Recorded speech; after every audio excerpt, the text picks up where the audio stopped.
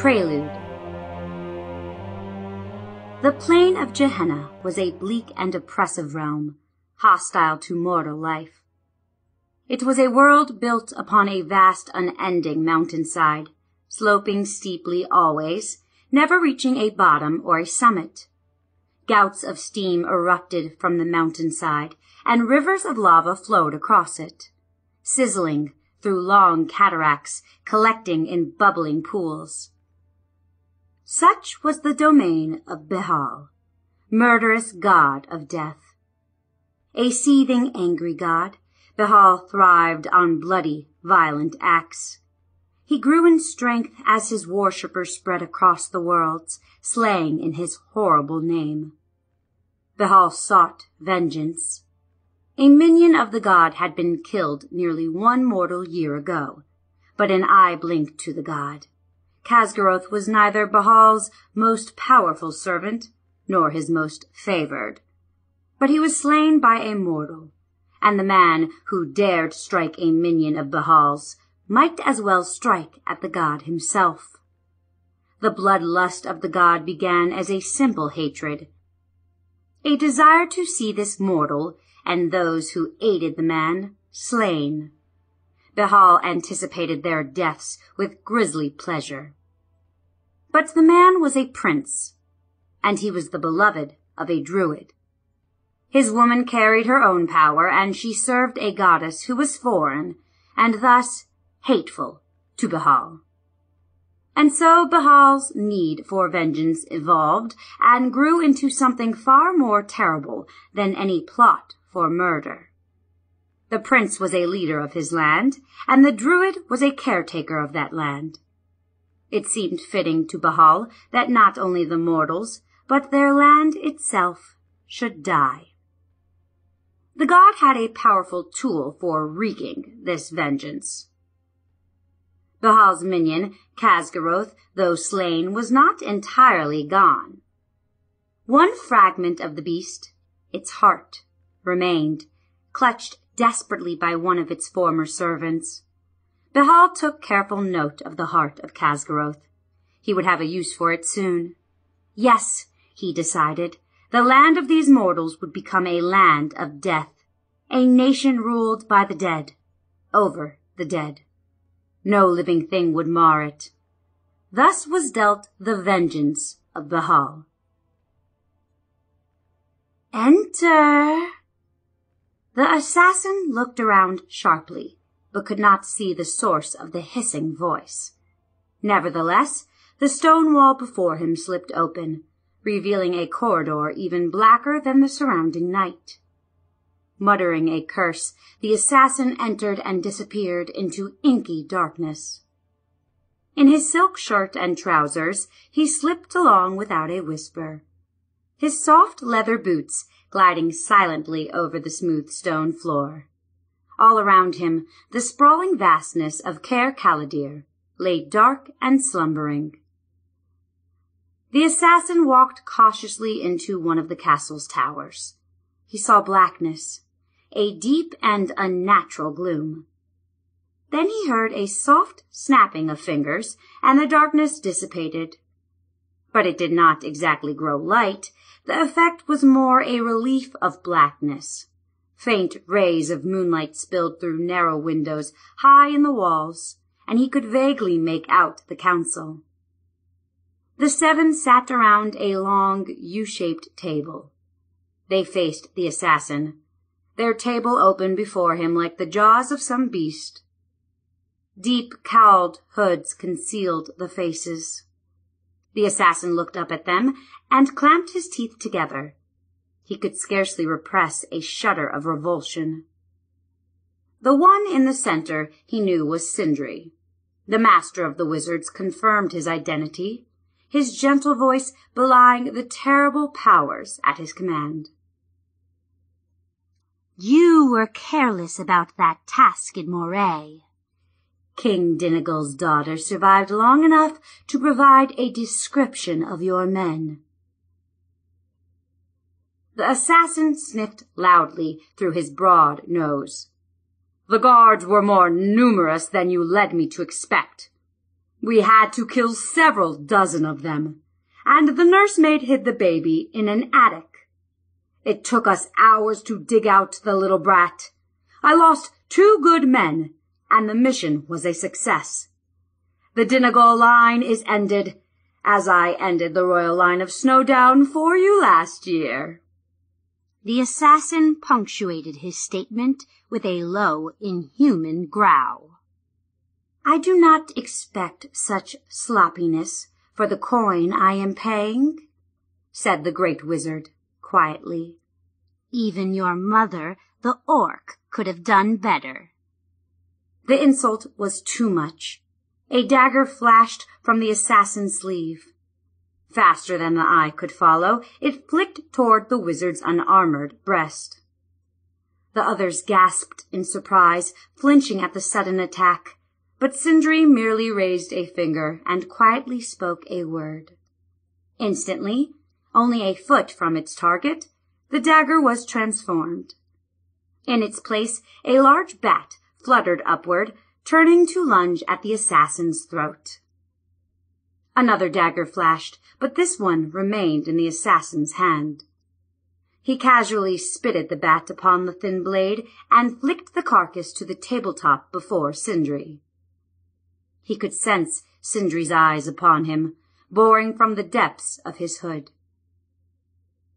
For a moment the room remained frozen, the wizards intent upon their leader. The assassin stood stock still before the table. The black wizard gestured casually, and the dead bat instantly disappeared.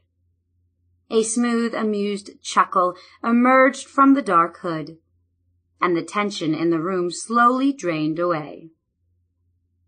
Now, Rasfallow, continued the wizard, his voice as pleasant as ever.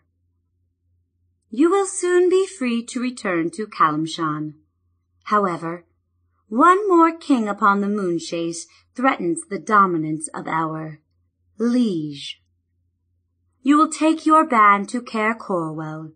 The prince of that realm is something of a local hero, and he is a menace to our ambitions. The cleric, Hobarth, has warned us that we must act quickly for the prince has a beloved who is equally dangerous. You are to kill them, and the king as well. The fee will be twice your usual, thrice if you can return the prince's sword to Caer Callidyrr. Above all else, this prince must die. Chapter 1 a druid of Myrloch Vale. Let's go swimming now, can't we, Robin? It's so hot, and we've been working so hard. You mean I've been working so hard, said the young woman, pausing to push a sweat-soaked strand of black hair back from her face. All you've done is get in the way. Her companion, a two-foot-long orange dragon that buzzed like a hummingbird around her, turned his scaly snout away in momentary indignation. Besides, Newt, Robin continued, I've got to sort out this tangle of vines before we do anything else. They seem to grow thicker every day. I don't know how Jen attended this entire grove by herself. Once again, she pried the vines away from the trunk with a heavy stick, grasping one and pulling it free from the ground. She tossed the vine onto a pile of its fellows, destined for an evening fire. Why do you have to sort these stupid old vines anyway? The dragon sulked. Let them grow the way they want to, and let us go swimming the way we want to. I've told you a hundred times, Newt. This is the sacred grove of the great druid of Gwynneth, and she is training me in the ways of our order. Part of my training is to obey her instructions and to aid in caring for the grove. The explanation sounded a little hollow, even to Robin, who had for nearly a year dutifully followed the instructions of her aunt and tutor, Genna Moonsinger. Today was not the first time the great druid had rested peacefully in the shady comfort of the cottage, while her erstwhile student toiled away in the summer heat. Still, Robin was a devout pupil. She paused and drew a deep breath, relaxing as she exhaled. She repeated the process as her teacher had shown her, and soon she felt the annoyance pass away. Robin turned again to the thick vines that threatened to strangle the trunk of an ancient oak. She even felt guilty about her doubts. Genna always works so hard, she reminded herself. She certainly deserves the rest. Robin's job was near the periphery of the enchanted area that was the great Druid's grove.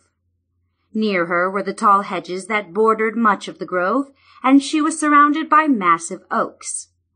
Closer to the heart of the grove sprawled a wondrous garden and its placid pond, and within these areas stood Genna's simple cottage.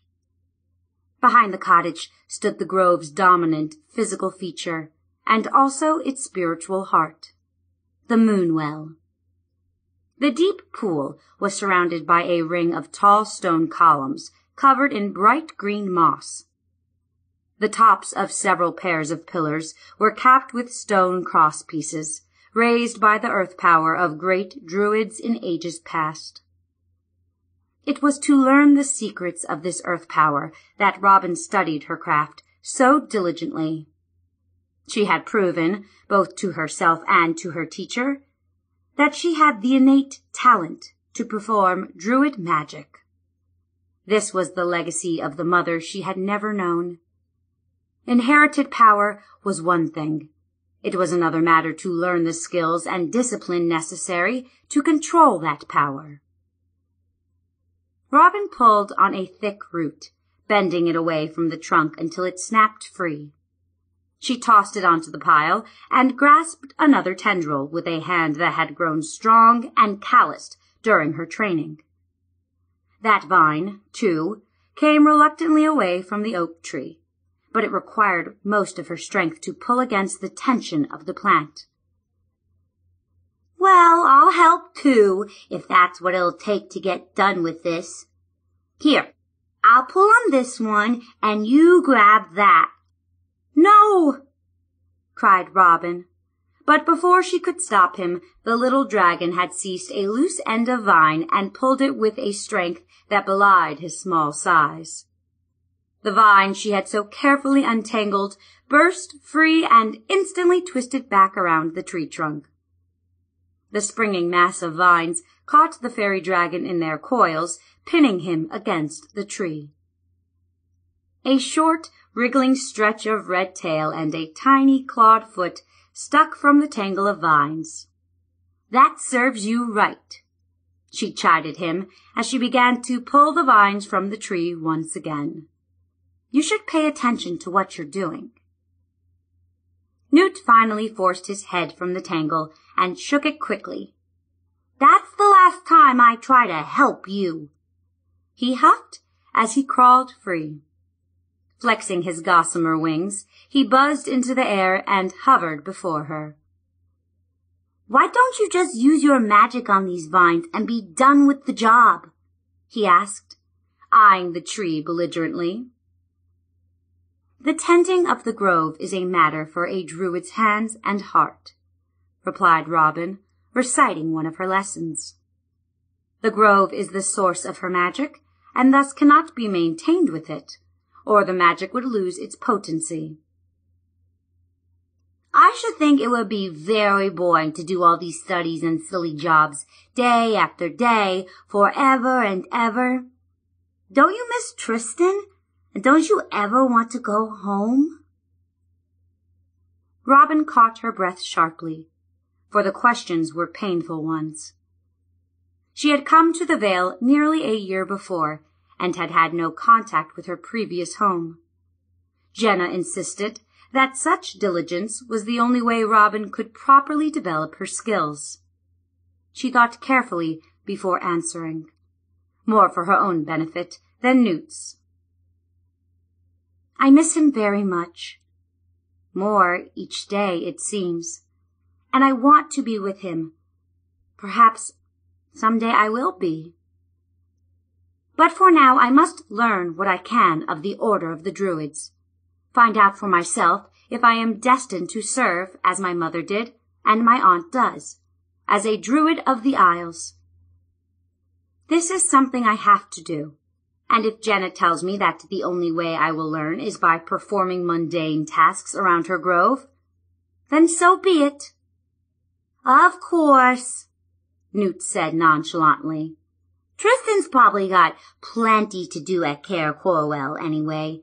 Festivals and hunts, all those pretty country lasses and barmaids. I don't imagine for a minute that a prince of the folk would waste his hot summer afternoon in a cool alehouse, of course. But just supposing he... Oh, shut up! exclaimed Robin, more harshly than she intended. Newt had an uncanny ability to aggravate her.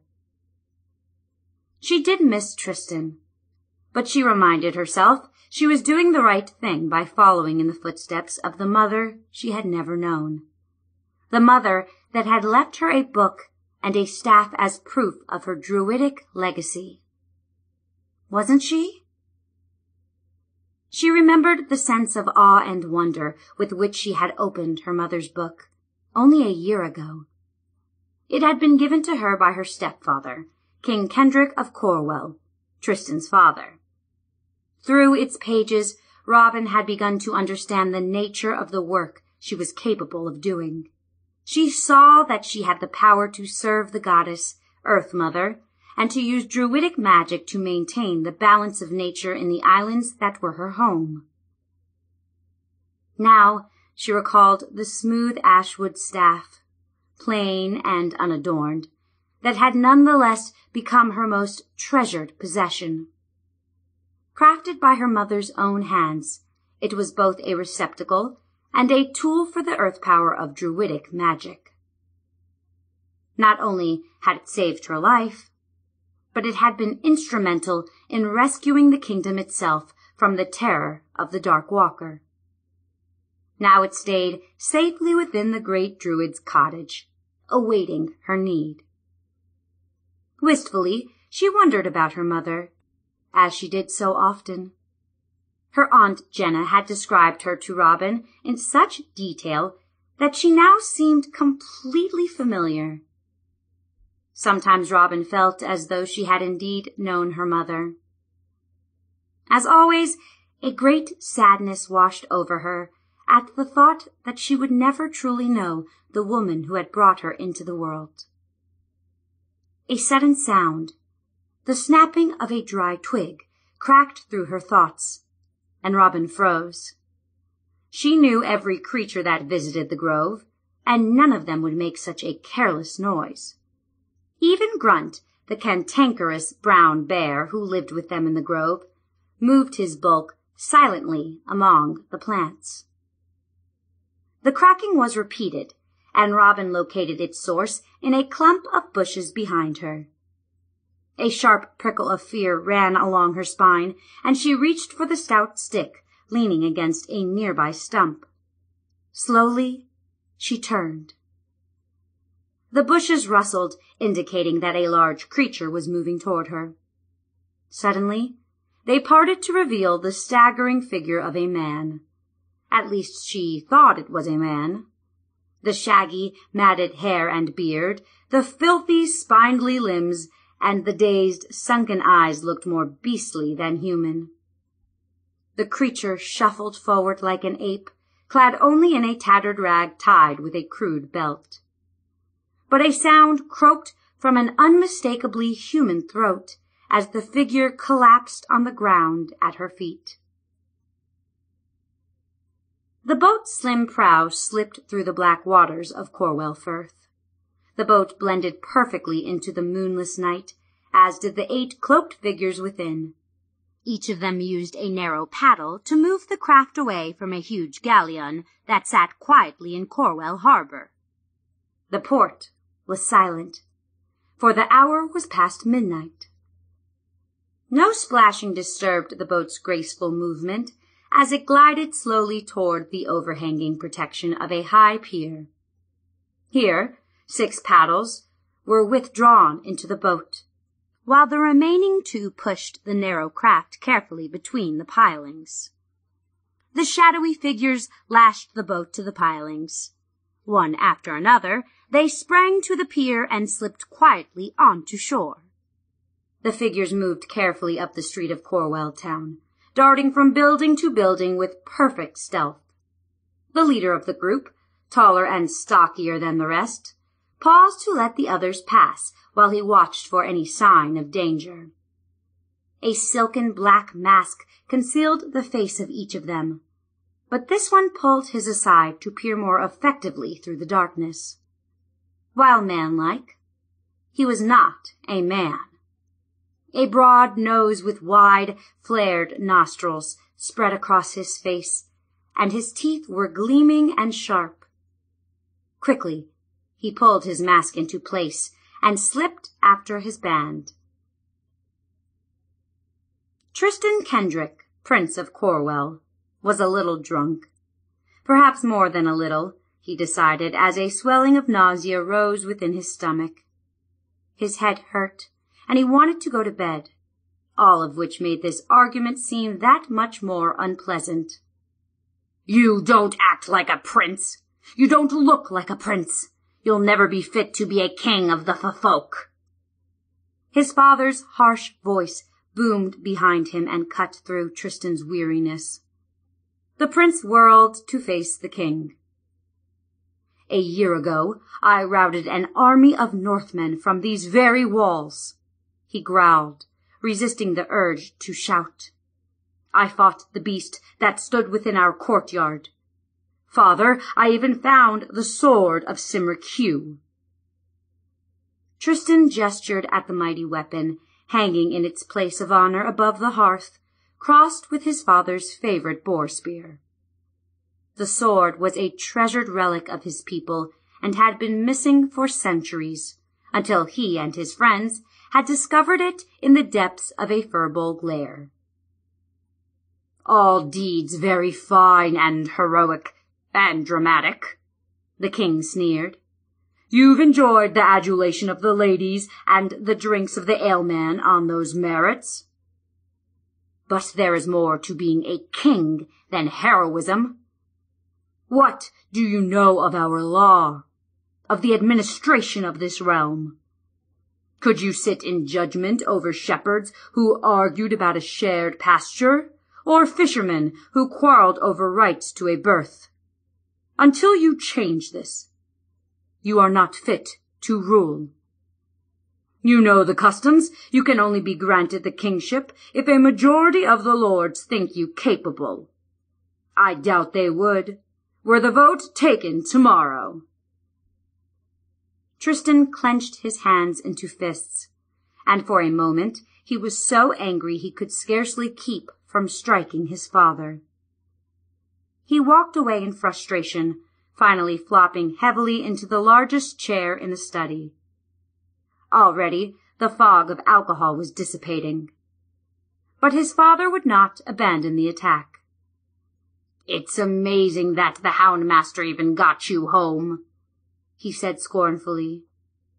And where is Daryth now? Probably in bed. But leave Daryth out of this. He's my friend, and I will not allow you to insult him. Ever since Robin left to study with her aunt, you've been acting like a brooding puppy one minute and a drunken buffoon the next. I love her. She's gone and nothing seems to matter except the next time I can see her face. By the goddess, I miss her. I don't even know if she'll ever come back. What if she decides to spend her life in the woods, tending some moonwell of the vale? The king stalked around the chair to face his son, and the prince forced himself to meet his father's gaze. And what if she does? That is her privilege, and perhaps her responsibility. But you wouldn't know about that, would you? Responsibility has never Father, I have decided to go to Myrloch Vale and visit Robin. I will leave as soon as I can prepare. Tristan interrupted bluntly. He had contemplated the idea several days earlier, but had not had the courage to tell the king. At least, he thought, this argument had given him that fortitude. That is exactly what I mean. You... Perhaps you're right about me, Tristan interrupted, leaning back to look at his father. After the adventures of last summer, the thought of spending my days cooped up. Suddenly, the door to the study crashed inward with a wood splintering slam. Tristan saw his father's eyes focus on the door, and then the king pushed wildly at the back of Tristan's chair.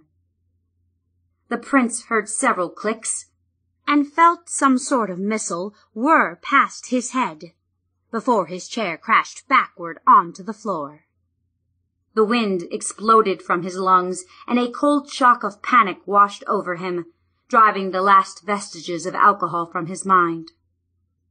Instantly, Tristan rolled from the chair, watching a silver dagger flash over his head from where he lay on the floor.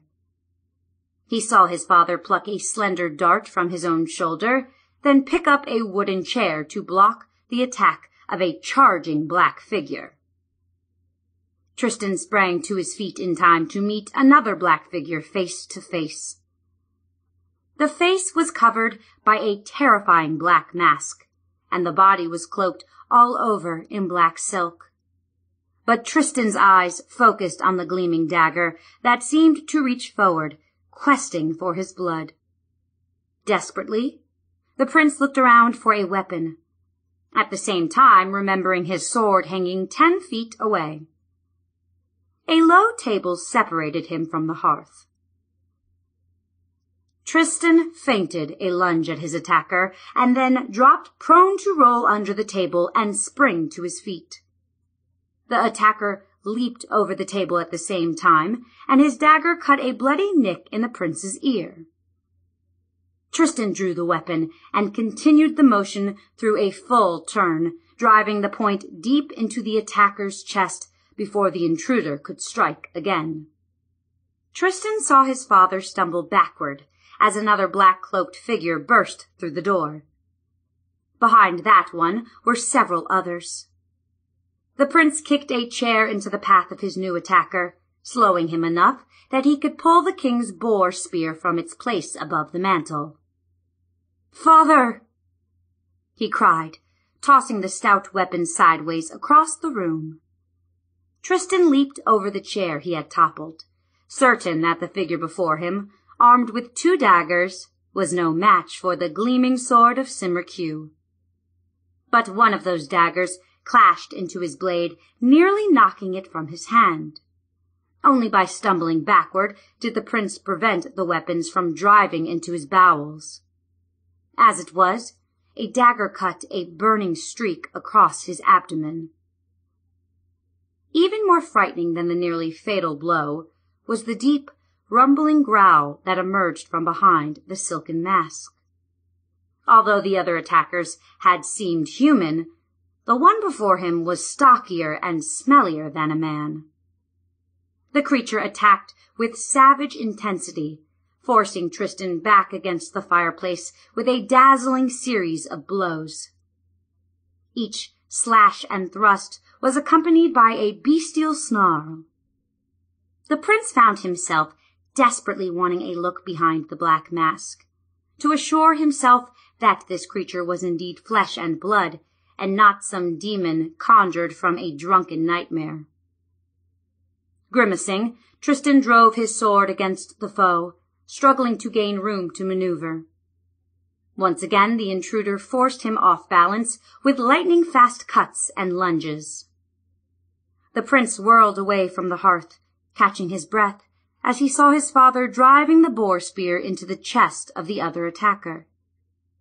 The king fell on top of the enemy and the pair lay motionless on the floor. Tristan's attacker surprised him by suddenly dropping to the floor. In a flash, the prince remembered the men at the door, and in the same instant, he fell prone, sensing the whirring passage of deadly missiles over his head. Then Tristan scrambled to his feet and sprang toward the foe. At the same time, he heard a scream of pain from the doorway. Apparently, the growling attacker was equally startled, for his masked face turned to the door in surprise. The prince almost caught the creature with the point of his sword, but he looked back at the last minute and sprang to his feet with cat-like speed. Even so, the tip of Tristan's blade struck a glancing blow against the thing's head, tearing the silken mask away in the process. The prince stared for a second at the snarling face. The creature looked a cross between a man and a beast.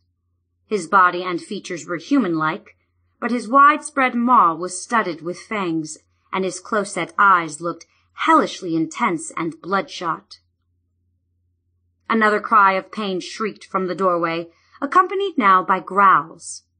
The prince saw one of the attackers there stagger into the room, a huge hound biting his neck in a deadly vice. He caught a glimpse of a flashing scimitar driving a third bowman against the wall. Daryth. The loyal hound master skilled at combat and stealth must have heard the disturbance. With his blade helping, Tristan thought, the fighting odds looked more favorable. Daryth leaped into the room past the great dog that was just raising his head from the gored body. Abruptly, Daryth froze, his darkly handsome features gaping in shock. Rasfallow, he finally said, his voice tight Tristan's foe had also paused at the sight of the Houndmaster. So, Calishite, this is where you have run to, he snarled. You did not expect to hide from me forever, did you? I don't need to hide any more, muttered Daryth, advancing slowly in a crouch. Especially from a killer of children. The monster chuckled, and then, before Tristan could react, he flicked one of his daggers straight at Daryth's heart. The silver scimitar moved very slightly, however, to knock the weapon harmlessly to the ground. Rasfallow obviously sensed that the battle was lost. Before Tristan could react, he sprang to the window, thirty feet above the courtyard. He turned once to stare at the prince, hate spilling almost palpably from those crimson eyes, and then he leaped into the darkness. Guards! shouted the prince, racing to the window. Intruder in the courtyard! Take him alive! Already the black figure had disappeared into the night. But the cry of alarm was taken up throughout the castle. Turning, Tristan saw Daryth gently cradling the king's head. The great moorhound, Canthus, stood next to him, gently nuzzling the still form. The only wound upon Tristan's father was the little pinprick, barely bleeding, in his shoulder. Nevertheless, the hound master looked at the prince with deep pain and shock in his eyes. The king of Corwell is dead. Like all of the gods, Bhaal communicated his will to his worshippers via his clerics, priests, priestesses, holy or unholy people. These clerics drew their strength from their gods, and many were capable of feats of magic rivaling those of the mightiest wizards. As a powerful god, Bhaal numbered a great many clerics among his faithful. It so happened that one of the most powerful of these was on the Moonshaes. This one would serve his purpose now. Bhaal decided slowly upon a scheme. It would entertain him, and it could enhance his status among all of the gods of the realms. It was a complex plan, but he had numerous willing hands to aid him. To start, he would send the cleric of the Moonshaes a dream. He could regard it as a prophecy or a command. In any event, it would be the will of Bhaal. The cleric, Bhaal knew, would obey. Chapter 2 The Council of Corwell Lengthening shadows extended the towers of Caer Callidyrr into needle-like spires that reached ominously across the city of Callidyrr, and beyond to the waters of Whitefish Bay. Evening brought an end to the bustle and barter of vigorous trade that characterized this, the largest city among the lands of the folk. Night came with its own forms of barter, sale of the gignac weed imported freely from Calimshan, or even in the darkest of alleys, the trading of young slaves from Amn or Tethyr. The wizard moved among these alleys, intimately familiar with them. Eventually, after night had fallen completely, he stepped down a stairway into a low cellar, ignoring a slumbering old man who reeked of cheap wine. He pushed through a certain curtain that masked one wall of the cellar and entered a wide, round room. The chamber was illuminated by great pots of hot coals that gave the place a hellishly red glow and kept it uncomfortably warm. A huge skull sat upon an altar in the center of the room. Carved from white marble, it was perhaps four times the size of a human head. Red streaks, which could only have been fresh blood, ran from the eyes of the skull across its cheekbones in a garish caricature of tears. A man stood before this skull, his back to the wizard. The thick robes and cowled hood of the cleric could not conceal his immense size. Slowly the man turned. Praises to Bhaal, he chanted. Hail the Lord of Death, replied the wizard in a smooth, incongruously pleasant voice. Have you acted upon my prophecy yet? inquired the huge man, stepping away from the altar with a reverent bow to the skull. Indeed, Hobarth, replied the wizard. I am certain that Rasfallow and his team will eliminate them shortly. There is more to be done. The woman will not be found at Caer Corwell. No matter. I will send Rasfallow to the farthest corner of the realms if need be. No!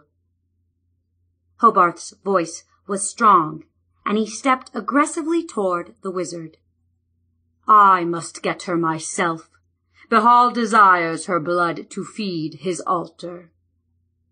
Where is she? Bhaal has shown me, and only me, where she can be found. I will go after her. And why should the god desire this woman's blood to flow from his sockets? Perhaps Bhaal desires the victim to be a druid, there are none closer than Gwynneth any more, thanks to you and your council. Cyndre chuckled wryly. As I recall, you and your god had a hand in the elimination of the druids from Alaron. Now, the folk of Callidyrr lack any central spiritual guidance. They are ripe to your persuasive efforts.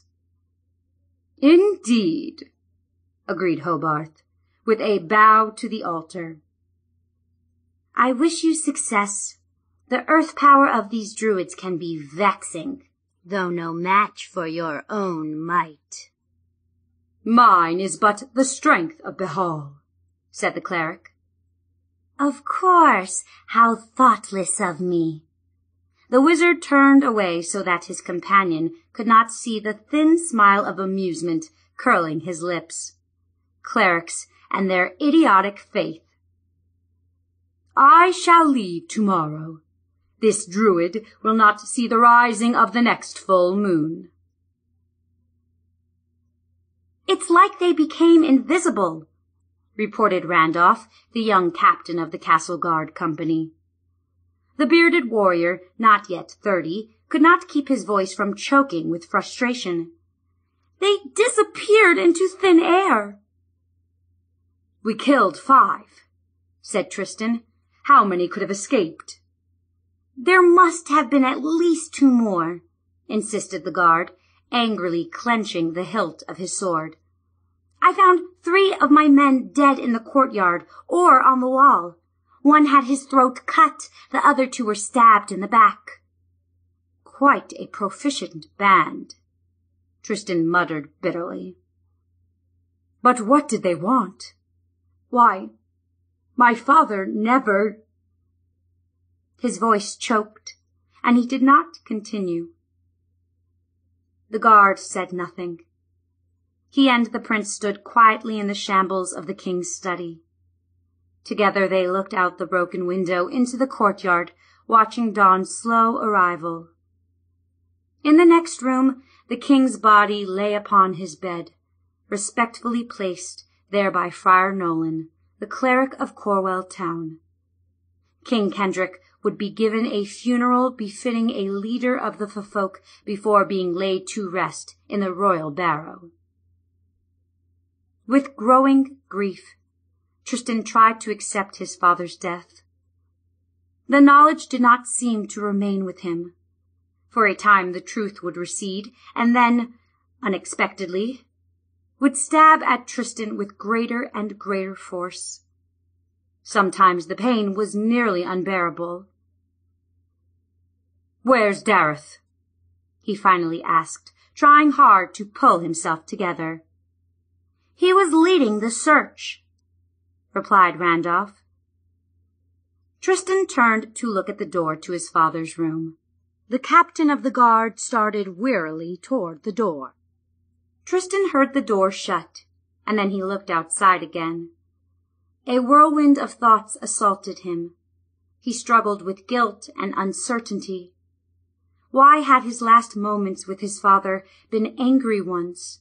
And what would happen to him, to the kingdom? Now that his father was gone, Tristan began to realize how much he had depended on him. A brooding sense of loneliness threatened to overwhelm him, and he thought wistfully of Robin, so far away. He longed for her presence more desperately than ever. Impatiently he paced the floor, wishing Daryth would return. Finally he flopped into a chair and stared into the long dead coals in the fireplace. Practical thoughts pushed through his emotional storm. Messengers had already been dispatched to the Cantrev lords of Corwell. These lords would arrive post haste, and a council to determine the future of Corwell would convene. A new king would be selected. The thought of the pudgy Lord Coart or the greedy Lord Pontswain sitting in his father's place revolted Tristan. Of all the petty leaders of the lands of Corwell, the prince could think of none worthy to sit upon the royal throne, to be his lord. It's my father's place, he thought. Just my father's. Or maybe now, maybe my own. Angrily, he sprang to his feet, stalking to the window as he realized how dramatically his own feelings had changed in the last few hours. Looking into the orange dawn, Tristan faced the truth that, hours earlier, he had argued vehemently against. He wanted, very much to be the next king of Corwell. Robin gasped as she knelt beside the frail figure. An unfocused fear prevented her from touching him. As she finally reached forward to turn the man onto his back, his eyes squinted against the sky. He gibbered something that was not even vaguely speech, and she saw that his tongue was swollen and cracked. She quickly grabbed the nearby water flask, pouring a few drops between the man's chapped lips. Don't touch him, Newt warned. He looks dangerous. I don't trust him. For the first time, Robin noticed that the little dragon had dived for cover under a pile of leaves when the stranger arrived. Buried up to the eyeballs, he stared watchfully at the pair of humans. Oh, hush, she chastised, pouring more water into the man's gaping mouth. He coughed and choked spasmodically, but eagerly licked the droplets from his lips, straining to raise his head for more. Robin gently moved his head back to the grass, offering him another splash of water. Slowly, the tension seemed to drain from his body, and he closed his eyes. His breathing slowed from frantic panting to a steadier rhythm. After a moment, it seemed that he had fallen asleep. She wished she knew how to aid him. He seemed so frail and weak. At the same time, something about him frightened her. Who are you? she whispered, examining the man. His skin was cracked and dry, as if it had been exposed to extended periods of savage weather. His hair and beard were thin, but long. Branches and thorns had tangled them into mats. His fingernails were filthy and worn all the way to the skin. Did he find food by scratching at the ground for roots and grubs? Robin wondered. His only garment was a leather cloak that barely covered his nakedness. A crude fur belt stretched around his waist to hold the cloak. His thin brown hair and beard were long and matted with burrs. But it was his eyes that drew her attention and frightened her. They stared fiercely one moment, then darted frantically about like a madman's, driven by some mysterious combination of fear and pain. Robin noticed that the man sprawled at an odd angle, with his hips raised slightly off the ground as if he lay upon a sharp rock. She tried gently to move him, and she discovered that he had a small pouch tied to his belt, concealed by his buttocks beneath the ragged cloak. It was a filthy object, barely worthy of notice, yet she found her eyes drawn to it, compelled to look at the pouch, and frightened by that compulsion at the same time. Carefully she reached for it, trying to pull the pouch from beneath the man. Her strong fingers felt a hard object, like a fist-sized stone. As soon as she touched it, however, the man sat up, opening his eyes wide. Never had the woman seen such stark panic before. The man screamed, and his voice shocked her ears. It was a piercing, monstrous sound, reminding her of some hulking reptile ready to strike. But then he scuttled away from her like a crab, clutching the pouch to his breast.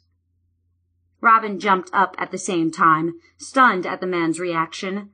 But then she held her hands up and gestured that she would not touch the stranger's possession. But what could this man be carrying that was of such incredible value? Come with me, she said quietly. I'll take you to a place where you can rest and eat. Slowly Robin reached for the man's arm, helping him stagger to his feet. He was very weak, swaying drunkenly. He certainly would have fallen if not for Robin's supporting arms. He weighed little, however, and she had no difficulty holding him upright. Newt crept out of the leaves and buzzed warily behind. Carefully she led him through the grove among the broad oak boles. They approached a vast tangle of brush beside the ring of stone arches that marked the moonwell. As Robin approached the clump, its thickly intertwined branches parted silently, creating a rounded arch that was slightly higher than her head, and revealing the tangle as a ring of brush, not a solid clump. Within the ring, she could see the tiny building that was the great druid's cottage. With its thatched roof and vine-covered walls, it looked like it had sprouted from the ground itself.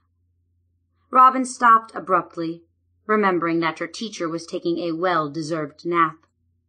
She decided to tell Genna about the stranger after she awakened. For now, she could tend to the man herself. Come this way, she said, changing course. Through these trees. She led him between sheltering aspens into a shaded area of lush grasses and soft flowers. You can rest in the bower. She helped the man into the meadow, leaning against a sturdy aspen to rest. A sudden growl erupted behind her, and she whirled, nearly dropping the stranger, to see a small mountain of brown fur rise from the grass. A huge creature snarled and bared its white fangs in annoyance. The man cried out in fright and shrank against the tree trunk. His eyes nearly popped from his head at the sight of the huge bear. Grunt, stop it! Robin scolded, waving a hand at the animal. Shame on you! The bear growled again, but settled to all four feet and shambled across the meadow, disappearing into the aspens on the other side. I'm sorry, she explained, laying a hand upon the man's trembling arm. He's very grumpy when he's awakened suddenly. Just ignore him. He wouldn't hurt you. Besides, the animals are forbidden to attack other creatures within the grove. You're safe here. She doubted that the stranger understood her, but he seemed soothed by her tone, for he clung tightly to her arm and allowed her to lead him farther into the bower. The bower was actually a grassy meadow, surrounded and covered by a converging tangle of trees. It was small, for they kept no animals, and only used it for those periods when some injured creature of the wild needed the grove as a haven while recovering from wounds. She helped the man, who seemed to grow weaker with every step, to a bed of lush grasses. Lowering him gently to the ground, she offered him more water. Gradually, his trembling subsided, and finally he slept. Even in unconsciousness, however, he clutched the tattered pouch and its rock-like contents tightly to his chest. She rose silently when his breathing became deep and even, slipping through the curtain of aspens to leave him to his rest. There she found Newt, perched suspiciously upon a low branch, waiting for her. Now can we go swimming? he asked. They were Calishites, reported Daryth. At least they learned their trade in Calimshan at the Academy of Stealth. The Calishite's brown face was taut with anger and his black eyes blazed. How can you be sure? asked the prince. He shook his head, trying to clear away the grogginess of his short sleep. Suddenly, he remembered his father's body in the next room, but he clenched his jaw to stifle any display of emotion. Inwardly, he wanted to shout his grief at the heavens, to cry aloud for vengeance. Daryth had awakened him after what seemed like scant moments of sleep, although he could now see the sun outside the window. Their garments, for one thing, Daryth continued. The prince knew that his friend had studied at the Academy of Stealth, but Daryth rarely spoke of those experiences. It was not, Tristan sensed, something the Houndmaster was proud of. The assassins of the Pasha school always wear the finest weave of Amnish silk. This silk. He held up a piece of cloth torn from one of the slain attackers. And these little crossbows are a favored weapon of the Pasha's elite. Smeared with poison, they are absolutely deadly within fifty feet. Daryth paused. I'm sorry, it's a miracle that they didn't get you as well. Then there was Rasfallow. The Calishite paused for a moment. I studied under him when I was at the academy. That was when I was young, but strong and quick. The skills taught at the academy, I thought, would see me to a life of luxury and ease. But those skills, stealthy murder, theft, betrayal. They come with their own cost. And Ras made those costs clear to me. He is one of the deadliest assassins in the realms. Eventually I made him angry. The most convenient solution was for me to leave Calimshan. And so I did. Obviously, he remembers, remarked the prince. I gave him good cause to, muttered Daryth. But despite Tristan's curious look, he would not elaborate. What is he? A half-orc. His mother was a full-blooded orc.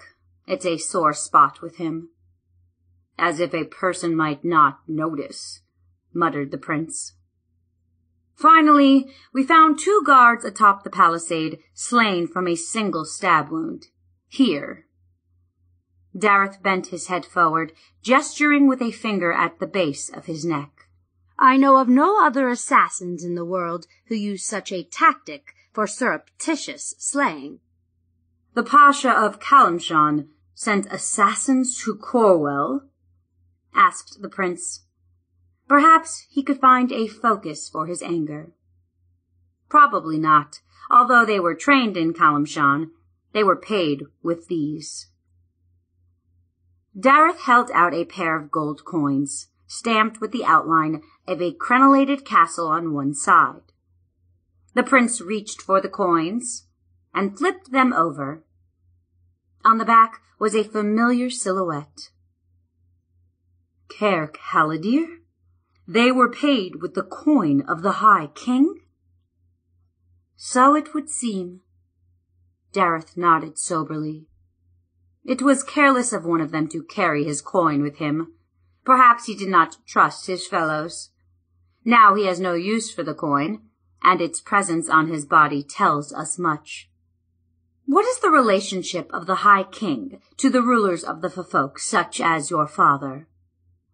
The title High King is more an honorific than anything else. Not since Cymrych has there truly been a king that united the folk under one leader. Now he wears the crown of the Isles to signify his authority. That was the gold crown forged for Cymrych himself, but has little real authority, except over the kingdom of Callidyrr. In Moray, Snowdown, and here in Corwell, we pay little attention. But what does that honorific mean? In name, he is the lord of the kings of Corwell, Moray, and Snowdown. The High King is in fact the king of Callidyrr, the largest kingdom of the folk. Though the other kings, including my father, owe fealty to him, there is no power behind the title. The current king, Carathal, has brought much trade to Callidyrr from the nations on the Sword Coast. He has even hired a council of mages from Waterdeep and beyond to advise him. Still, he has been no more dynamic than any of the others in providing strong leadership or bringing the nations of the folk together. Tristan paused. He and his father had discussed this more than once. Because the folk had no single strong leader, the Northmen had been able to conquer many of their lands, one by one. We cannot bring ourselves to unite against them, Tristan reflected, even when they bring all of their nations together against one kingdom. But he still could not follow Daryth's argument. Perhaps he knew that your father had no ambitions, conceded Daryth. But perhaps your father was not the target of this assassin. It may be that he was simply an unfortunate victim. The real target could be one that the High King does not know to be a loyal vassal, the one most responsible for the great victory of last year. Me? Tristan was shocked. Of course, that is just a guess, admitted Daryth. But your father was no threat to the High King. Maybe you were. But what could be gained by slaying me?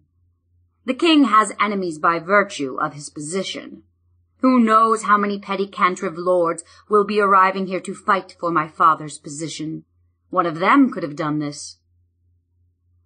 I think that is unlikely, argued the Hound Master. For one thing, the graduates of the Academy of Stealth do not work cheaply. I doubt whether one of the Cantrev lords could have afforded them. Perhaps they were hired by the High King, or at least by some wealthy individual of Callidyrr, Tristan said. I cannot accept the idea that I was the target.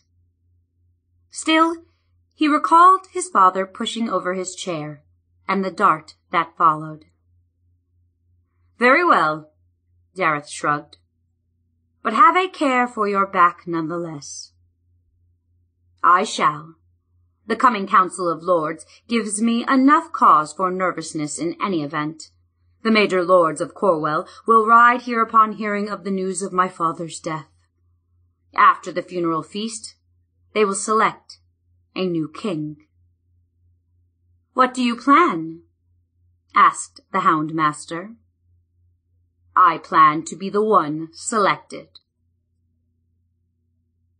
The silver of a moon cast little light over the vast wilderness of Myrloch Vale. It did not penetrate the thick canopy of aspen leaves, and thus the confines of the bower remained pitch black. The shriveled figure there twisted and sat up, breathing heavily.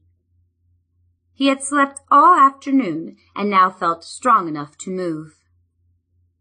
With exaggerated stealth, he reached a claw-like hand into his tattered pouch, pulling forth a black rock. It was curved with smooth surfaces, like a stone sculpture of a heart. Some of its facets were pure, deep black, and others seemed even darker. It absorbed light and radiated a faint heat. Deep within its center, it throbbed with a deep, evil cadence that few could hear, but those that heard it heard it most profoundly. Nervously peering into the woods surrounding him, he hunched over and clasped the object to his breast. Rabbits and squirrels shifted uneasily throughout the woods as some nameless disturbance penetrated their rest. The flowers in the garden closed their petals. In the pond, the lilies shivered and shifted away from the sinister presences, until all of the blossoms had gathered against the far shore like a nervous flock of sheep. Suddenly, a cackle of glee passed the man's lips, and he jumped in fright. Panicked, he jerked his head about, straining to hear if he had been detected. Carefully, he wrapped the object in its filthy pouch and lay down again upon the bed of grasses. Within the cottage, two hundred feet away, Genna thrashed in her sleep, apparently caught in the throes of a nightmare. And Robin sat up suddenly, drenched with sweat, for she had just awakened from a numbing nightmare of her own. She had dreamed of the king, her stepfather, laid upon his funeral bier. Surrounding him, descending slowly, was an unspeakable, menacing black mist. She could not return to sleep for the rest of the night. To good King Kendrick, may the goddess reward him. Lord Pontswain raised his mug, allowing foam to spill onto the broad tabletop. The Council of Lords was meeting in Caer Corwell's great hall, for the royal study was not large enough to accommodate the gathered throng. The lords represented the villages and towns of the small kingdom, from tiny highland communities to thriving fishing cantrevs. They sat drinking dark ale in toast to their deceased sovereign. All thirty-one of Corwell's Cantrev lords had gathered at the castle to decide upon the future ruler of the kingdom. Tristan, as host, sat at the head of the table. Daryth sat to his right, while Randolph, in his role as captain of the castle guard, stood at the nearby door. Opposite Tristan, two score feet away, sat Friar Nolan, the cleric of the new gods, who had won over some of the folk of Corwell. Most of the folk still held the Earth Mother Goddess to be the supreme deity, but as a rule, her representatives, the Druids, shunned human politics, and thus none were present. Lord Galric lurched to his feet, splashing half the contents of his mug into the lap of the scowling Lord Coart, who sat beside him. As usual, Galric was drunk, and Tristan suppressed a smile. At least one of his rivals was ill prepared to debate him. King Kendrick, shouted Galric, a splendid ruler and a fine figure of a man. Hear, hear! The course of agreements was followed by more slurping swallows around the table. Tristan examined the other lords, trying to determine who was most likely to offer him a challenge. Nearby sat Lord Coart and Lord Dynat. Neither had acquitted himself well during the war, and Tristan hoped this fact would be enough to mark them as unfit to rule.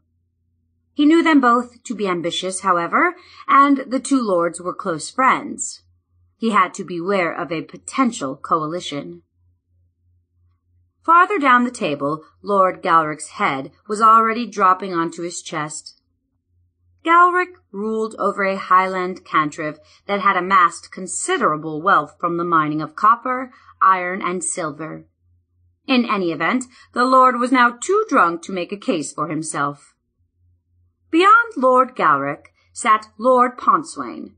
He was a smooth, handsome man with curling brown hair that flowed past his shoulders, and a firm, crackling voice that commanded attention. He had a sharp wit, and the cutting edge of his voice often left one wondering whether he had been complimented or insulted. The prince noticed that Pontswain's mug remained full. The Lord spent more time sizing up the others at the table than he did in joining the toasting. Pontswain ruled a large and wealthy cantrev to the southwest of Corwell. Tristan knew him to be very ambitious and judged him the most significant rival at the table. The others, such as Lord Fergus of Kingsbay and Lord Macshay of Cantrev Macsheehan, ruled small fiefdoms that were still recovering from the war. Tristan judged these lords as council members to be honest and reasonable men, open to persuasion by the best candidate. For a moment the prince thought again of the meeting's purpose. His father had been buried the night before, and he was about to make a case for himself to succeed the king. He could feel his palms beginning to sweat. His mug, like Pontswain, sat before him, barely touched. My lords, he began, so softly that the group was forced to quiet in order to hear him. I thank you all for attending this most significant council.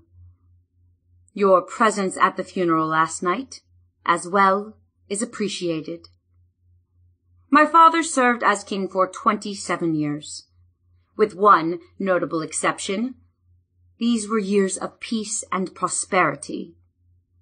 Trading vessels called regularly here and at Kings Bay. Taxes have remained low, practically non-existent for those with little means to pay.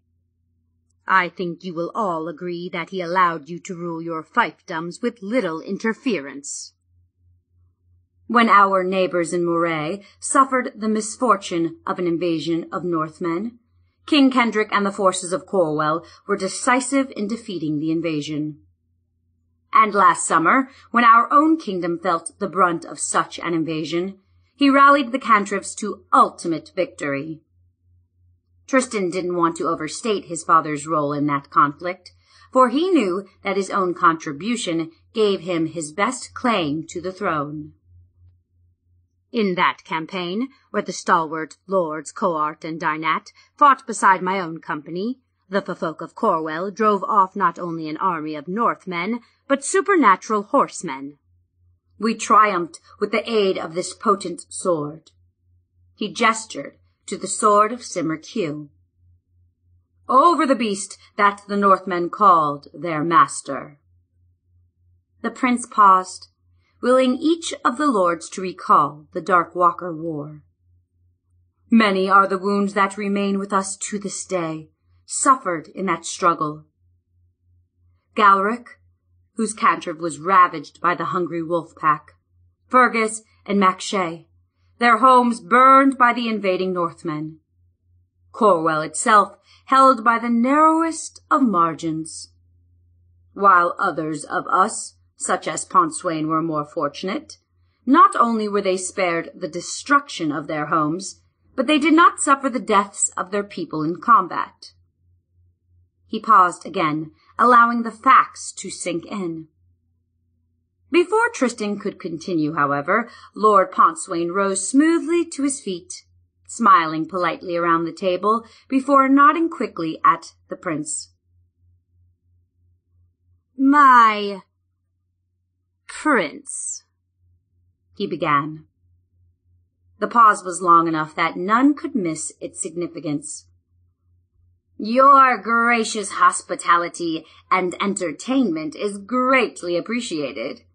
It is time, however, that we arrived at the true purpose of this council. Leave us, please, to attend to the man's task of selecting the next king of Corwell. Pontswain turned back to the lords, his gesture emphasizing the prince's dismissal. Tristan had been prepared for a maneuver of some kind, but the bluntness of it took him by surprise. He found his voice a second later. My lord. He mimicked Pontswain's pause perfectly. I have earned the right to attend this council as much as any other man here. Perhaps more than some, if such earnings is measured in bloodshed for the kingdom. He saw the lords who had suffered during the war nodding in mute agreement as attention turned back to Pontswain. Now, now, lad. Pontswain's patronizing tone gave Tristan his opening.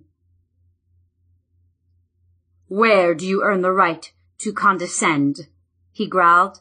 The laws of the folk provide that my fitness to rule will be judged alongside yours, old man and may it be that it will be judged superior to yours. In a brief minute, the field of candidates for the kingship had been narrowed to two. Both men understood this and sized each other up for a moment before proceeding.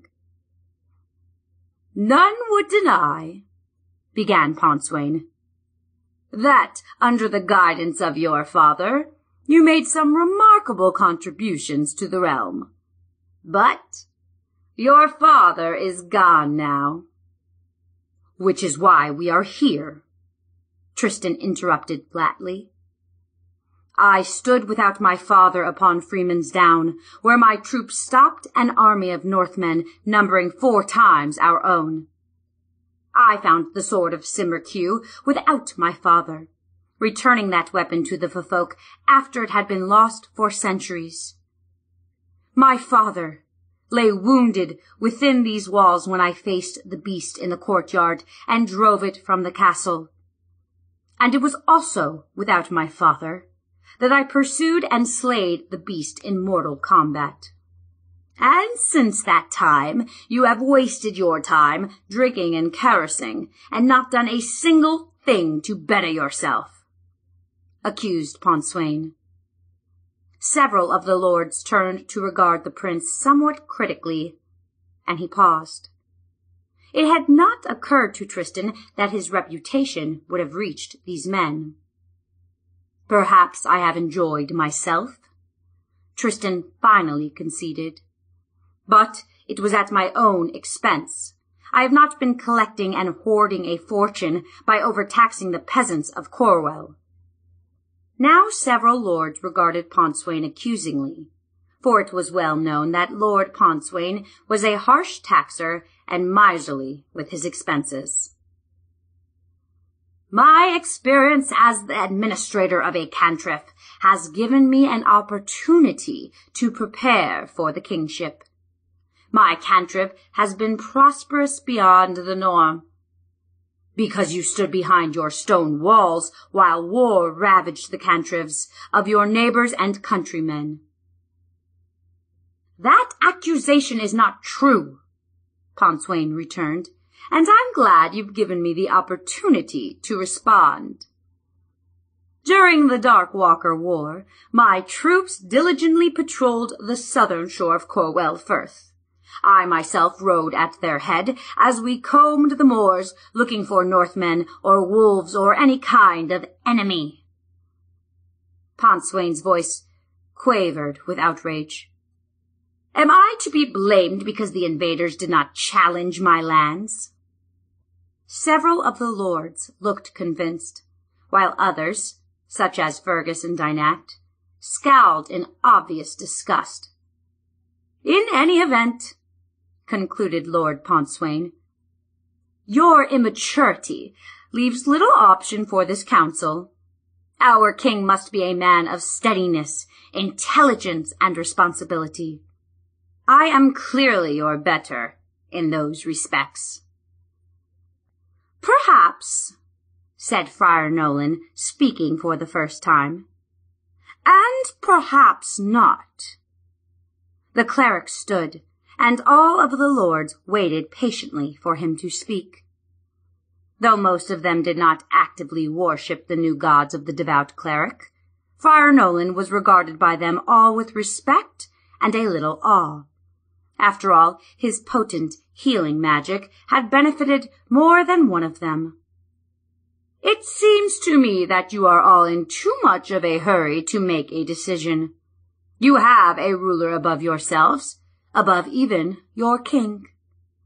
Turn to him for guidance in this most critical decision. Allow the High King to determine which of these men shall become your king. I cannot object strongly enough, growled Pontswain. Fergus leaped to his feet, a smile lifting his broad mustache. I, for one, like the friar's suggestion. Let the High King choose between them. Indeed, chorused Coart. Let the High King decide. A chorus of assents rumbled from the lords, and Tristan and Pontswain exchanged a sudden, challenging look. The prince looked back to the lords, unable to read the emotion in Pontswain's dark, confident gaze.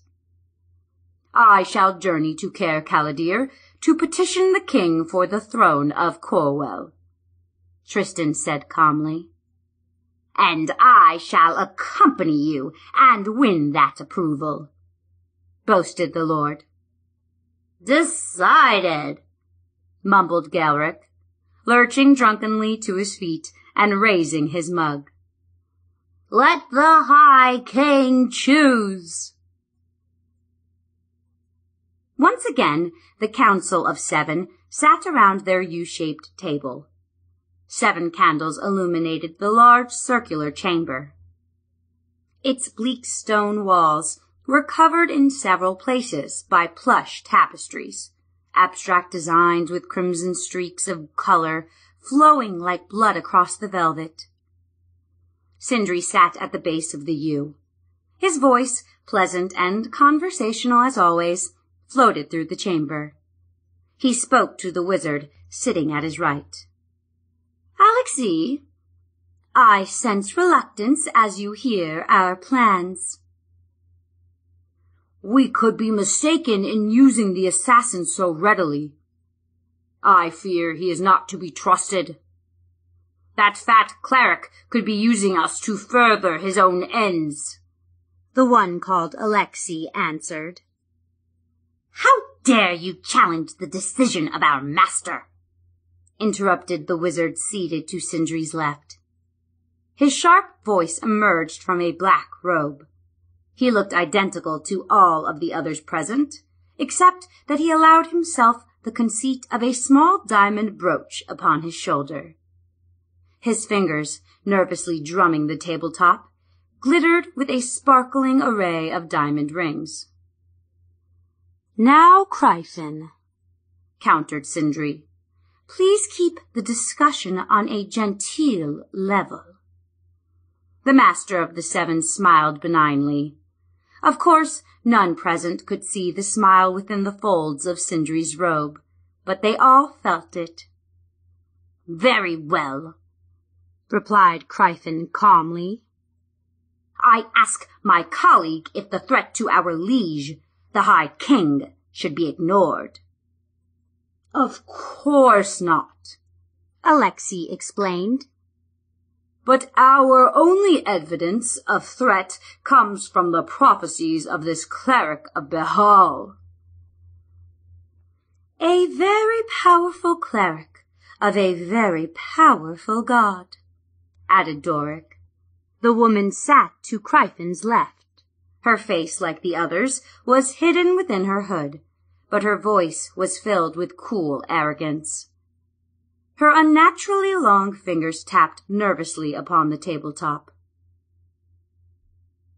True. But I feel that we should, through our own methods, determine the veracity of his claims. Do you think that I am a fool? Cyndre asked. Of course I have checked, using far more accurate means than that wretch of a cleric can hope to employ. For now that cleric, and yes, even his awesome deity, serve our purposes. If Cyndre noticed the shudders of nervousness that passed among the members of his council, he gave no indication. The master of the mages continued, as if talking to recalcitrant children. The significant kings and lords of the folk have been eliminated or neutralized. The way grows clear for our liege to rule all of the Moonshaes. Yes, master, said Alexei quietly.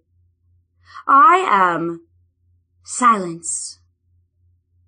Cyndre's single word came like music to their ears, but bound their lips like the ironclad order that it was. The master gestured, and the seven knew that the door to their chamber had been opened. Soon they heard the whisper of soft leather boots moving down the black corridor, and then three men entered the room, standing awkwardly at the open end of the table. Actually, only two of them were men. The third was man-like, but stood taller than his companions. His arms were long and his face grotesque. Nervously licking his lips, he revealed wicked fangs. Well, Rasfallow, what is the word from Corwell? Cyndre's question was a formality, and no doubt the assassin knew it. The wizard's powerful scrying mirror had shown him the results of the mission as it had happened. We failed, master. The king sacrificed himself to save the prince. Then the prince's bodyguard, a graduate of the academy and former student of mine, intervened. I lost five of my finest. This is what I think of your finest. Cyndre's voice carried no trace of threat, but his left and right forefingers gestured at the men standing to either side of Rasfallow. Spellbound, each instantly grabbed his throat and gasped. Choking, they staggered to their knees and then flopped to the floor. Twisting in agony, their faces growing slowly black, they died over a period of several minutes. Rasfallow watched the executions impassively. Finally, the assassin turned toward Cyndre. You only live because I have further need of you, explained the wizard. Serve me well, and you may be granted the right to live out your miserable life. What is it, teacher? Why did you call? Robin clasped a hand to her mouth as she saw Genna's haggard face staring at her from the depths of her bed. Pain! gasped Genna Moonsinger, collapsing into her soft quilt. Her eyes darted past Robin, as if she feared that some apparition might appear in the doorway. Can I help you? Tell me what you need. Leave me, girl. Go now. Genna's voice was sharp, more harsh than Robin had ever heard before. Confused and frightened, she stumbled from the cottage and banged the door shut. She saw the man, the stranger she still called him, watering the roses as she had requested. Robin quickly turned away from him and went around the cottage. She felt a need to be alone. She heard a loud snuffle as she passed through the hedge that magically parted before her, and Grunt rose to his four feet. Absently, she scratched his broad head while she wondered about her teacher's strange malady. Genna had been taciturn and unpleasant recently, and her health seemed to grow worse every day. Grunt suddenly rubbed against her anxious for more attention and knocked her to the ground. Damn it, you clumsy oaf!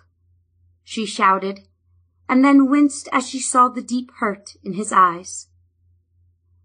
I'm sorry. It's not you. I shouldn't treat you so. Mollified, the bear nuzzled in for more scratching, and she absently complied. Her mind drifted to Tristan. She had been thinking of him a lot lately. Often she daydreamed about his sudden arrival at the grove. She pictured him galloping from the woods on his great stallion Avalon. She liked to imagine his joy upon seeing her, and the crushing kiss he'd greet her with. She felt certain that something was terribly wrong. She feared that the king was indeed dead. She would have gone except for the demands of Genna's illness, for the great druid desperately needed her help now. Half hoping, she turned to the forest beyond the grove, as if she expected to see the approach of the white charger and its handsome rider. But there were only green leaves, swaying easily in the breeze. The goddess Earth Mother was a deity unlike Bhaal in every respect. While his interests spanned planes and universes, hers were focused only upon the Moonshae Islands. While he thrived upon death, she prospered from growth and life. Bhaal relished chaos and disorder, while the Earth Mother desired only the proper balance of all things. The islands had been her body, her life, since time began, but the power of the goddess was waning, for only through her druids could her body survive and prosper. The coming of the Northmen in centuries past had driven the druids from many parts of the Isles. And a challenge from another source, upon the large island of Alaron, had gradually removed that land from her. She did not know what had happened to the druids of Alaron, only that their lives had been snuffed out, one by one, as if some ravaging cancer had spread across the land. Her islands of Snowdown and Moray, small and lightly populated, still held to the tenets of her ancient faith. Their druids were devout, but simple people, the demands of their land slight and easily met. Only upon Gwynneth were her druids still truly strong. She sensed in some godlike way that she would need all of that strength if she was going to survive. Chapter 3 Black Wizard. The vast underground passage reverberated with soft echoes as hundreds of dark small bodies moved stealthily through the cavern. No light broke the inky blackness, but the figures moved quickly and easily, avoiding each upthrusting stalagmite and carefully bypassing each sheer precipice that led to depths of the earth thousands of feet, even miles, below them. Are your troops in position? My time is precious remarked Cyndre smoothly. The black wizard was concealed as usual beneath his robe, but his posture and tone conveyed boredom. You will receive your payment. barked one of the little figures standing irritably beside the mage. He came only to the man's waist. His dark and swarthy face scowled at the passing file of similar creatures. If your magic is as mighty as you claim. Daydak, king of the dark dwarves, the Duergar, glared a challenge at the mage. He was not used to hearing compliments. Cyndre waved a finger, whispering a soft word. Daydak, the cave salamander, froze in panic. His reptilian eyes bulged up at the wizard. Cyndre gestured again, and the dark dwarf stood once again beside him, looking considerably chastened. See that you do not question my magic again, said the sorcerer, very softly. Daydak nodded quickly. As we agreed, my army will guard the underworld approaches to Caer Callidyrr. We will let nothing in or out, and when you call us, we will be there to serve you. Very good. The wizard smiled from the depths of his robe. Now let us see to this attack. My troops are almost in position, pleaded the dwarf. A few moments more, please. Cyndre looked with disinterest at the short, stocky column of fighters. Each was dark-skinned and bristled with hair and beard. Their bowed legs carried them roughly but steadily. Finely crafted armor of metal or leather protected their chests, and their arms were banded in steel. The deep gnomes, Svirfneblin, were the blood enemies of the Duergar.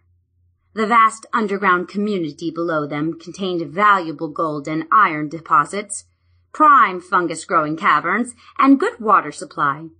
It would be a fine addition to the Duergar holdings. And two, the slaying of the Svirfneblin would be grand sport for the malicious, merciless Duergar. Cyndre enjoyed the prospect of the coming fight for his magic would ensure the victory, and the Duergar would then join the forces waiting to move on the sorcerer's command. The Scarlet Guard and the Duergar had potent armies, and one more force, now waiting quietly under the sea, would soon join those legions. We are ready, said Daydak. Follow me. The Dark Dwarf King led Cyndre through a narrow cave mouth onto a high promontory still underground. They looked over a vast network of caverns, the realm of the Svirfneblin. Huge stone pillars connected the floor to the ceiling, some five hundred feet overhead. Many gems studded these pillars, casting a soft yellow light over the scene. Below them, the round-roofed stone huts of the deep gnomes clustered against the cavern walls. The gnomes bustled about their community, busy as always. Potters, jewelers, bakers, farmers, smiths all plied their trades, bartering constantly, for such is the way of the gnomes. They were a slight, wiry people, smaller than the Duergar and much less malicious. Beyond the village stretched the vast fungus forests where the gnomes grew their food. A placid stream wound through the huge fungi, bridged in several places by neat stone spans. The scene throughout the caverns was one of peace, but that peace was ending. Syriax pungis visach near. Cyndre whispered the words to his first spell holding his fingers before him. A soft hissing surrounded him, and a long tendril of yellow gas flowed from each of his fingertips. The gas expanded into a huge yellow mass of air sinking from the promontory toward the bustling village below. The gas seeped through the doors and windows, slinking around the deep gnomes as they sat or slept or worked and where it struck, it killed. A hundred gnome folk were startled by the yellow silent death and died before they could cry a warning. The gas flowed onward, seeping through the streets, flowing from the dead to the living. One old gnome, tottering up the street, his grey beard reaching nearly to the ground, saw the horror and cried a single word. Flee! Then the gas crept around him and he died upon the tiny street. With the alarm, gnomes poured from the buildings that had yet to be struck by the killing cloud. Hundreds of the creatures fled to the fields, through the vast fungus plants to the bridges over the placid stream. And as they crossed the bridges, males, females, and young, they were met by the poised weapons of Dadox Duergar. Cyndre saw a group of gnomes, perhaps a hundred, break away from the rest and flee toward a narrow cavern beyond the fungi. The sorcerer whispered a word and immediately disappeared from the promontory. In the same instant, he arrived at the mouth of the cavern, certain to be a secret escape route. He cast another spell some distance into the cavern and watched as the gnomes raced into the passage. Suddenly, they stopped, their escape blocked by a solid wall of iron that extended from the top to the bottom of the secret tunnel and from wall to wall. They turned as a mass to race for the entrance again, but the black wizard now stood there, waiting implacably for the gnome's moments of maximum terror. Blitzith Dorax Zuth! Cyndre's next spell sent crackling bolts of lightning sizzling into the walls and ceilings of the narrow cave. Great chunks of rock broke free, crushing the trapped gnomes. More and more stone fell in a thunderous cloud of dust and debris, sending a cloud of dust drifting into the vast caverns where the massacre was now complete. Cyndre smiled slightly, satisfied that his task was done. The dark dwarfs had gained their food and water sources and their mining tunnels. Their senseless bloodlust had been satisfied. Indeed, the dark dwarfs had gained all that they currently desired. And the Black Wizard had gained the Duergars themselves. The feasting had ended, and the lords had gone, except for Fergus and Pontswain. Tristan met with them, along with Daryth and Randolph, after the council. Fires burned low in the hearths, and a chorus of snores arose from various corners of the hall. They had finalized the details of their journey. Daryth would accompany the prince and Lord Pontswain to Caer Callidyrr. There they would each meet with the High King and plead their case for the kingship of Corwell. They agreed to abide by the king's decision. Very well, said Pontswain. How do we get there? I was hoping to accompany Lord Fergus to King's Bay, riding the length of Corwell Road. Tristan looked at the other lord, who watched the discussion impassively. Can you furnish us with a boat to carry us across the Strait of Alaron? Fergus nodded, his handlebar mustache bouncing. It shall be my pleasure. Very well. Tristan stood, followed by the others. We shall leave for King's Bay at first light.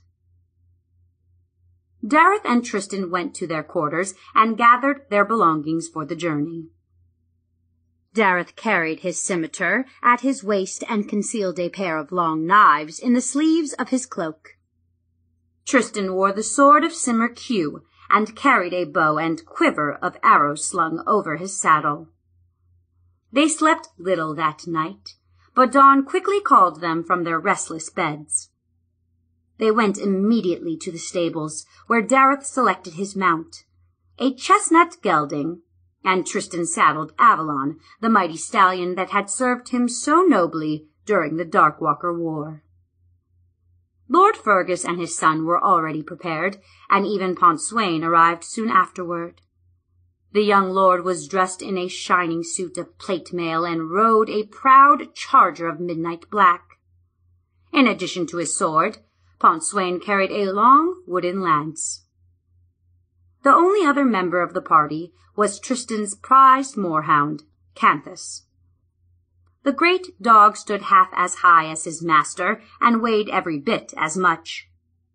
He was a keen hunter and steadfast companion who had received his training from Daryth.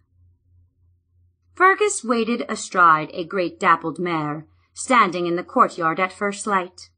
His son, Sean, rode a small stallion of the same colors. The young horse skittered nervously away from Avalon as Tristan, Daryth, and Canthus emerged from the stables. The great war horse ignored the other stallion, moving into an easy trot as Tristan preceded the others from the castle gate. Canthus loped beside him as he gave the stallion his head. They cantered down the winding approach to the castle and turned toward the west upon Corwell Road. They would follow this, the kingdom's one highway, across Corwell to the eastern port of Kings Bay. For most of the first morning they rode in easy silence, slowing their mounts to a walk after a short stretch. Fergus traveled beside the prince, trailing the rest of the party. Eventually, the genial lord cleared his throat awkwardly. You know, Prince, I am reminded of tales I've heard of the early days of the folk upon Gwynneth and the other Moonshae Islands. Gwynneth, as you and I well know, was the grandest of the isles back then. In the days before Callidyrr, I mean. Fergus cast a glance at Tristan to be sure that he was listening. Satisfied, he continued, his great mustache bobbing up and down with each word. I was not actually present at Freeman's Down last summer. I did arrive at the castle in time to witness the siege and the rout of the Northmen. Those were the grandest sights I've ever beheld. It made me proud to be a lord of the folk, and I cannot help thinking that it was you who brought those victories about. Lord Fergus turned to meet Tristan's gaze squarely. What I'm trying to say is that perhaps we're seeing a bit of that old glory return to Gwynneth now. You will be our king, and your reign will be good for Gwynneth and for all the folk. And I'll be the prouder for having served you. Fergus concluded. He cleared his throat again and looked awkwardly across the moor, away from Tristan. For a moment, Tristan said nothing, but his face burned with excitement and joy. He felt as though he had truly been born to be king of the folk. Silently, he vowed to bring about a return to the days of Gwynneth's glory. Your words are heartening, my lord. It will be a comfort to know that I leave the kingdom in the hands of men and women such as yourself. They passed through several cantrevs, but most of the land was devoted to sparse stony pastures or small tilled fields. Small farms dotted the landscape every mile or two, but the road was empty of other travelers. They talked little for the rest of the day. Tristan looked occasionally at Pontswain, riding beside Sean before them. The Lord spoke constantly, gesturing broadly. The thought of his boasting made Tristan sick with disgust. But unwilling to let Pontswain dampen his excitement, he forced his mind to brighter thoughts. Robin. Where was she now? What was she doing? Did she think of him often? The familiar sense of longing returned. He missed her so. He felt guilty that he had not gone to tell her of his father's death. After all, King Kendrick had been her stepfather, the only parent she had ever known. But, he reminded himself, it probably would have taken weeks to find the grove of the great druid, if he could have found it at all. Previously, that difficulty had piqued his sense of adventure. Now his mission prevented him from taking the time for such a search. Selfishly, futilely, he wished that she had somehow sensed his anguish and come to join him. The journey to Kings Bay was normally a four or five day ride, but a sense of urgency pushed the little party over the distance in three. I would provide you with accommodations in my own lodge, explained Fergus, as they rode into the fishing cantrev. But you will find the rooms at the Silver Salmon much more comfortable. There also we should find Roger. Roger? Daryth inquired. He's the fisherman I'll send to Alaron with you. Very reliable fella. And he can keep his mouth shut. With luck, you'll be crossing the strait by tomorrow morning. The cleric hated the sea. He hated the thick, fishy stench of the salty air. He hated the sound of water sloshing along the hull and splashing constantly against the planks. He even hated the monotonous sight of the sea, stretching away to infinity in all directions, featureless, yet full of inscrutable detail. But most of all, he hated the motion of the sea, the sickening swaying, rising and falling cadence that churned his stomach into jelly and threatened to tear his mind to pieces. For the hundredth time, he cursed the calling that had compelled him to serve upon these islands, where the only expeditious means of travel involved sailing.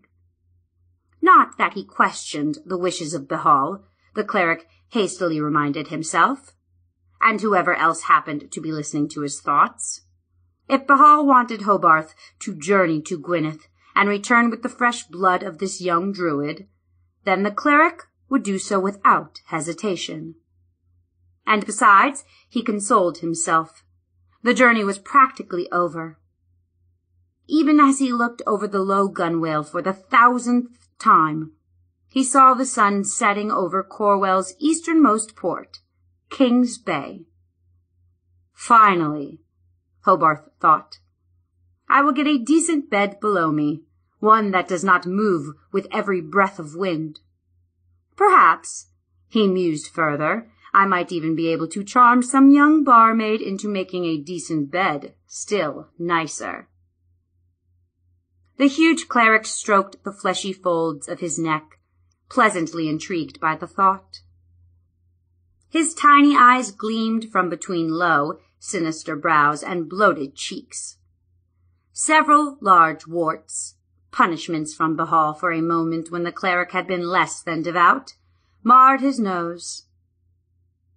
His appearance was altogether grotesque, but this was no obstacle when it came to wooing the young ladies. A simply cast minor spell would blind the lasses to his appearance and smell creating admiration and eagerness where previously had existed fear and revulsion. Finally, the boat reached the dock. Hitching up his only possession, the small pouch at his belt, he stalked from the craft without a word to the simple fisherman who had carried him from Alaron. Hobarth was certain that the wretch had enjoyed watching his agony. Kingsbay was a smaller town than most communities of Callidyrr. The many cottages were roofed with round domes of straw instead of the wooden shingles that were common across the strait.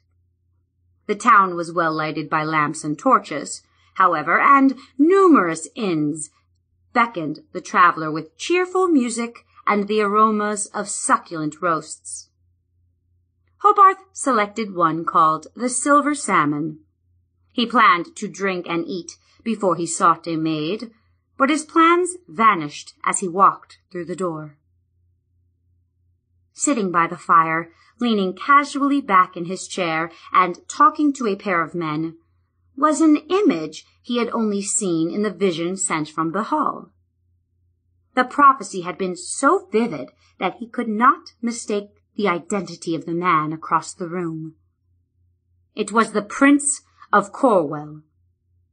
His presence here could only mean that Cyndre's assassins had failed. The inn was not very crowded, so Hobarth had no difficulty finding a table near the prince. He sat with his back to Tristan and quietly ordered a mug of ale from a passing barmaid. Nursing the dark, foamy drink, the cleric strained to hear the conversation occurring five feet away. It's settled then, said one man. We'll sail with the dawn. Aye, grunted another, an older man. If the weather of this past day holds, we'll. The rest of the phrase was drowned out by laughter from the bar as the barmaid slapped an adventurous patron to the uproarious amusement of the man's companions. No need for that, he heard the old man saying when the laughter had died down. The Lucky Duckling's a small boat, and it won't take but a minute to store your gear. You can't miss her. She's berthed at the nearest quay. Fergus, can you see to our horses until we return? It will be my pleasure. Very well, said the first speaker. I'm going to catch what sleep I can. See you in the morning. Myself as well, said a third man. Hobarth saw from the corner of his eye that this speaker was swarthy, perhaps a Calishite. He also noticed a great dog climb to its feet and follow the two men up the stairs. Hobarth shuddered. For next to the sea, he hated dogs above all else. He had been considering following the men to their room and finishing the task of the assassins, but the presence of the dog changed that plan. His magic would probably kill the prince before the flea-bitten creature would react. But the thought of those long fangs, lusting for his flesh, sent shivers up and down Hobarth's spine. But a new plan occurred to him, even as he discarded the old one. Quickly, Hobarth drained his mug and walked from the inn back toward the harbor. The lucky duckling was easy to find. I fear your luck has run out, duckling, he murmured, chuckling at his private joke. After checking to see that no one was near, he sat upon the edge of the pier and began casting a spell of decay. Within a minute, he was finished though the boat showed no outward signs of damage. Still, Hobarth knew as he pushed himself to his feet, the lucky duckling would never make it to the neighboring island of Alaron. He would assure the little boat's doom with an additional spell in the morning. For now, he lumbered back to the inn. He tried to remember what the barmaid had looked like. I shape grunted the man, shuffling forward to reach for the thick hedge. Robin looked up in surprise, as this was the first intelligible statement the fellow had made in the past four days. Grateful, she stepped backward. Help yourself, she offered, leaning against a tree to catch her breath. Keep an eye he doesn't take your job, warned Newt. The dragon blue today instead of orange was perched on the branches atop the hedge. He watched the humans dourly. The day had been strenuous, as strenuous as all of the days since the stranger had arrived at the grove. They stood at one of the great curving walls of mistletoe that marked the far limits of Genna's Grove, perhaps five hundred yards from the cottage and the moonwell. The hedges served as bastions against unwarranted intrusion, for their tightly woven branches bristled with sharp thorns. Mistletoe itself was a plant potent in druidic magic, and thus served doubly to protect the domain of its mistress. But the hedges required constant care during periods of rain, and this had been a wet summer. If not tended by someone, they would choke off all access and egress to the grove. Robin's hands, beneath her leather gloves, were scratched and torn. Her arms were leaden with weariness, for she had been swinging a sickle all morning in an effort to drive the hedges back into their proper dimensions. The stranger took the sickle from her, holding it as if he had used the tool all his life. Slowly but smoothly, he began to slice at the overgrowth, striking it back with clean cuts. Robin was surprised by his apparent skill. For the first time she noticed that he was improving under her care. His bony frame had filled out slightly, and he could stand and walk without shaking. Now he was even working. For a minute she thought about running to tell Genna of her success, but quickly decided not to. The great druid had been cantankerous for the past few days, complaining of a stiffness in her bones and throbbing headaches. She had spent most of her time in bed, complaining to Robin whenever the young druid was around. Consequently, Robin avoided the cottage as much as possible. This was not difficult, because the tasks she had to do would remain doubled as long as Genna was. His work's not too bad for a mushroom head, commented Newt in a stage whisper. He had taken to calling the stranger unflattering names out of jealousy. Robin suspected, for now she no longer attended entirely to the little dragon. Stop it, she chided. He seems to be growing much stronger. All he needed was a little shelter and decent food.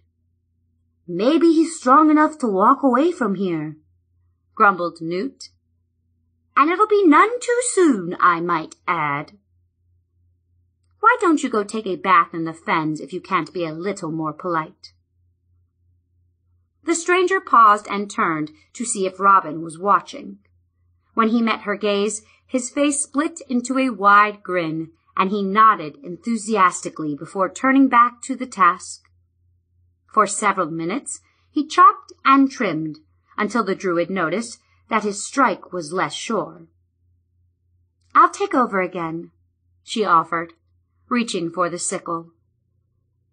The stranger suddenly whirled, his face twisting into a beastly snarl as his eyes darted wildly about. He appeared to stare right through her, but then he relaxed and smiled, meeting her gaze boldly. He handed the tool over and then stood near as she continued the job. Stand back, she warned. I don't want to hit you. Obediently, he stepped away, but he still stared at her like an affectionate puppy. She could feel his unwavering gaze following her every motion, and found the sensation distinctly uncomfortable. Good, good! He cackled, cheerfully watching the hedge take shape. Who are you, anyway? Robin stopped working and stared at the stranger. She had not troubled about his identity when he was not talking, but now that he spoke, she wanted a name to call him by. I the man's voice was puzzled and unsure. Suddenly his eyes widened in fear, and he scuttled away from her. He crouched, his body wired with tension, as if he were about to flee. Or attack. For a moment she felt very frightened of this stranger, and very vulnerable. With an angry shrug she tried to ignore the feeling. Instead, though, she was deeply disturbed by his fear. What could lie in his background that made him so frightened of companionship, of revealing his identity? He stared at her again as she went back to work. But now his eyes followed her body less like a puppy and more like a hungry wolf. Robin shivered involuntarily, and she clutched the sickle tightly as she turned to the mistletoe. Hobarth, cleric of Bhaal, stood upon a low hill just outside of Cantrev Kingsbay. He had a clear view of the bay itself and of the wide grey sea stretching to the east. Somewhere out there, he knew, the sun had risen, but a low-lying bank of clouds concealed the dawn from those on shore. A half dozen fishing vessels dotted the waters of the bay, moving toward deep water. There, salmon dashed in great numbers between the islands of Gwynneth and Alaron, and these fishermen made a fair living. But one boat, Hobarth knew, had put to sea not to catch fish, but to deliver Tristan Kendrick dangerously close to Hobarth's and Cyndre's domain. Or at least attempt to deliver, the cleric gloated. He meditated for a long time, sitting perfectly still with his eyes closed and his body upright. Gradually, he felt the presence of his deity, and Bhaal answered the summons of his faithful follower. The spell he needed to cast was one of his most potent. It called for the direct might of his god, Bhaal, and allowed the cleric to control the very substances of the world around him. Bhaal eagerly powered the spell, for in fact he watched Hobarth's mission with more than slight interest. Magic flowed through the cleric's body and into the air.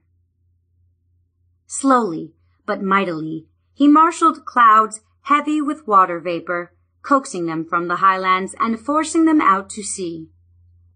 The force of his magic pushed and prodded the air, and gradually a breeze flowed from the shore. The breeze would become a wind, and then a storm, if the cleric could maintain his spell. And Hobarth knew that he could. Canthus settled comfortably into the bow of the Lucky Duckling, while Daryth helped Roger trim the lone sail. Pontswain relaxed easily against the gunwale, staring at the water. He had removed his armor, wrapping it with their weapons in oilskins and storing the package in the hull. Fine offshore breeze, Roger commented. If it holds, we'll cross the strait in two days. Tristan had been skeptical of the old seaman's abilities when they had first met, for Roger must have seen at least six decades. His build was slight, and his permanently stooped shoulders enhanced his look of frailty. His face was leathery, creased by hundreds of lines, and he did not have a tooth left in his mouth. After seeing the easy confidence with which he guided the lucky duckling, however, the prince felt considerably reassured. They soon passed the mouth of King's Bay and entered the Strait of Alaron. For a moment, he looked over his shoulder at Gwynneth.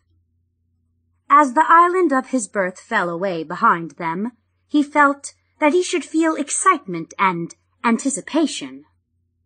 But instead, he wrestled with the feeling that he might never see his homeland again. I won't think of that, he told himself, or of Robyn, or a father. He peered resolutely over the bow.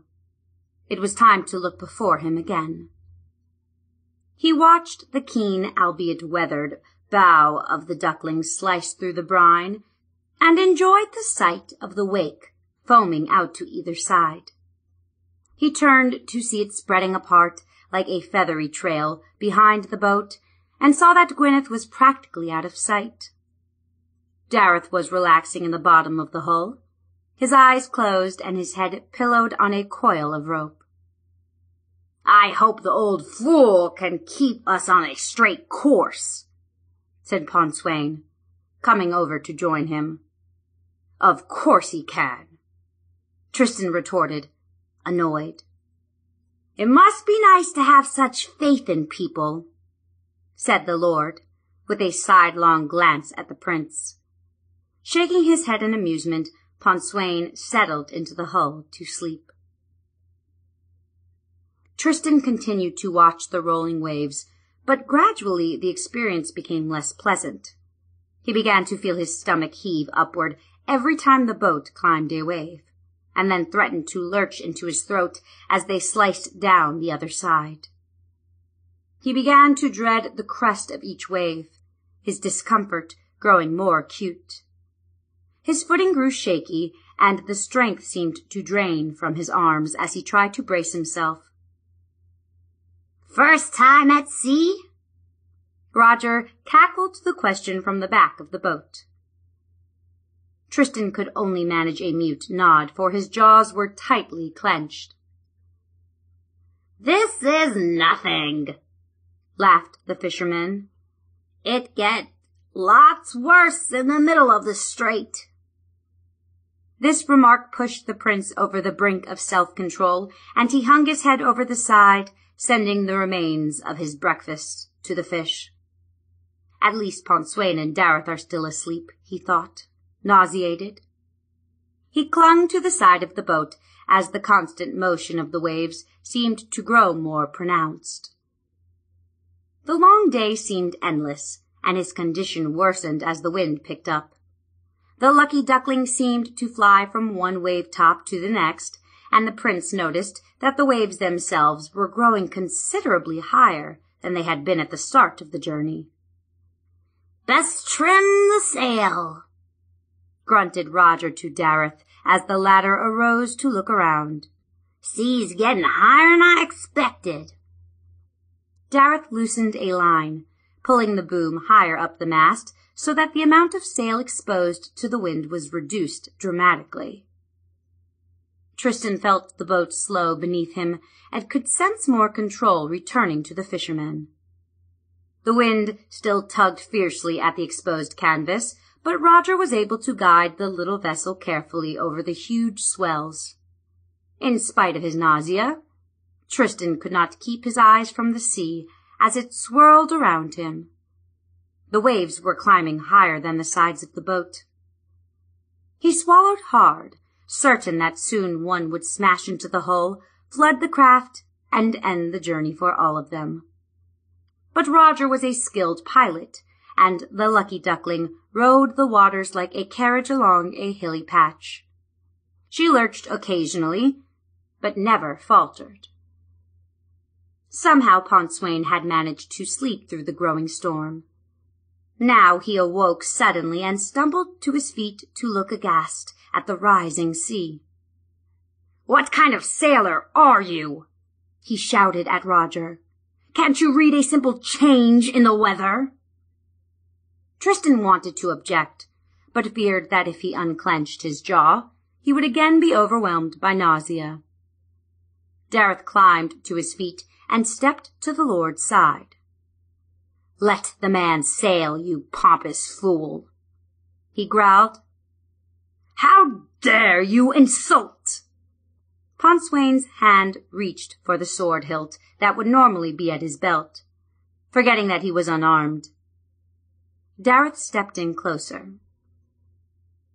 There is something unnatural about this storm, and if you weren't so eager to blame someone, you'd recognize it yourself.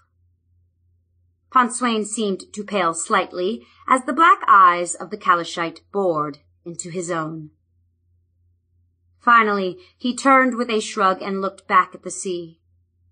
Daryth settled back to rest, and Roger sailed on as though nothing had happened.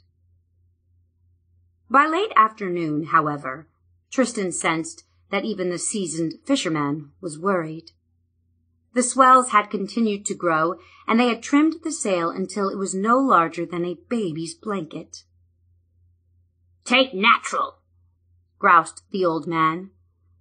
The weather's failing like this. It'll be a long night if it'll settle down some. For a few minutes toward dusk, it seemed that the lucky duckling would live up to her name. The wind faded, and the seas grew marginally calmer. But as the surrounding seas turned from a dull gray to a deep black with the onset of nightfall, the gusts of wind swept forward again, carrying the little fishing boat with them. Now the seas rolled six feet high and continued to grow. Canthus paced anxiously beside the prince as he darted from side to side of the boat, looking into the water, for he knew not what. When the moorhound began to whimper, Tristan stopped to scratch the dog's broad head. Roger grasped the tiller firmly, while Daryth raised the sail almost entirely.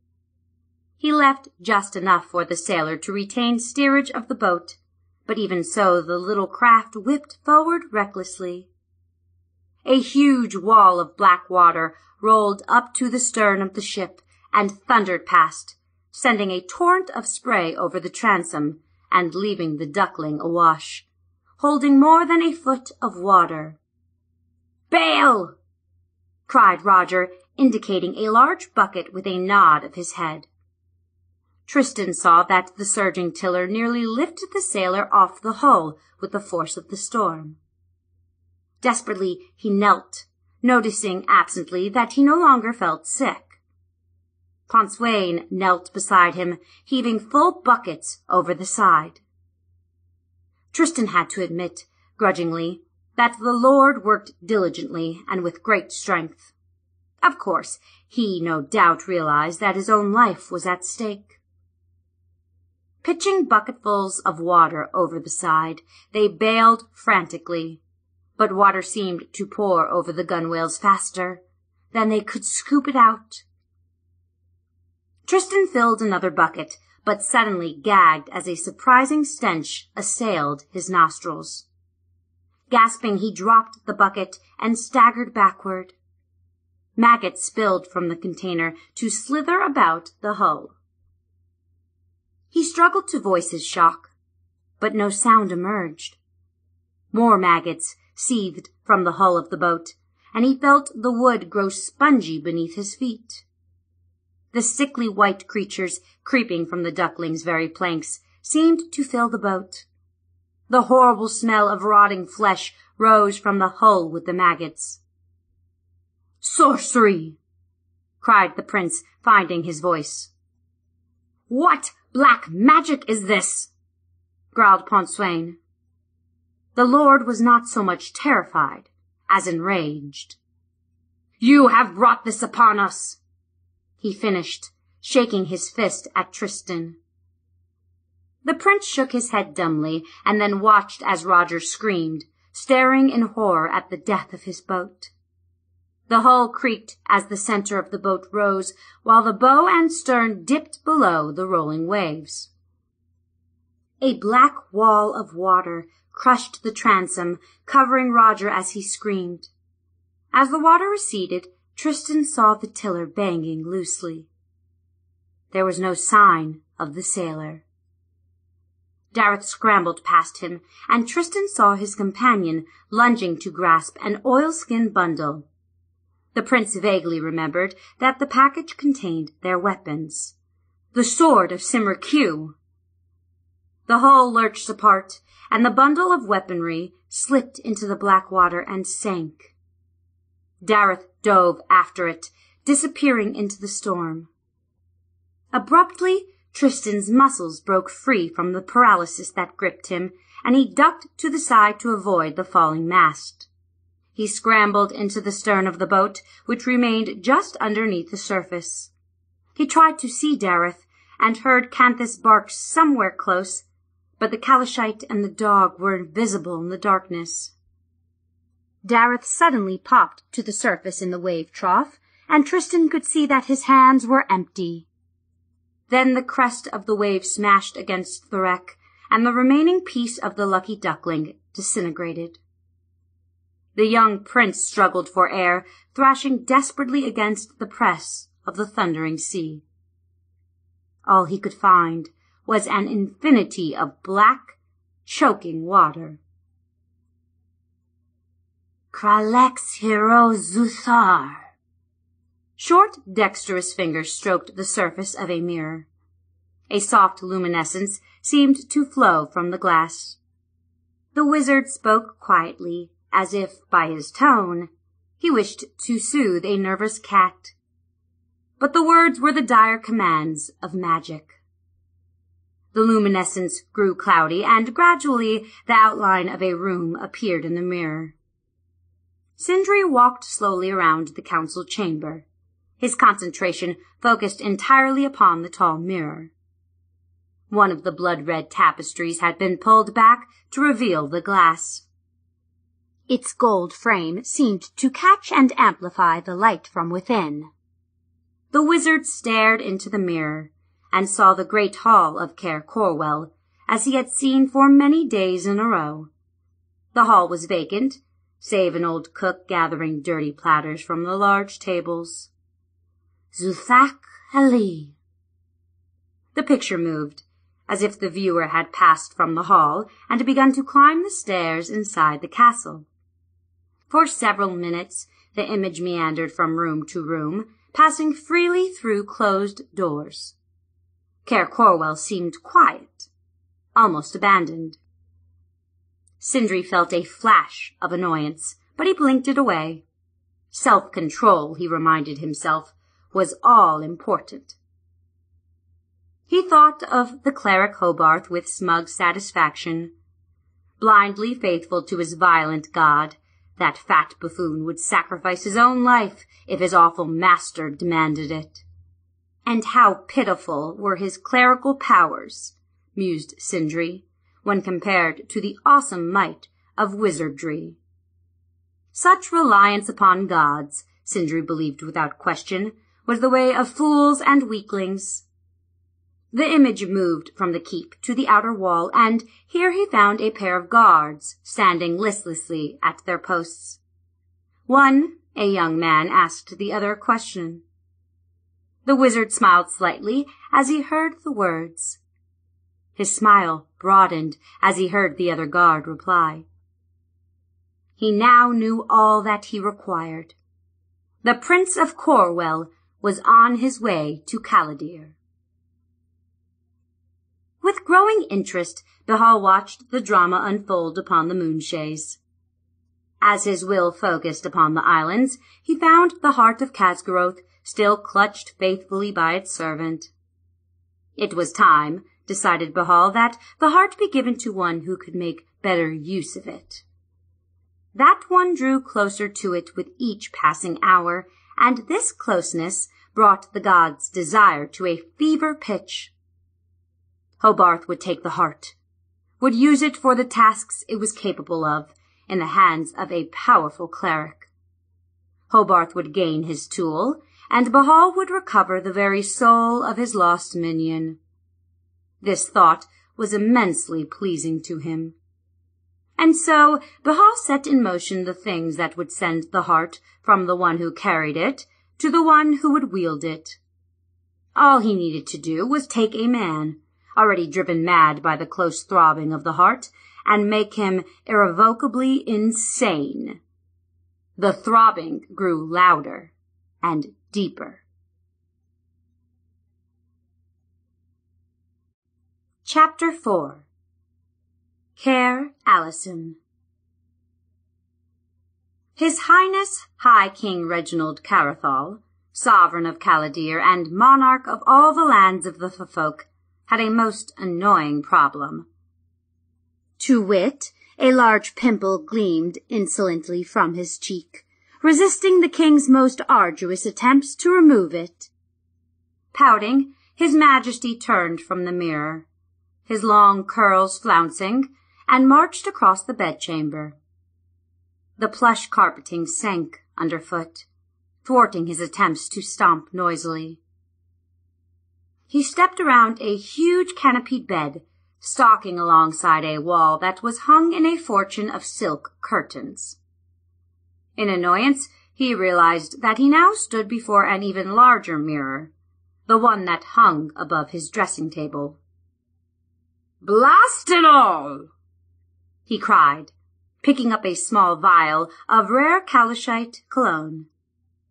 He hurled the container at the mirror, smashing both before turning to stalk across the room again. Is there a problem, your majesty? The smooth voice came from the wizard. How dare you enter my chamber without knocking? The king huffed, squinting angrily at Cyndre. I was about to knock when I heard a disturbance, Fearing for his majesty's safety, I hastened to your side. The wizard's voice, as always, soothed and comforted the king. He felt his annoyance vanish as Cyndre stepped forward.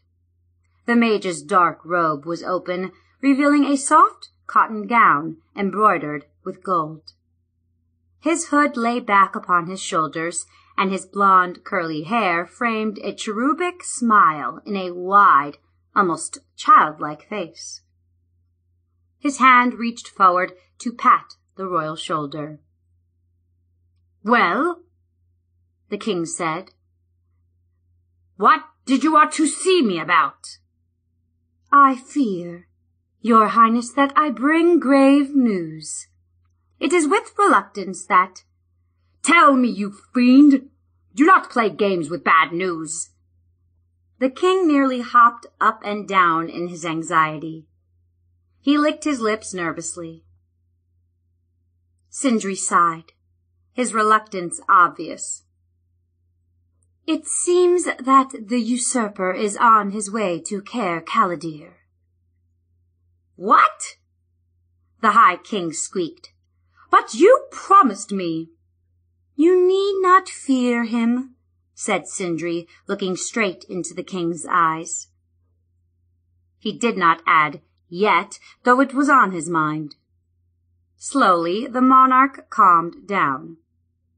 Our first attempt to punish him for his treachery met with small success, explained the wizard, pursing his lips. The gesture was a very strong one for Cyndre. Nevertheless, I feel certain that we can still deal with him easily. But what should I do? You must tell me. The king's words tumbled out, and the wizard could tell that he was losing what little control was left him. My sources tell me that he is on his way even as we speak. He must land soon at one of the ports of Alaron. It would be a simple matter to arrest him as he steps ashore. All you need to do, sire, is declare him an outlaw. Yes, of course, that I shall do. Why, he is an outlaw, isn't he? He seeks to pretend a claim to my throne. I shall have him hanged. Very good, your majesty. We can put a detachment in every port. He will be arrested the moment he steps ashore. King Carethal turned, a frown of worry creasing his brow. But how do I know that my orders will be carried out?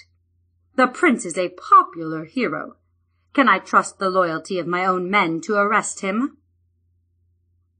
It is not for just this reason that you retain the services of your brigades.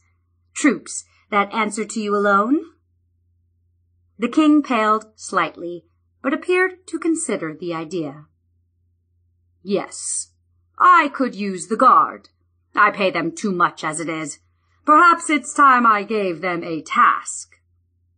He slowly warmed to the idea. But how do I know they're trustworthy? The Scarlet Guard will follow your orders, said Cyndre reassuringly. I brought them to you expressly so that you would have soldiers you could trust implicitly. But the people won't like it, replied the king. Those ogres especially make everyone so nervous. In truth, the ogres made the king himself very nervous, which was why he had not used them yet, though he had been paying them for more than two years. At least the Northmen had not bothered Callidyrr in the interim. But now he considered using them against one of his own subjects, and this did not seem right. He knew that his people resented his employment of mercenary troops when the fighters of the Folk were perfectly capable warriors.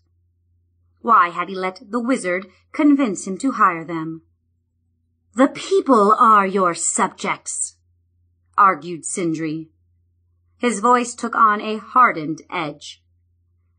Will you let them rule the kingdom? I tell you, the guards are your best troops. So you claimed, said the king, when you persuaded me to hire them. Cyndre lowered his head modestly. The monarch could not see the gloating light in his eyes. And the lords grow restless, whined the king. They all owe fealty to me, but they don't act like it. I don't trust any of them. They would turn against me at the drop of a hat. Like that bandit O'Rourke in Durnal Forest. That rebel could serve as an example for other traitorous scum. You hold his sister in your dungeon. Why do you not use her as an example? Show what will happen to those who resist your will. King Carethal turned away. He did not like to be reminded of the way he had usurped Lord Roark's land. Nor was he completely comfortable with the idea of using the young woman as a lever to obtain his ends. If only O'Rourke knew me, he whined. He and his outlaws would see that I have only the best interests of the kingdom at heart. Do not underestimate the extent of the problem, said Cyndre calmly. But come, your highness, what of this prince? Will you do as I suggest? Very well, sighed King Carethal. I shall declare the Prince of Corwell an outlaw. The Scarlet Guard will meet him as he lands. They will arrest the usurper and bring him to me in chains. Water pounded and crashed about Tristan, choking him and pressing him down. He kicked and flailed but could not find the surface. He felt his consciousness slipping away, though he struggled even more desperately to swim. He barely felt the vice-like jaws close over his arm, jerking him roughly through the sea. For a second, his face broke free from the black water, and he gulped a great lungful of air. Then he became conscious of the teeth that were sinking through his flesh. Thrashing upward, struggling for more air, the prince felt the grip on his arm slacken. But then he was grabbed by the collar and pulled backward helplessly. Miraculously, his face remained out of the water. He felt a solid object strike him in the back, and he twisted around to catch a long section of planking. The lucky duckling, he thought. As he did so, the grip on his collar broke free, and he turned to find himself face to face with his panting moorhound. Canthus thrashed beside him, finally forcing his forelegs over the plank. Thanks, old dog. He choked, wrapping an arm around the broad neck. You almost ripped my arm off, didn't you, buddy? The presence of the hound warmed his heart, but did little for his hopes. I fear you have only postponed the inevitable, he added, after he had recovered his breath. Daryth! he shouted suddenly. Where was the houndmaster? The bleak, despairing realization crept over him. His friend had drowned, along with Roger and Pontswain. But he couldn't bring himself to believe that the man's cocky self-assurance, his casual energy, had been snuffed out. By the goddess, no! He cried aloud. The feeling that he was doomed would not go away, and he had to grit his teeth and shake his head to dissuade himself from releasing the plank and sinking into oblivion. Through the remainder of the long night, the young man and his dog bobbed, barely alive, across the heaving surface of the strait. Tristan lost consciousness once, only to awaken as Canthus dragged him back to the plank. Frightened and shivering, he nevertheless remained alert after that. He groped to understand the death of the lucky duckling. Black sorcery had killed her, he felt certain. But how? And by whose hand? Over and over again he vowed vengeance against the force that had sought to destroy him. Gradually, his anger began to sustain him. I'm not going to die, he told himself. I'm too mad to die. Gradually, he noticed that the waves grew smaller and the wind died away almost completely. The swells lessened.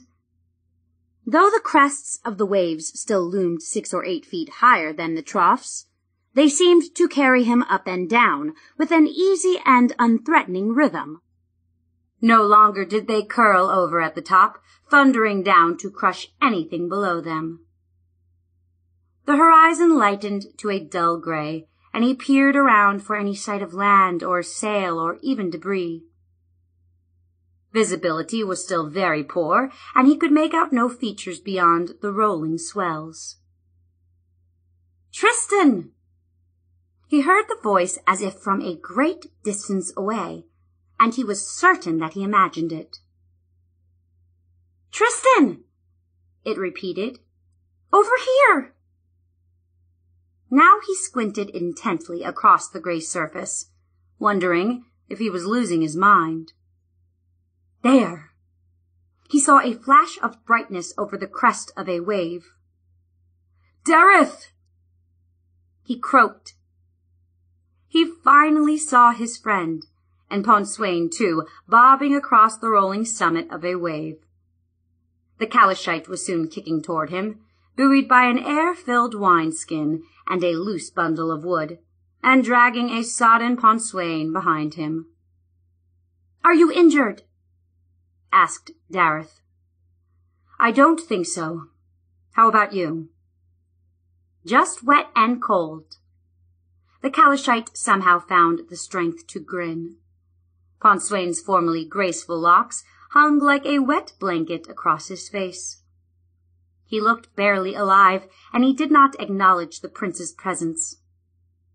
I, grunted Tristan, and I've lost the sword of Cymrych. The goddess alone knows how far it is to land from here, or what such land would be. Still, the seas are calming, and it'll be daylight soon. We may even sight a sail. But Daryth didn't look as cheerful as he sounded. Pontswain coughed weakly and struggled to raise himself. His efforts sent the makeshift raft rolling, and everyone scrambled to regain their handholds. Be careful, snapped the prince, as the lord gave him a baleful glare. This is your fault. If you hadn't let that old fool take us in his rot-ridden craft, this would not have happened. That man gave his life for us. Doesn't that mean anything to you? He met the fate he deserved for his incompetence. He failed, and that's all that matters, said Pontswain. But as twilight gave way to dawn and the clouds broke apart, the men saw no sign of anything except the rolling sea. They could tell which direction was east for there the sun became a rosy glow against the horizon, finally breaking free from the sea to begin its climb into the sky. But that knowledge did them little good, for they had no idea which direction to look for land. What's that? Daryth asked suddenly. Everyone fell silent because they all heard it. A faint rumble seemed to arise from the sea itself. The sound was almost inaudible, but was so deep and powerful that they felt it as much as a vibration in their bones as a sound in their ears. The sound grew in volume and strength until they heard a noise like crashing thunder rolling constantly. The water itself seemed to shake. Suddenly, the surface of the sea turned to foam a scarce hundred yards away from them. Water frothed upward and then rolled away, creating a steady wave that forced them backward. A crenellated parapet, like the top of a tower, burst through the surface and sent spray and waves crashing away from it. Another, and then a third, exploded from the sea, thrusting skyward like gigantic lances. And then the foaming water spilled away to reveal a vast surface of smooth stone. A glowing rosy hue shone from a wall as the thing caught the rays of the morning sun. More walls and a gate and more towers continued to rise for a minute until the vast object came to rest, seeming to sit upon the surface of the sea. Tristan, Daryth, and Pontswain, bobbing in the water and gaping in awe, stared at the most magnificent castle that they had ever seen. It stood motionless, vast and imposing, like a monument to some forgotten era of grandness. Water spilled down its vast sides, thinning into a soft mist that floated around them. Tendrils of seaweed hung from the crenellated parapet, draping across the sides. The whole structure was oddly silent, as if mere sound could not convey the grandness of its arrival, nor the majesty of its appearance. And, too, there was warmth flowing from the edifice. Not a physical warmth, but a spiritual sense of power and majesty.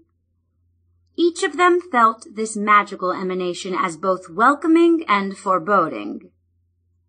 The castle remained, and they knew they had no choice but to enter. Here, lady, wood! Smiling broadly, the man dumped a huge pile of twigs and dried wood at Robyn's feet. Thank you, Acorn, she replied, warily meeting his gaze. She had taken to calling the man after the seed of the oak tree, for he could not remember any name of his own. The name seemed to suit him. His nature was childlike, but Robyn sensed that he harbored a deep inner strength. She wanted to nurture that strength, to see him grow. At the same time, she was still a little afraid of him. You did very well, she added, embarrassed by the way he beamed at the praise. Now, if you will fetch some water so I can rinse these linens, we can take a rest. Eagerly Acorn scrambled toward the silver ribbon of bubbling water that ran through Genna's grove, only to pause and return sheepishly. Forget buckets, he explained, chuckling over and over as if it were some great joke. As the days had passed, the scraggly stranger had grown more lucid and helpful. He was stronger than an average man, and had skills that were useful in tending the grove. All of which were very helpful, Robyn thought with a twinge of worry, for Genna's illness had grown suddenly worse. She had spent the past few days in bed, tossing deliriously in the depths of a fever, barely rational. Newt had not spent much time in the grove either. He had taken long excursions throughout the vale, even visiting the fens occasionally. Today, he had gone off to seek Grunt's company, almost certainly to annoy the old bear. Grunt had a notoriously short temper, and Newt delighted in driving the animal into a rage with his sudden spells of invisibility. Robyn thought again about Acorn. He was friendly and almost pathetically grateful for any praise she gave him. But more and more, the man raised shudders of uneasiness within her. One minute, he seemed harmless, and the next minute, she was afraid of him but she did not know why. Here, lady, here water. Proudly Acorn returned with two sloshing buckets. He set them down at Robyn's feet as she thanked him, bobbing his head up and down eagerly. She quickly rinsed the light blankets and hung them to dry. Well-practiced motions as Genna's sweaty fever necessitated frequent linen changes. She tried to ignore the feeling that Acorn's eyes were boring into her back as she stretched to reach the clothesline. Come along now, she said as he followed at her heels. Why don't we go and sit by the pond? I have some carrots and apples that we can have for lunch. They walked across Genna's garden, a lush field of wildflowers and herbs. In the center of the garden was a broad pond with a grassy island at its heart. In places, the sandy bottom of the pond was smooth, perfect for swimming. Elsewhere, lily pads spread across the surface, home to myriad frogs and turtles. Great white swans swam regally among them. Robyn thought again, as she beheld the scene, that it must be the most beautiful place in the world. As they approached the pond, the water swirled momentarily, and then the smooth bridge of sand rose to the surface. She took no notice of the phenomenon, so accustomed to the ways of the grove was she. But Acorn hesitated. Come on, she encouraged, stepping onto the firm bridge. Reluctantly, he followed her to the island while she selected a smooth place for their lunch. She sat comfortably on the soft bank, stretching her legs over the water and kicking her feet to relieve her taut muscles. Acorn settled slowly, almost reverently, beside her. She noticed uneasily that the look on his face was no longer one of innocence. Instead, he looked as though he struggled to conceal some secret thought. Here, she said to cover her nervousness. Have an apple. Acorn took the fruit and chomped greedily into it, ignoring the pieces that scattered in his beard or sprayed into the air. In seconds he had finished and reached forward to snatch another from the basket on Robyn's lap. She ate absently, suddenly aware of Acorn's closeness. She felt uncomfortable but didn't want to offend him by moving away. Turning to look at him, she was startled to see him staring intently at her face. His eyes were clear, but they seemed to burn with a frightening intensity. Lady, you like me? My friend? Still, that burning gaze Yes, Acorn. Of course I like you. Haven't I? I mean you. He cut her off awkwardly. Lady, you are my lady. Suddenly his hand reached out to clasp her thigh. He leaned quickly forward to force her backward onto the ground, his mouth seeking hers. No! Get off me! She screamed, pushing against him and rolling to the side. Mine! he cried, scrambling forward on all fours to lunge at her before she could stand. She punched him in the face, but he still tackled her, his eyes gleaming madly. He pinned her to the ground and grasped a handful of her gown. Terror galvanized Robyn, and once again she twisted free. But this time he ripped half her garment away. He paused, staring stupidly, and in that split second she recalled a piece of her training. A fast, simple spell. Stop!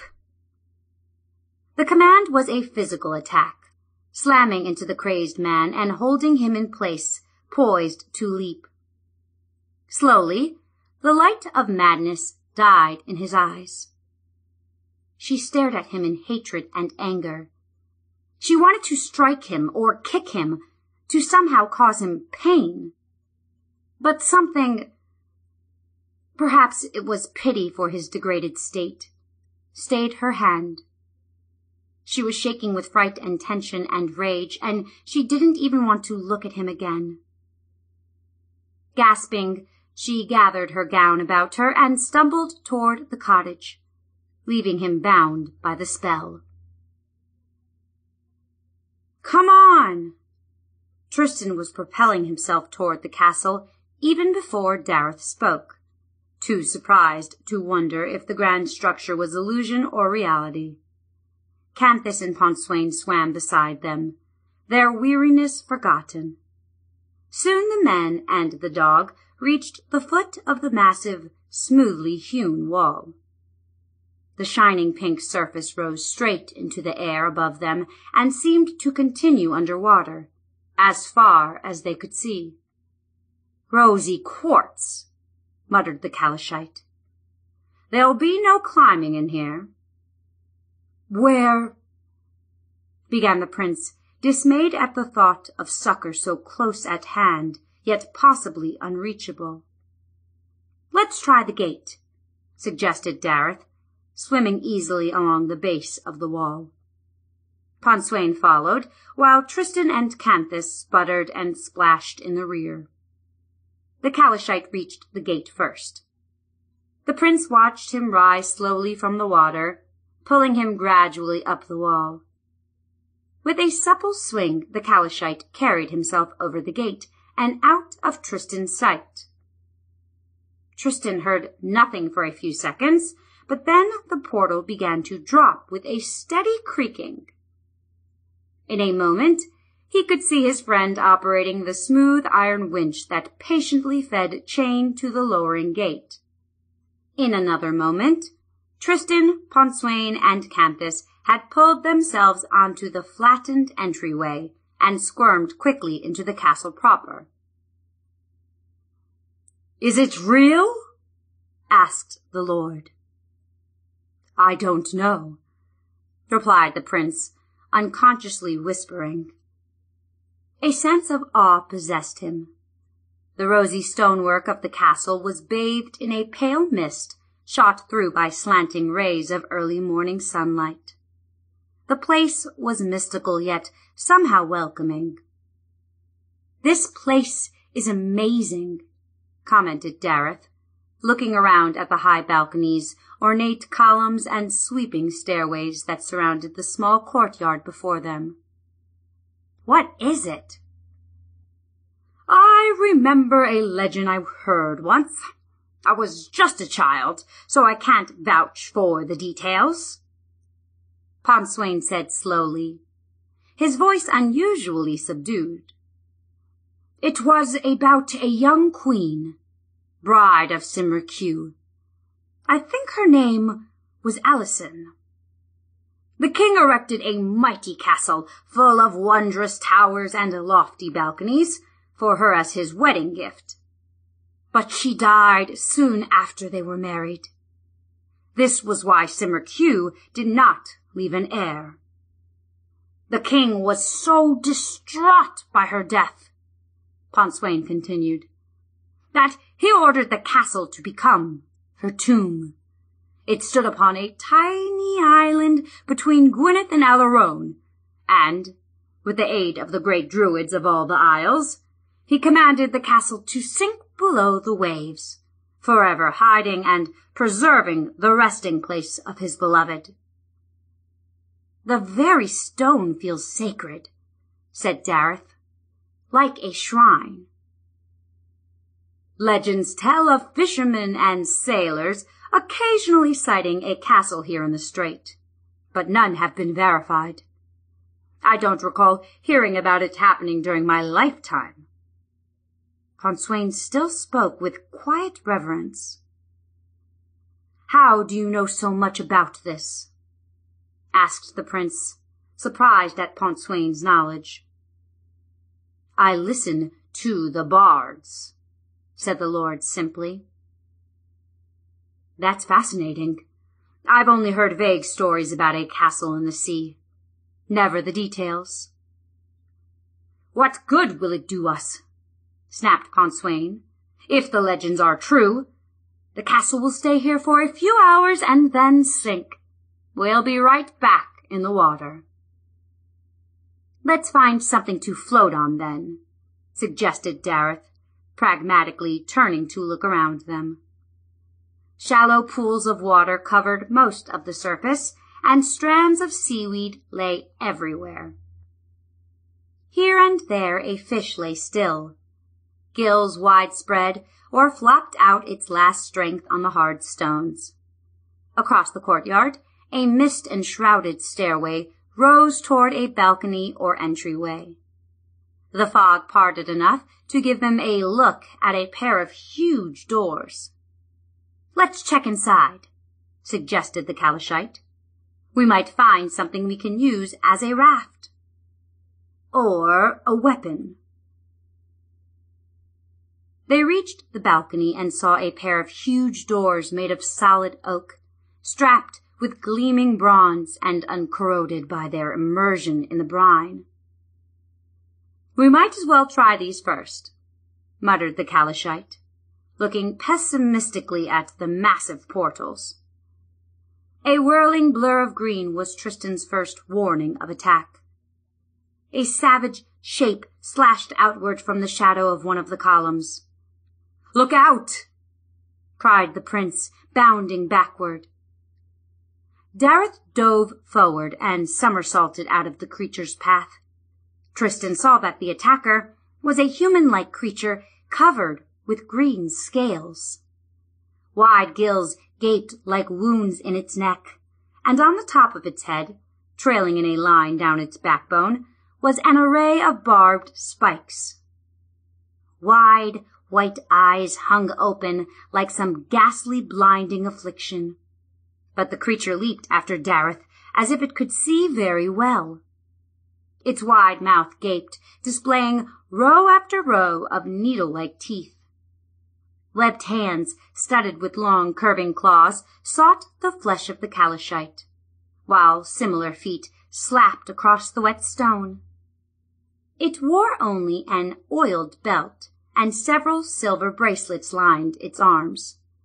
Carrying a spear-like weapon, it moved haltingly, as if unaccustomed to movement outside of the sea. A second monster moved forward on the heels of its companion, but Canthus lunged at this one and carried it to the floor. Clawed, webbed hands sank into the moorhound's flanks, but Canthus's white fangs drove toward the throat of the thing. The first attacker whirled around, turning suddenly to strike at Tristan with a long trident. The three-pronged fork nearly cut the prince's chest, but at the last moment Pontswain darted forward. The trident caught the lord on the temple, and Pontswain crashed like a stone to the ground. Tristan stared into the monster's face, the least human aspect of its appearance. It was a fish face. The blank eyes and gaping maw belonged upon no other animal. Canthus yelped as his opponent succeeded in pushing the dog to the side. But then the moorhound growled and lunged into the attack. The pair rolled several times across the wet stones, neither gaining a clear advantage.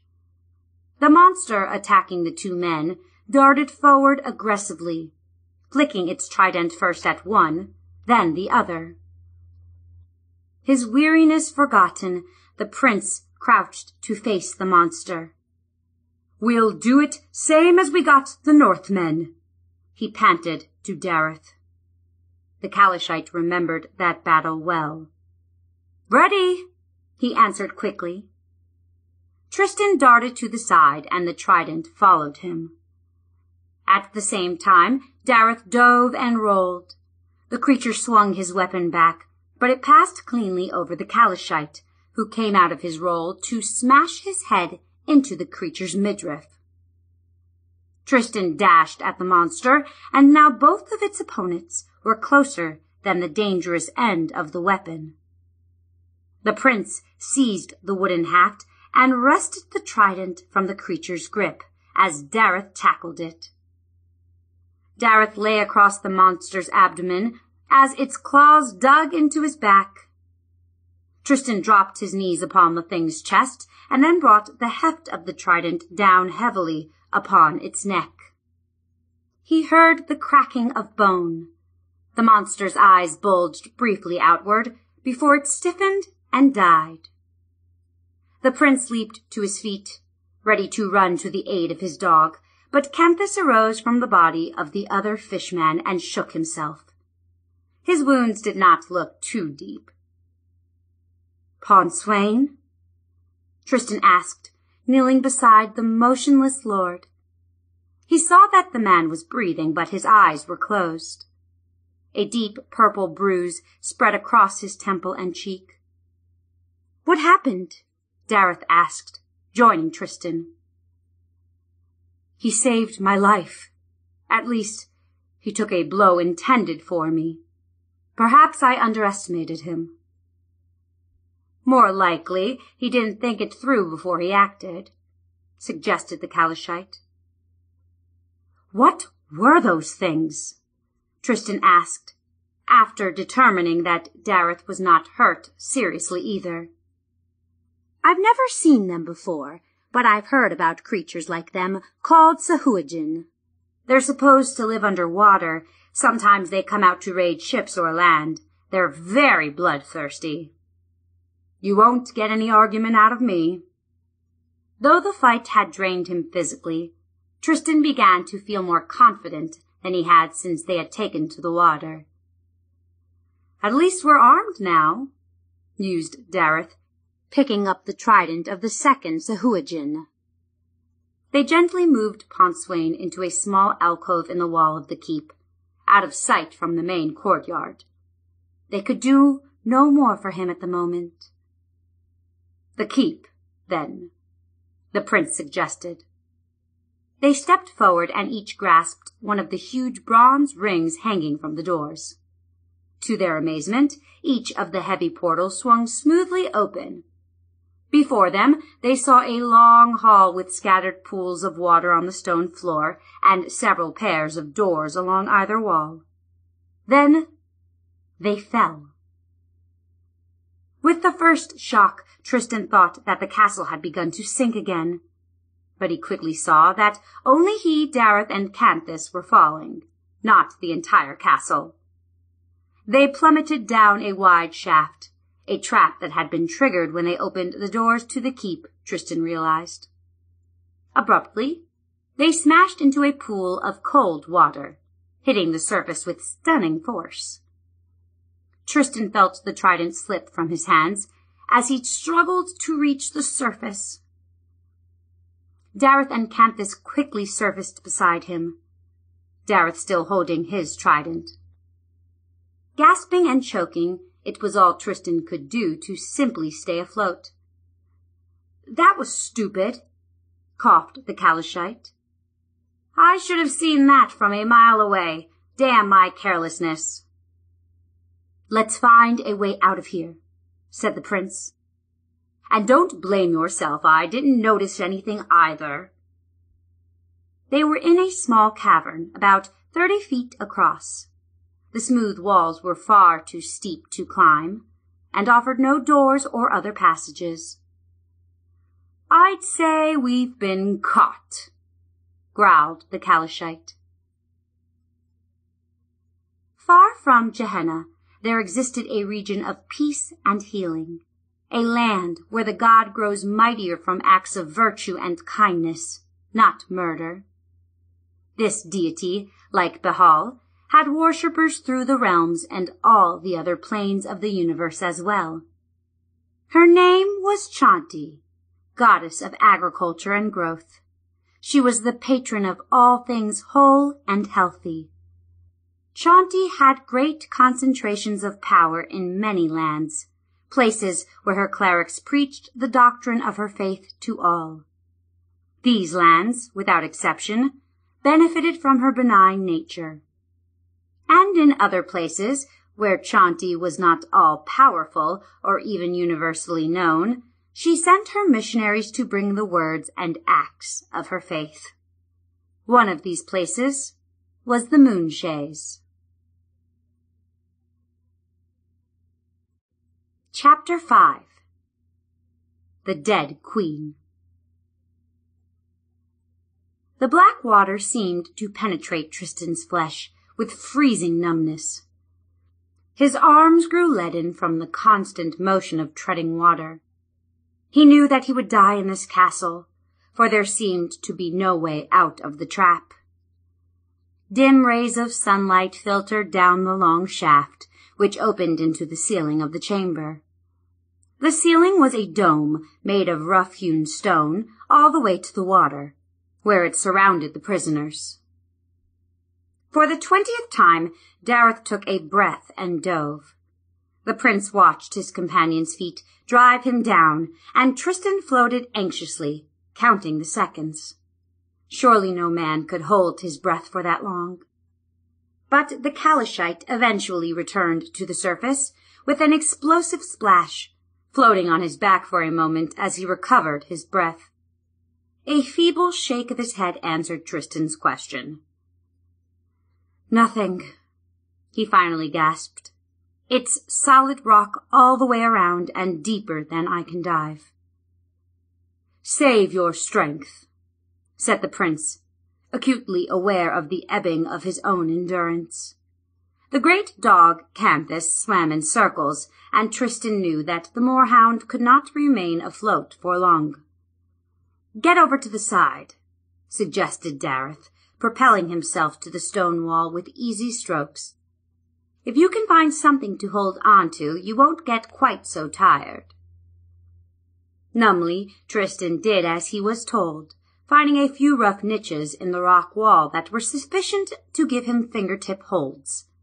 At least he could keep his head out of the water without exerting himself. We can't die here. Daryth suddenly swore. We won't, said Tristan. Suddenly, his foot slipped into a hole in the wall, and he felt a tug of current clamp around it. Forcefully, he pushed himself away, breaking free to gasp several lungfuls of air. There's a hole in the wall, he finally managed to choke out. I felt a current pulling my foot in. The Calishite shot past Tristan, swimming like a seal, and instantly dove to investigate the spot. He remained submerged for a full minute before slipping to the surface. It's an outlet, he said, grinning weakly. I've widened it some. In a few more minutes, we'll have a way out. Daryth rested against the wall for a moment, while Canthus swam between them, seeming to sense their hope. Where does the outlet go? Tristan asked. It could be way under the surface. No, the water flows from this room into that area, so the water level in there must be lower than it is in here. What if it's a water-filled pipe? challenged Tristan. Then we'll all drown, and no one will ever know what happened to us, said the Calishite simply. Daryth dove once again, and this time Tristan counted the seconds, stopping only after he reached one hundred. Still, his companion didn't surface. The prince moved closer, certain that the Calishite was in serious trouble. Finally, Daryth splashed to the surface, drawing in large gulps of air. It's ready, he said. I couldn't see any light on the far side, but I could hear splashing. That probably means there's an airspace. Shall we try it? Naturally, Tristan said. I'll go first. Good, said the Calishite. I'll send Canthus through after you. Try to keep track of him if you can. See you on the other side, said the prince. Wishing he had spent more time learning to swim, he dove toward the hole, surprised at how large it had grown. The water-saturated stone must have been considerably eroded, for Daryth had kicked a large amount of it away. The current swept Tristan through, and only his hands, held out before him, deflected his head from a solid stone wall. The current swept him down through a narrow bottleneck and into a chute that was full of foaming water. He slid downward, but the sides of the chute were gentle, and he quickly scrambled out of the water, coming to a stop upon a slopping slab of rock. The water rushed by a few feet down the slope. The prince barely had time to notice the dim illumination in this tunnel. It seemed to come from above him, before he saw Canthus bobbing madly. Here, dog! he cried, slipping into the water to seize the panicked moorhound by his broad neck. Twisting desperately against the force of the current, he wrestled the dog onto shore a dozen feet farther down the chute from his original stopping place. Daryth soon burst from the tight underground passage and crawled nimbly from the water to sit beside them. Somehow, he had managed to carry the trident with him through the twisting tunnel. Not bad, he remarked. Now where to from here? Up, said the prince. He pointed to the shaft he had examined in the last few minutes. It was the source of the light that seeped into the tunnel and sloped upward at a relatively shallow angle. I'll bet that leads to the keep. Indeed, nodded the Calishite, and the water from our trap is not the whole source of this stream. See how the water flows from farther into the castle? Daryth gestured beyond the passageway they had emerged from, and Tristan saw the underground stream merging far into the subterranean darkness. Hist! Daryth whispered, quickly gesturing up the slope of the chute. They stared downstream and gradually Tristan saw movement against the water. A column of creatures was slowly moving upstream. The band drew closer, and Tristan recognized the Sahuagin. They moved menacingly upstream in the shallow chute, arcing through the water like salmon returning to the spawning pools. Several of the sea creatures stood before the rest, keenly peering about the tunnel, while the others swam past. Then another group would take up the guard, farther upstream, while the last dove into the water and splashed ahead. The creatures, Tristan counted at least two dozen, slid past them about forty feet away. The light from the tunnel was at its most intense against the water nearest them, so they hoped that the Sahuagin lookouts would be blinded to their presence in the shadows. One of the leering fish men took up the watch at the very foot of the slope where they hid. Its bulbous eyes seemed to see into every niche and cranny as it slowly pivoted its broad head. Its gaze passed the trio and then swung back. For a long moment, they peered into the darkness around them. Then the eyes passed to the front of the column, and the Sahuagin leaped in with its fellows. Soon the band of monsters had moved out of sight. Let's go, the prince finally whispered, and they crawled from their hiding hole. Crouching, they moved along the slope toward the mouth of the shaft leading upward. I'll go first, whispered Tristan.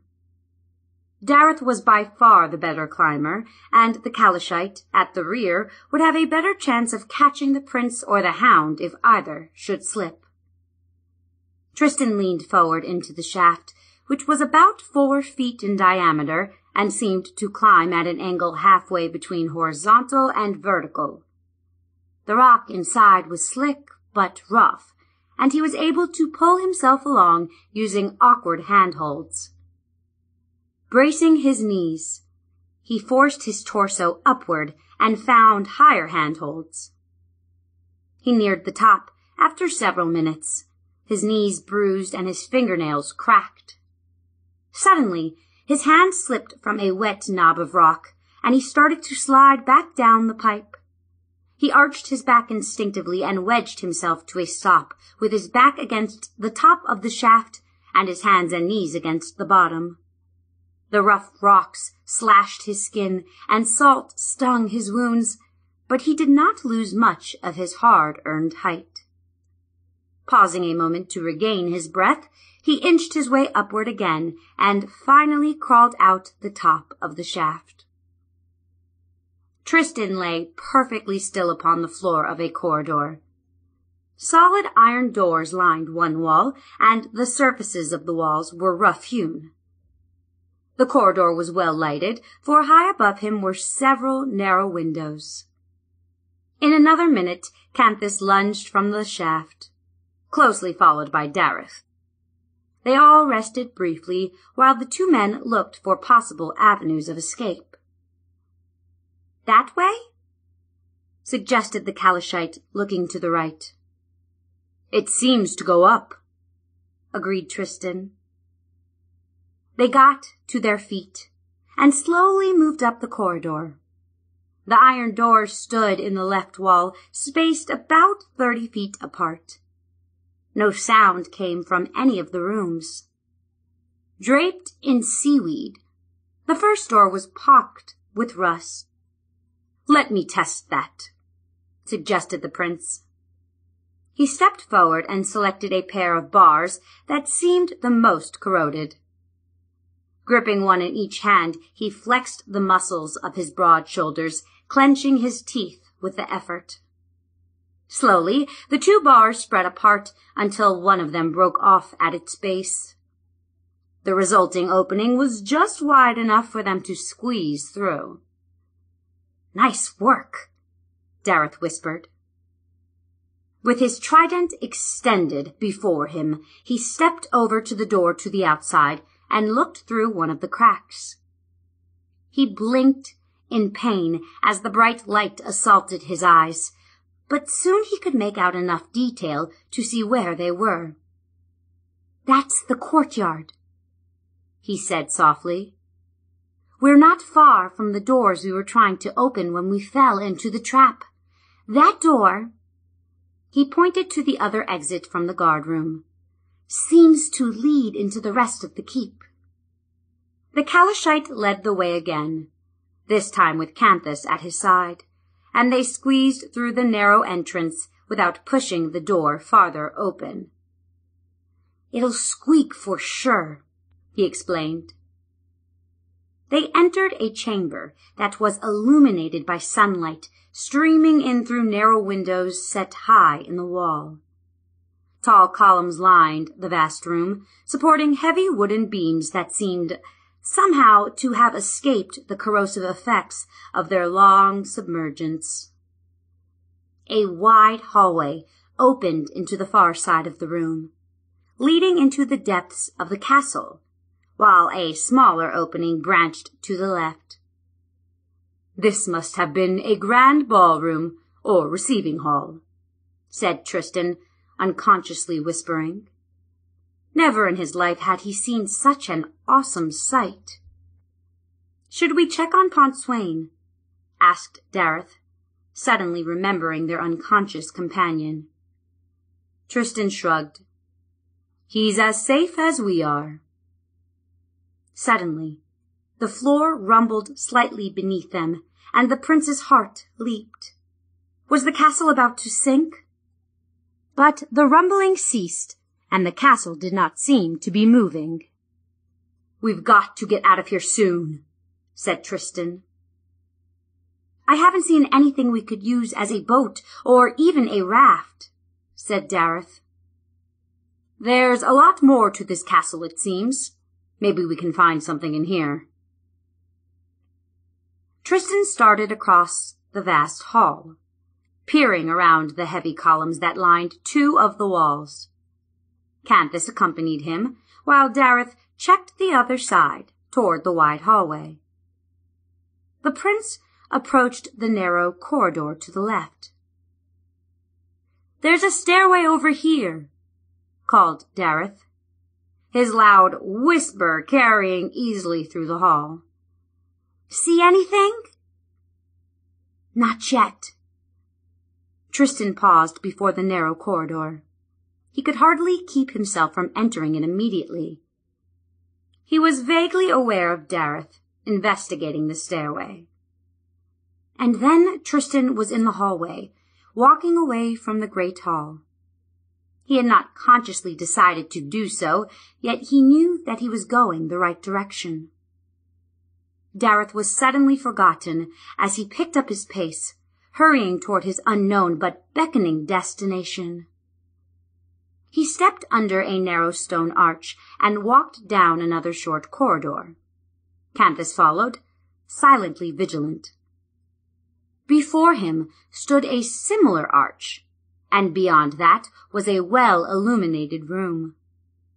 The light seemed softer than the sunlight that streamed into the windows of the castle, however. Intrigued, Tristan passed under the second arch to find himself in a round room.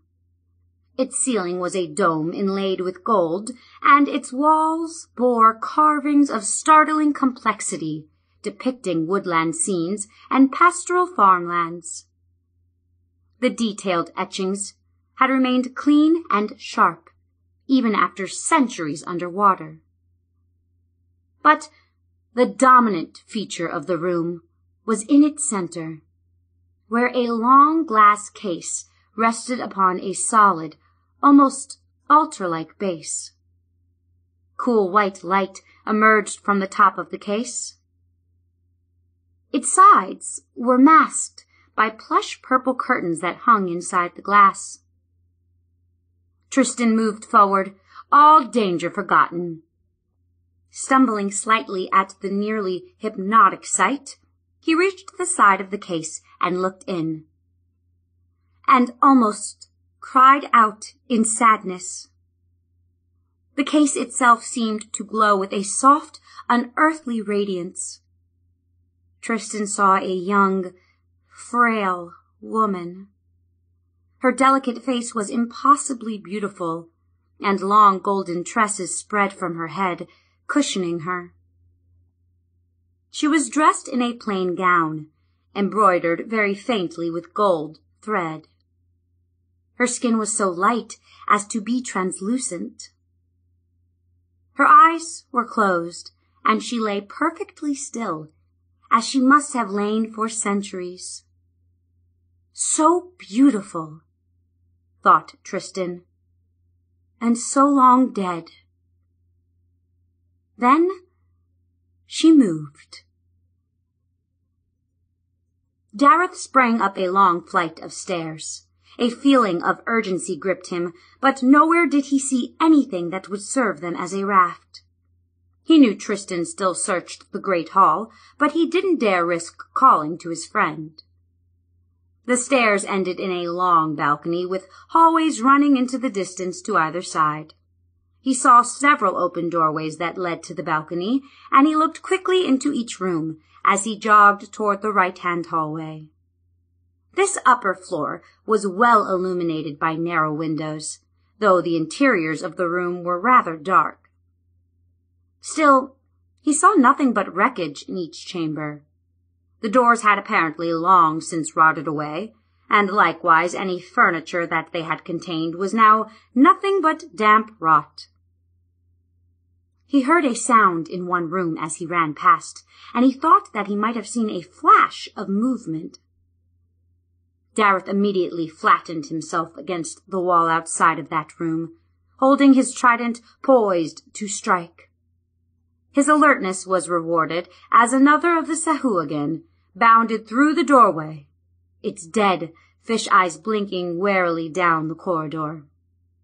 Before it could react, Daryth thrust his weapon savagely at the monster's throat. The Sahuagin's gills flared in rage, but the middle point of the weapon caught it squarely in the neck. The Calishite pressed it remorselessly across the hall as the monster's webbed hands grasped at the shaft of the trident. It started to twist away, but then the wall opposite the doorway stopped its retreat.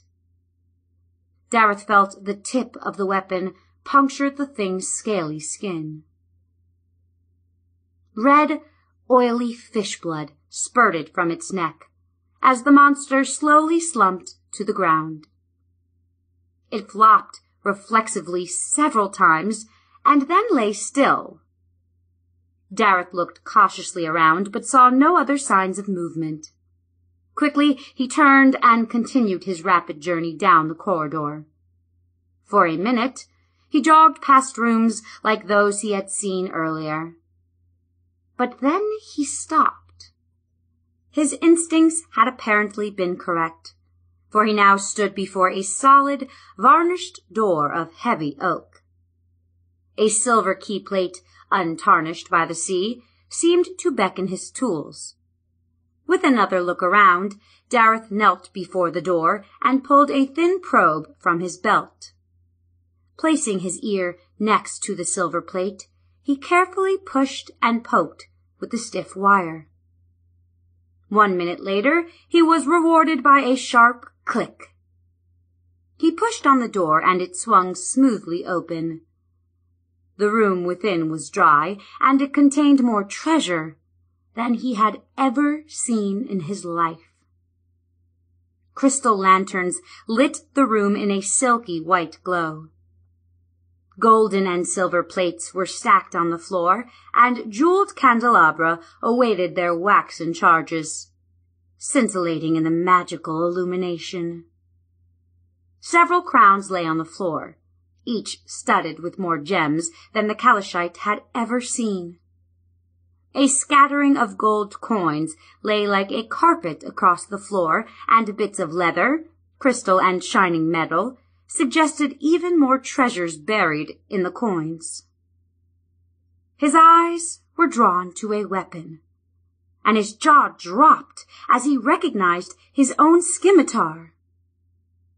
It can't be, he told himself, but the weapon was unmistakable. He noticed a sword next to it and picked it up, fairly certain that it was Pontswain's weapon. Though he looked for the sword of Cymrych Hugh, there was no sign of Tristan's blade in the room. He casually kicked aside some of the coins and discovered a pair of soft gloves that looked like they were the right size. On impulse, the Calishite put down the sword and pulled on the gloves. They immediately lightened in color until they exactly matched the hue of his skin. Each fingertip even had an artificial fingernail. Someone would have to look very closely to see that he wore anything upon his hands. They were smooth and warm and quite comfortable. Then he noticed another piece of leather nearly buried by the coins and he pulled free a smooth, tightly sewn sack. He saw another just like it and picked that one up too. With luck, their flotation problem would be solved by these. Gathering his belongings, he left the room, the door locked behind him. With a sense of profound wonder, Tristan watched the woman rise. She sat up slowly, and for the first time the prince realized that the glass case had no top. She opened her eyes, and though her skin was pale as death, her eyes were deep brown, rich, and loving. Then she smiled, and Tristan's knees buckled from the beauty of her face. Unwittingly, he knelt before her, forced to drop his eyes in wonder. My lady, he gasped. She studied him curiously, extending her hand and then speaking quietly. My husband, have you come for me? But then her voice trailed off and she stared at the prince for a full minute.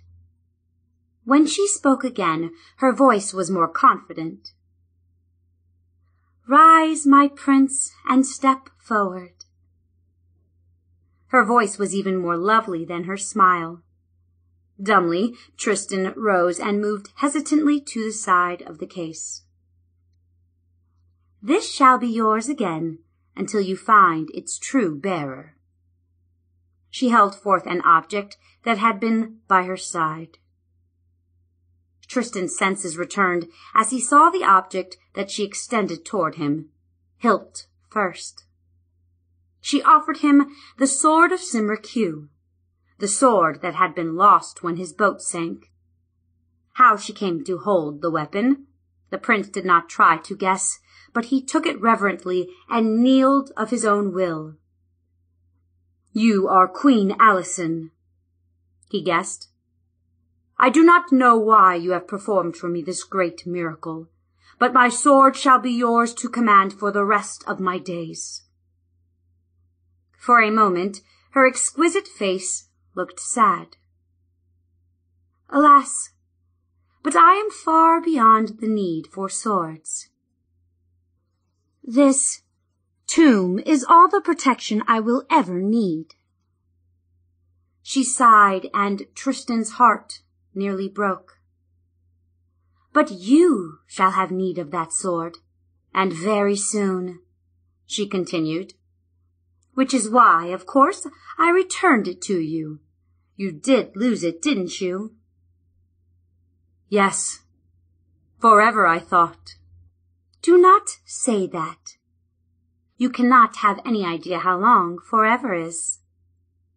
The rebuke was in words only, for her tone was still gentle. You are here for a reason, Prince, and I shall tell you what that reason is, so you may leave. You haven't much time, you know. As Tristan nodded, she continued. You have a destiny laid upon you, Prince Tristan Kendrick of Corwell, and it is mine to tell you what that destiny is. That is why, of course, your sword was returned. Her voice grew solemn and serious. The realms of the Folk are to be united again, as they were by my husband, Cymrych Hugh. They are to be united in your time and in your presence. Now, this is the destiny I shall lay upon you. You are to find the next High King of the Folk, the one who will rule our people into a new age. You are to find him, and your sword shall become his. Tristan's heart pounded at her words. To see the Folk united again under a strong High King, to find the one who would be that High King. He proudly gripped the sword of Cymrych and raised his head to meet the eyes of the dead queen, though he still knelt before her. This I shall do, my lady, for the rest of my life, if need be. But tell me, how shall I know this king? You shall know him with your heart, but you may better find him by knowing these things. His name shall be Cymrych, and he will bear that sword. His destiny will carry him many places. He shall fly above the earth, even as he delves into depths. Wind and fire, earth and sea, all shall fight for him. When it is time for him to claim his throne. She finished speaking and appeared to grow very tired. Tristan sprang to his feet, only to see her lie again in the case. Her body reposed in the eternal stillness of death. The mustering of the Scarlet Guard was a thing spectacular in sound and sight, fearful to behold. The citizens of Callidyrr scurried into the nearest buildings as the king's mercenaries assembled in the heart of the town. Each of the four brigades of the guard gathered in its own quarter of the city, and then marched toward the great open square that stood below the towering majesty of Caer Callidyrr. All the towers of the castle streamed with pennants proclaiming the proud emblem of each of the dozen companies in the force. First, three brigades of human mercenaries, battle-hardened soldiers, marched in tight formation into the square standing at attention around three of the four sides. Each member of these brigades, composed of three companies each, wore a cloak of blazing scarlet and a tall helmet plumed with crimson feathers. Their weapons were clean and gleamed in the midday sun. Fierce, implacable warriors, these human mercenaries were feared along the length of the Sword Coast. No crime was too heinous, no murderous or rapine task too hateful for the Scarlet Guard to take on. But none of these three brigades could match, in might or in terror, the reputation of the Fourth Brigade. King Carathal stood upon the rampart of Caer Callidyrr with his close adviser, the wizard Cyndre, beside him. His pulse raced at the spectacle before him. Oh, I say, this is simply splendid. They look so... His Majesty groped for the right word. So... military. Indeed, sire, nodded the sorcerer. Cyndre was pleased at the sight as well, but did not reveal his emotions quite as openly as did his master. Hmm, isn't there supposed to be one more?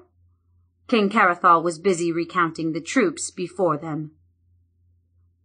I believe the Ogre Brigade is arriving soon, Your Majesty. The ground shook underfoot as the tromp of heavy footsteps pounded the street. There was no sign of any citizen of Callidyrr now, as there was no mistaking the source of that mighty cadence.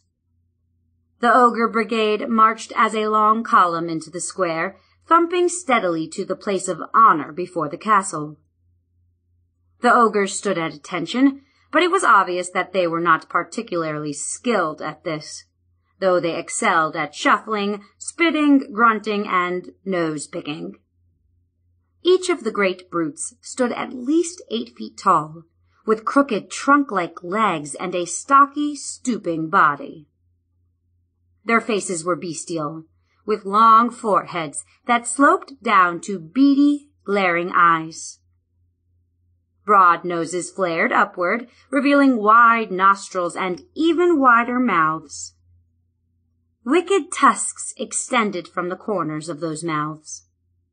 These brutal monsters came from every corner of the realms, gathered and disciplined, barely, by the good pay of their human commanders. And in truth, ogres were well suited to the needs of the guard. Huge, fearless fighters, they could crush any band of humans that dared to stand before them, and would as easily spit a child upon a spear as an opposing swordsman. The ogres relished the tasks of the guard, for killing and mayhem were their most basic desires. The missions of the brigade gave them an opportunity to do both. Somehow, I never realized that there were quite so many of them, said the king hesitantly. They really make up quite a force, don't they? Indeed, your majesty, they are an army mightier than any upon the Moonshaes, and they will do your bidding alone. The wizard smirked a little as he said it. We had better send them off, hadn't we? blurted the king. You do think they'll catch him, don't you? I'm certain they will, sire. The Prince of Corwell shall have a very short visit to Alaron. A very short visit indeed. Teacher, I'm frightened. Robyn spoke quietly, not certain that Genna was awake. The great druid lay muffled in a down quilt, though the day was warm. Her steady breathing was her only sign of life. It's Acorn, Robyn continued, pulling her shawl more tightly across her shoulders at the vivid memories. As far as she knew, the stranger was still spellbound, standing stupidly beside the pond. Nevertheless, she had latched the door of the cottage when she entered, for she knew that the spell would eventually lose its potency. Genna's eyes flickered open, and she turned to gaze intently at her pupil. Her gray hair pulled back from her face emphasized her severe expression. She struggled to sit up, and Robyn helped her, placing pillows behind her back. Evil! she hissed. She stared at Robyn, but it seemed to her that the great druid actually looked right through her. He is evil, she said again. It was the most articulate statement she had made in many days. Acorn, Robyn said. But I thought, oh, Genna, what should I do? Help me. This time the older woman looked at her niece with an intensity that made Robyn squirm. Genna coughed once, a dry, rasping sound, before she spoke again. You must kill him. Bhaal watched the heart of Kazgaroth carefully, feeling its thrumming power. The shred of the beast had begun its work. Soon, now, the task would be complete. He took note of the feeble earth magic of the druid and sneered.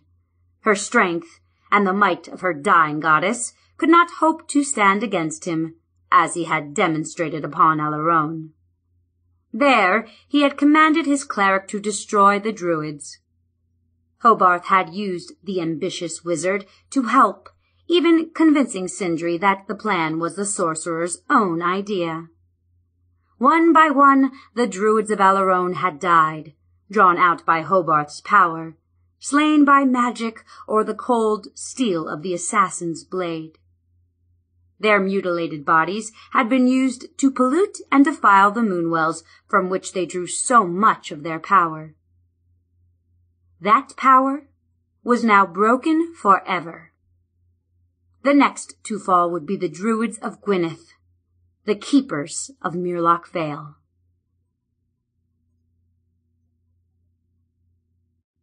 Chapter 6 Alaron The sound of Canthus barking savagely brought Tristan back to his senses. Immediately he felt the tremors in the floor below him. He staggered forward, turning to run like a drunk from Queen Alysanne's tomb, as the marble surface heaved and rocked. He charged down the short corridor and into the great hall beyond. Canthus bounded before him, racing for a great double door leading to the courtyard. Daryth had just reached the door. Tristan saw that he now carried a sword. All I could find, he gasped as Tristan ran to his side, helping to pull open the huge portal. His eyes widened at the sight of the sword of Cymrych, girded again at the prince's side. But the Calishite said nothing. The castle shook once more, sending them stumbling. The door creaked open stubbornly. Tristan was about to run through the door when Daryth's voice halted him. Wait! The Calishite probed the flagstones before them with his trident. The iron barbs clunked against the surface several times, and Tristan was startled by a sudden click. Two sections of floor gave way, swinging freely inward to reveal a long, dark shaft. Uneasily, the prince stepped back. Same kind of trap. The Calishite smiled ruefully. He stepped nimbly along the side of the pit. The prince jumped after him and made it through the door with no difficulty. They found Pontswain where they had left him. The lord was sitting up, rubbing the bruised side of his face. Where did you go? he demanded. Leaving me too. Shut up, barked the prince, then looked a bit sheepish. Um, thanks, you know, for helping me out in there. The lord looked surprised but offered no argument.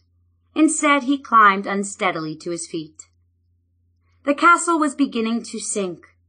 Already water was pouring through the gate. They had left the outer portal down after entering, and the sea water now rushed into the courtyard through the wide opening.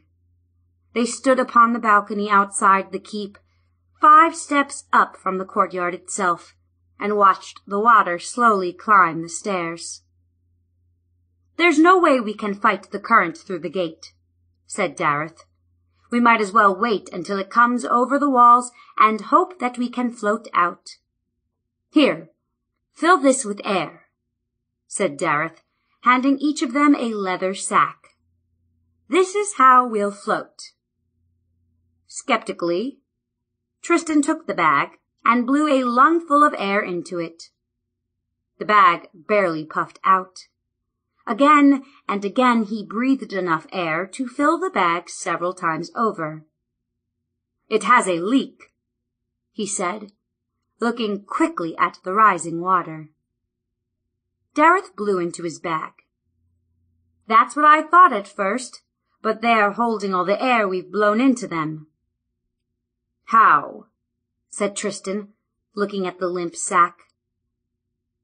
These are magical bags, I found them in the castle treasure room. They will hold a lot more than their size would indicate. Now keep blowing.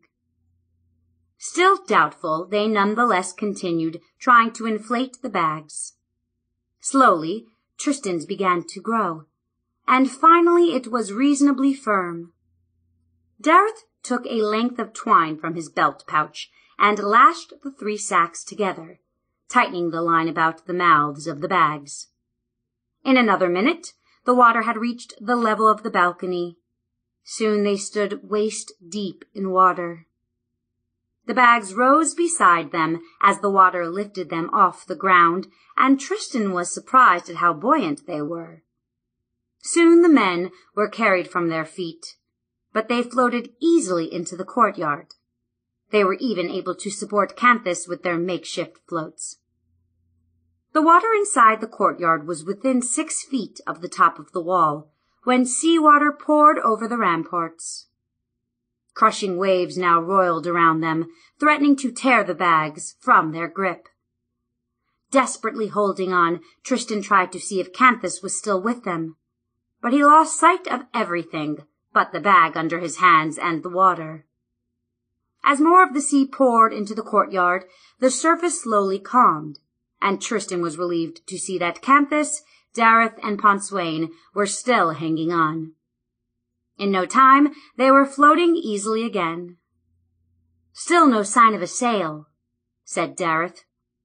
I guess this puts us about where we were this morning. Not exactly, said Tristan. I've got the sword of Cymrych Hugh again. He debated telling them of the prophecy of the dead queen, but a look at Pontswain's suspicious face told him he should not. Perhaps later he would tell Daryth. Master, we must discuss a problem. Must we discuss it now, Cryphon? I am very tired. His Majesty was most petulant today.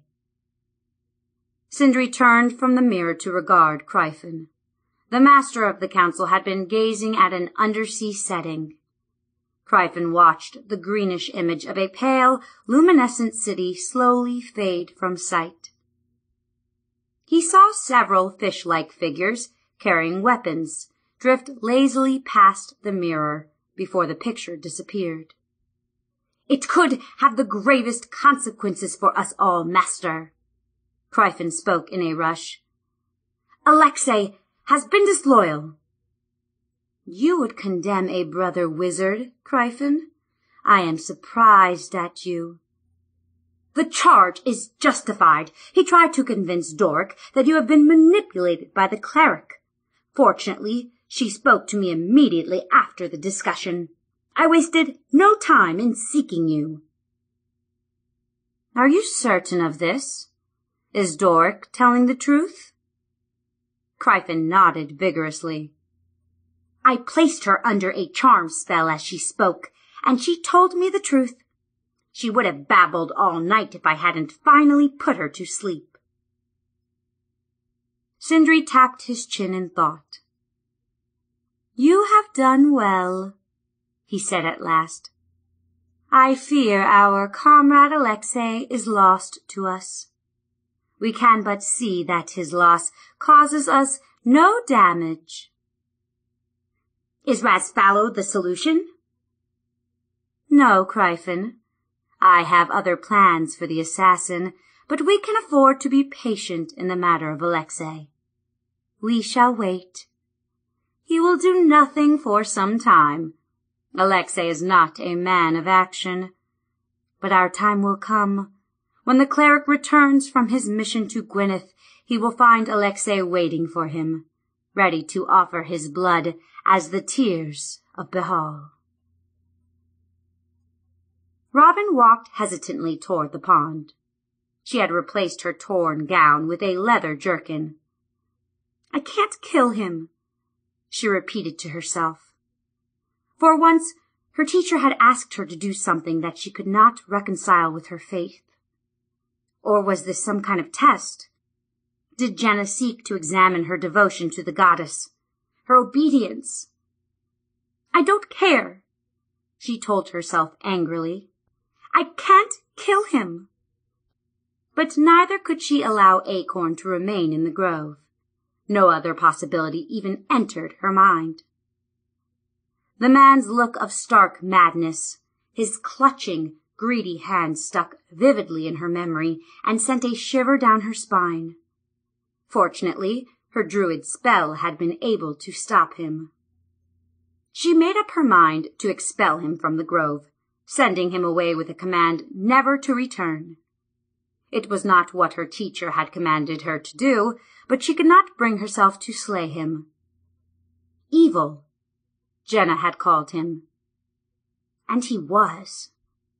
Still, Robyn felt that he was not entirely responsible for his actions. She crossed the garden and moved among the great oaks, nearing the pond. As she passed the place where she had been tearing up the vines weeks earlier, she noticed that the stout stick she had used to pry the vines now lay beside the sturdy trunk. Feeling vaguely uneasy, she picked it up. She wished for Tristan's presence with a sudden, surprising intensity. The prince, she knew, would have had no difficulty in forcing Genna's order. She emerged from the oaks, expecting to see Acorn still frozen upon the river bank, but the stranger was gone. Her uneasiness grew into worry as she stepped from between the huge trees. She moved carefully along the grassy bank, looking at the ground for signs of his departure. The river bank here was a narrow strip of field, bordered by the river on one side and thick undergrowth on the other. The river was about forty feet wide and three feet deep. Its crystalline waters, racing over colorful stones, formed the southern border of the great Druid's Grove. Suddenly, she heard movement in the undergrowth and whirled to see Acorn lunging toward her with a crazed gleam in his eyes. He cackled unintelligibly as he moved far faster than his feeble appearance suggested possible. She lifted the stick and chanted the single word again. Stop! Acorn did stop, but not from any effect of her spell. Instead, the madman stomped his feet and howled with laughter. Then he became very quiet, peering at Robyn with intense concentration. His look was the most frightening thing she had ever seen. When he began to mumble words that sounded like spell casting, her fright turned to sheer terror. Her mouth fell open, but Acorn couldn't cast spells, or could he? What did his words mean? And then she understood that he commanded druidic magic, as upon Acorn's final word. A buzzing swarm of insects hummed from his hand to cluster about her on the river bank. Robyn felt a fiery stinger lash into her cheek as more of the creatures landed upon her, seeking every patch of exposed skin. The sound of the swarm was a droning so loud that it seemed certain to drive her mad. She suppressed an urge to scream. She dared not open her mouth. Instead, she turned to run awkwardly to the stream. Her eyes were tightly shut as she flung herself headlong into the cool water. She forced herself to stay underwater, swimming downstream for as long as she could hold her breath. When she finally burst to the surface, she saw that the mass of insects was gradually swarming across the river out of the great druid's grove. The pain from her stings slowly subsided, but her skin still burned.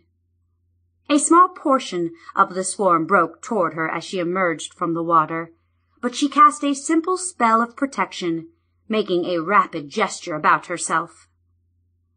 The wasps stormed forward angrily, but then buzzed in a circle around her, unable to close through the magical barrier she had raised against them. Acorn was already looking for her, giggling and staggering along the river bank. Robyn splashed toward shore, hoping to get out of the water before he reached her. The feeble-minded wild man paused again and again Robyn felt that intense concentration that could only mean he was preparing to cast a spell. Crawling onto the river bank, soaking wet and gasping, she felt very vulnerable. She grabbed a root to pull herself up, and suddenly it squirmed in her grasp. The end of the root lashed upward, growing eyes and long fangs. She jerked back just before the undoubtedly venomous spell-cast snake struck. The snake's fangs embedded themselves in the soft loam as she snatched her hand away. More snakes slithered toward her from a tangle that had, before Acorn's spell, contained only dry sticks. She sensed the serpents closing in from all sides. She paused, pulling a tiny sprig of mistletoe from her belt, and chanted a few words very softly as she crushed the plant to dust. She felt the aura surround her, and she knew that she had become completely invisible to the snakes and to all other animals of the natural world. The creatures writhed past, and her stomach knotted as she saw several forked tongues flick forth to seek her. The madman still saw the young druid before him, but he also saw that the snakes could not find her. His carefully marshaled discipline, that self-control that had allowed him to recall powers he had long kept buried, began to crumble under the frustration of the thwarted attacks. Abruptly, he howled in rage and charged toward Robyn, his fingers outstretched, clutching for her throat. His howl gave way to an equally inarticulate cackle as he reached her. Robyn saw the man charge, and she seized a stout stick with both hands. Raising it high, she swung it like an axe at the madman. She had never hit anything so hard in her life. She felt the shock of his broken neck travel through the stick to her wrists and arms. He dropped without a sound his head drooping grotesquely over his right shoulder. Robyn's whole body shook. She staggered backward and sat down heavily, feeling sick. Acorn's eyes stared at her from his unnaturally bent head, and she watched them slowly grow dull. But the power of the goddess had flowed through her and from her, and her own strength had not been expended. Her shaking stopped, and she walked over to the body. Acorn was unquestionably dead. His skin was already pale, and his head lay at that absurd angle. Still she knelt and listened for breathing, felt for a pulse. He was dead. Then she noticed his pouch. She had forgotten about the tattered wrap and its treasured contents in the time Acorn had been with her. But now she vividly recalled his fear when she had reached for it. Robyn reached for the ragged sack again and pulled the drawstring free. She hefted the thing, which seemed to contain a fist-sized rock. Turning it upside down, she shook it. A black rock fell beside her knee. It was rounded and smooth, oddly shaped. It looked like a carving of a vaguely human heart that some craftsman had rendered from a piece of hard coal. It lay several inches from her, but she felt its warmth even through her leather breeches. The rock was surprisingly large for its weight. Its density was more like soft pine than stone. She tried to look away from the stone and found that she could not.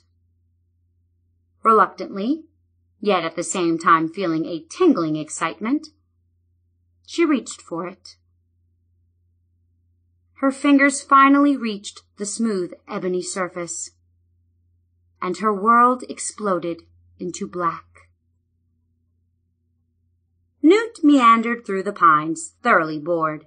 He buzzed around looking for something, anything to catch his interest. The air in the woods was thick and heavy, and lethargy contributed to his boredom. His path took him back to the grove, but he was in no particular hurry. Without an urgent reason, the fairy dragon could not possibly travel in a straight line, and so his arrival could be anywhere from hours to days away. He reached the shore of a broad pond, hovering silently with a steady fluttering of his gossamer wings. Slowly, he settled onto a wide pine bough, looking around the shore. Such watering places, the dragon had discovered, were likely to yield his quarry. Indeed, he soon saw a tiny fawn staring into the clear water on the other side of the pond. Instantly, Newt crouched, his tail arrowing straight behind him. When he was quite certain of achieving surprise, he acted. He cast a simple illusion spell upon the reflection of the young deer. The unfortunate creature found itself looking at a purple-furred, fang-toothed horror that appeared to lunge out of the water, gaping maw extended.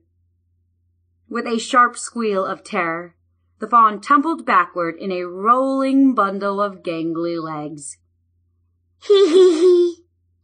Newt squealed as the little creature finally stumbled to its feet and sprinted awkwardly into the woods. I can't stand it! he shrieked.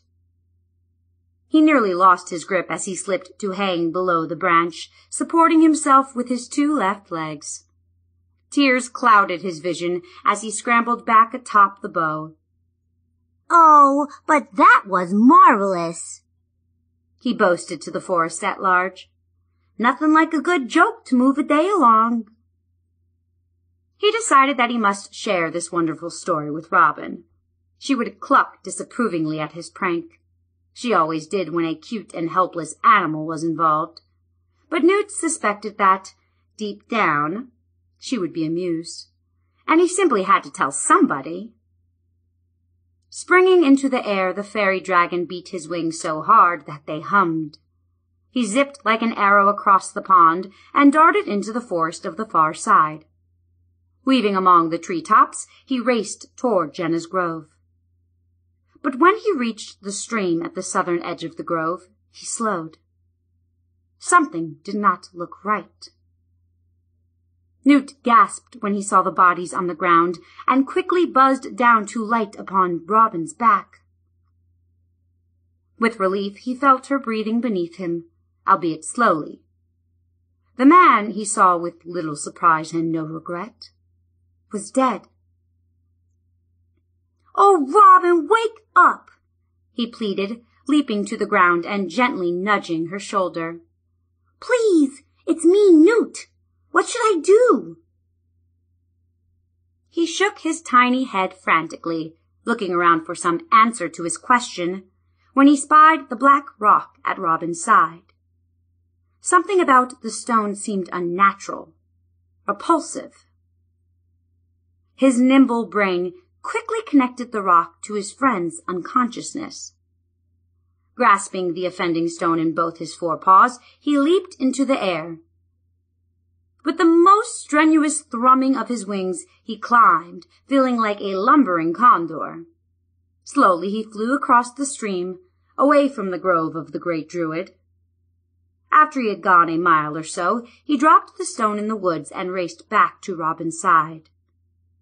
With a relief he saw that she had already begun to stir. A sail! Tristan, a sail! The prince jerked from his slumber. He raised his head from the air bladder and shook it to clear the cobwebs. Blinking the salt water from his eyes, he followed Daryth's pointing finger. I see it! It's coming right toward us! Things are starting to look up, grinned the Calishite. Call them, croaked Pontswain, hope lighting his eyes. Too far, said Daryth, but they're coming right at us. The little vessel indeed skipped closer. It had a single mast with a sail colored in a broad rainbow pattern. The prow was high, so they could not see the interior of the craft. As it neared them, however, they heard strains of a song sung in a clear female voice. I knew a merry widow, to her neighbors quite demure, but all the lads that saw her said the lady's far from pure. Now I can't say the lads are right, but I can't say they're wrong, and I know that merry widow couldn't. And what's this? The song was abruptly interrupted as a beaming, weather-beaten face peered suddenly over the bow at them. Three drowned, rats, and some flotsam! Tristan's greeting died in his mouth. So astonished was he by the question and answer. The speaker was a stout woman, perhaps forty years of age. Her round face was split by a smile as wide as the sea a garish hat, festooned with grapes and apples and huge flowers, sat astride her head, sagging nearly to her shoulders.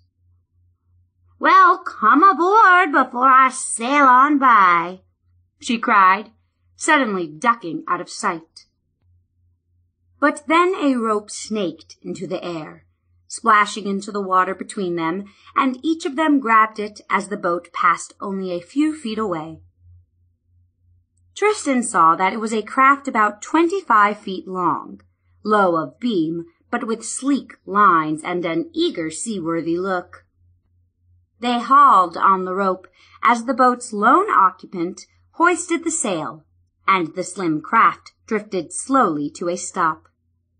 The woman had a lute strung across her back, and an assortment of canvas bags had been thrown into the hull. She reached down with a large red hand and pulled Tristan from the water. The prince no sooner flopped into the bottom of the boat than Canthus, Pontswain, and then Daryth fell in beside him. The name's Tavish, said their hostess, standing with her hands upon her hips as she scrutinized her passengers. She was shorter than Tristan, though she certainly weighed as much. Her face was pretty in a solid farm wife sort of way. It was impossible not to be cheered while in the range of that beaming smile. Her face grew thoughtful as she took in the sword at Tristan's side. Self-consciously, he looked at the plain leather hilt, the worn scabbard that had rotted away to reveal some of the glistening silver blade and its ancient runes. Tavish looked back to his face. And judging by your weapon, she said, I'm guessing that you'll be the Prince of Corwell. Hobarth moved at a steady plod through the meadows and forests of Myrloch Vale. He was impervious to the beauty around him, interested only in drawing closer to the grove of the great druid. There, his god had told him, he would find the young druid, and Bhaal was never wrong. It never occurred to the huge cleric that he would have any difficulty removing Robyn from the care of her teacher. Hobarth had used his powers against druids before, and their feeble nature magic had proven to be no match for the aroused might of Bhaal. Indeed, when allied with the Council of Seven, the power of Bhaal had been sufficient to drive the druids from Alaron. True, these woods seemed more eternal than the forests that still remained upon Alaron. But he shrugged off the notion that druid magic was a force to be reckoned with. He began to sense the nearness of his destination, and with it a powerful arcane calling. Something was in the woods to his side. It radiated a sense of cool evil that the cleric found very pleasant, even exhilarating. He stopped for a moment, looking curiously into the brush. Whatever it was, the source of the calling struck a highly responsive chord in the cleric's breast. He was unable to ignore it. Hobarth thrashed his way into the clump of bushes, pushing brambles and briars aside. He could tell that he neared the source of the calling, but that only made his desire to reach it stronger. Suddenly he saw it, lying at the foot of a dead oak tree. A glistening black rock lay upon the ground. It attracted him strangely. Hobarth stepped forward and picked up the object. It felt very warm and smooth in his hand, as if it belonged there. Amused, the cleric hefted the object, tossing it from one hand to the other and back. Smiling, he turned back toward the grove, and continued his march. Hobarth was not attuned to nature and took no notice of the fact that all the plant life within fifteen feet of the stone was withered and dead. In another hour he arrived at the bank of a small stream. Somehow he knew that this was the border to the great Druid's grove. As he stepped into the stream, intending to wade across it, a sudden blow smashed his body and knocked him back to the shore. Springing to his feet, the cleric peered around, seeking his assailant. But he saw nothing. More slowly, he reached forward and touched the invisible barrier he had struck. It seemed to run along the shore of the stream and was solid as iron. Cursing, he considered this evidence of druidic might. He watched a small bird dart across the stream and saw that it was unaffected by the barrier. But when Hobarth reached forward, the invisible wall stopped him cold. He chanted a short phrase and magic suffused his body. He rose slowly from the ground and floated twenty feet up in the air to discover that the curtain of protection extended up at least that high. He did not want to go higher, for that would have carried him above the tree tops, and he did not wish to be observed. Frustrated, Hobarth lowered himself to the ground and stalked along the shore of the stream. He was not used to being thwarted, and rage built within him. This crude, druidic protection was certainly a nuisance. He wondered if a truly stunning display of Bhaal's power might blow it away, but he decided to postpone experimentation. Such a spell would surely call attention to himself. He heard voices before him, Quickly he dropped into the underbrush and carefully moved forward, using the shadows of the woods to advance around a bend in the stream. There before him he saw his quarry. The druid he sought knelt beside the stream, splashing water into her face. One of the pesky little dragons common to the Moonshaes was with her, hovering about like a worried nursemaid. Elated, Hobarth considered his options, and as he did, his elation faded. How was he to get her out of the grove when he could not enter it? He considered and discarded several simple options. He could not expect to charm the woman from the grove with magic. The druid, he sensed, would be very resistant to his spells upon the sacred ground of her teacher's grove. And he, or rather Bhaal, wanted her alive. Her blood must come fresh to the altar of his god. Thus he could not use a baneful spell to kill her, and another to lift her body out. No, he would need to use a more subtle tactic. Hobarth absently stroked the black rock in his hand. His beady eyes gleamed from within their deep pouches of fat as he looked around for a suggestion. Then he saw the body behind the druid, and an idea slowly formed in his brain. Yes, he smiled to himself. That body will do quite nicely. Praying reverently to his god, Hobarth concentrated on the corpse in the field. The young druid's back was to the body, and she once again knelt to splash her face. And then the sinister might of Bhaal, or was it the potent evil of the black rock, flowed from the cleric, unnoticed by Robyn, to the still form. She was still kneeling as the body began to move. So you want to see the big city? said Tavish, chuckling. Yes, explained Tristan, sticking to the story he had developed. I've never even seen the island of Alaron.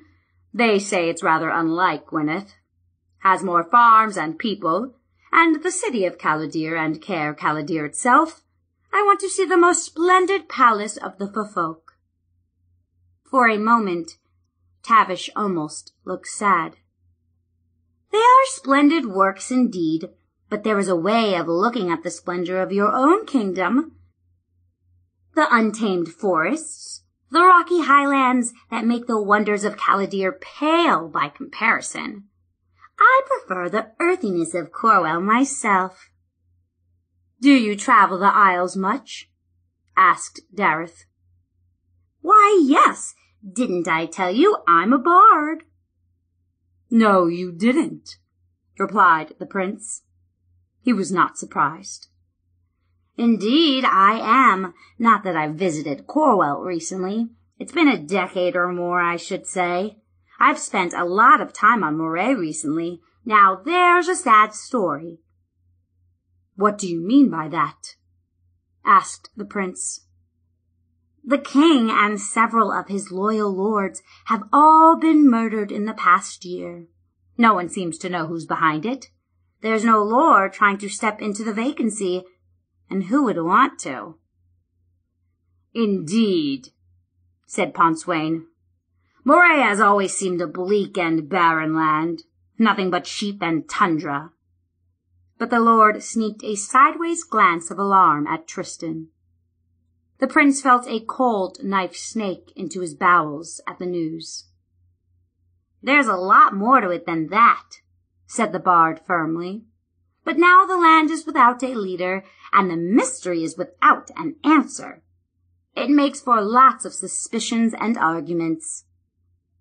Tavish paused, looking them over. The tales out of Snowdown are no better, she continued. The king disappeared on a hunting trip and has not been heard from since. No one's in charge. The whole kingdom's in an uproar.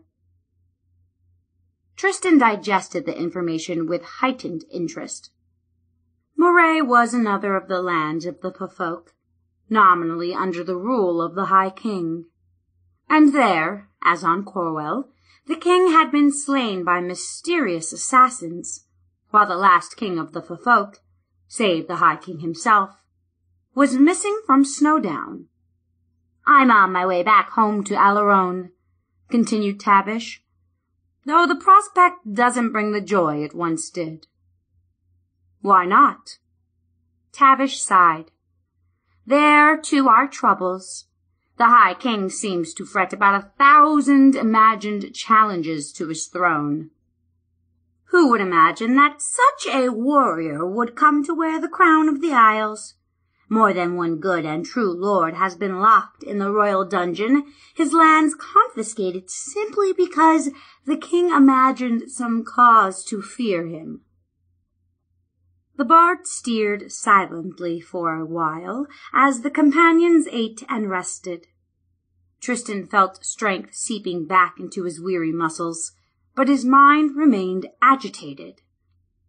Tavish's information, coupled with the prophecy, created strong doubts in his mind about the High King.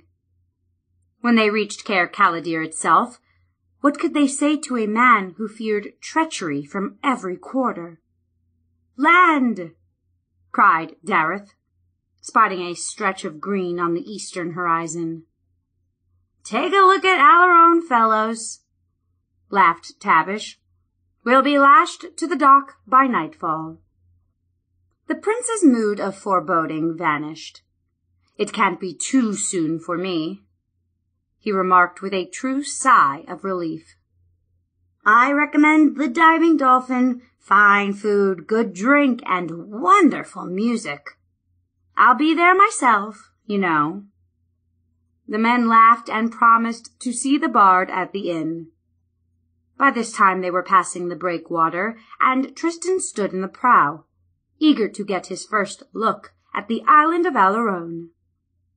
The land was green and pastoral, dotted with white farms and neat stone fences. The town of Llewellyn was the biggest community Tristan had ever seen.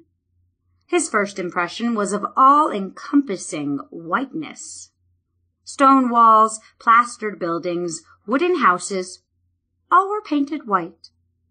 Tavish told him that the town was home to nearly five thousand people. The sense of wonder remained with him as they glided up to a smooth stone quay. Tavish sprang to the shore, pulling the vessel tightly against the stout wooden bumpers. The passengers climbed out and looked around, trying hard not to stare.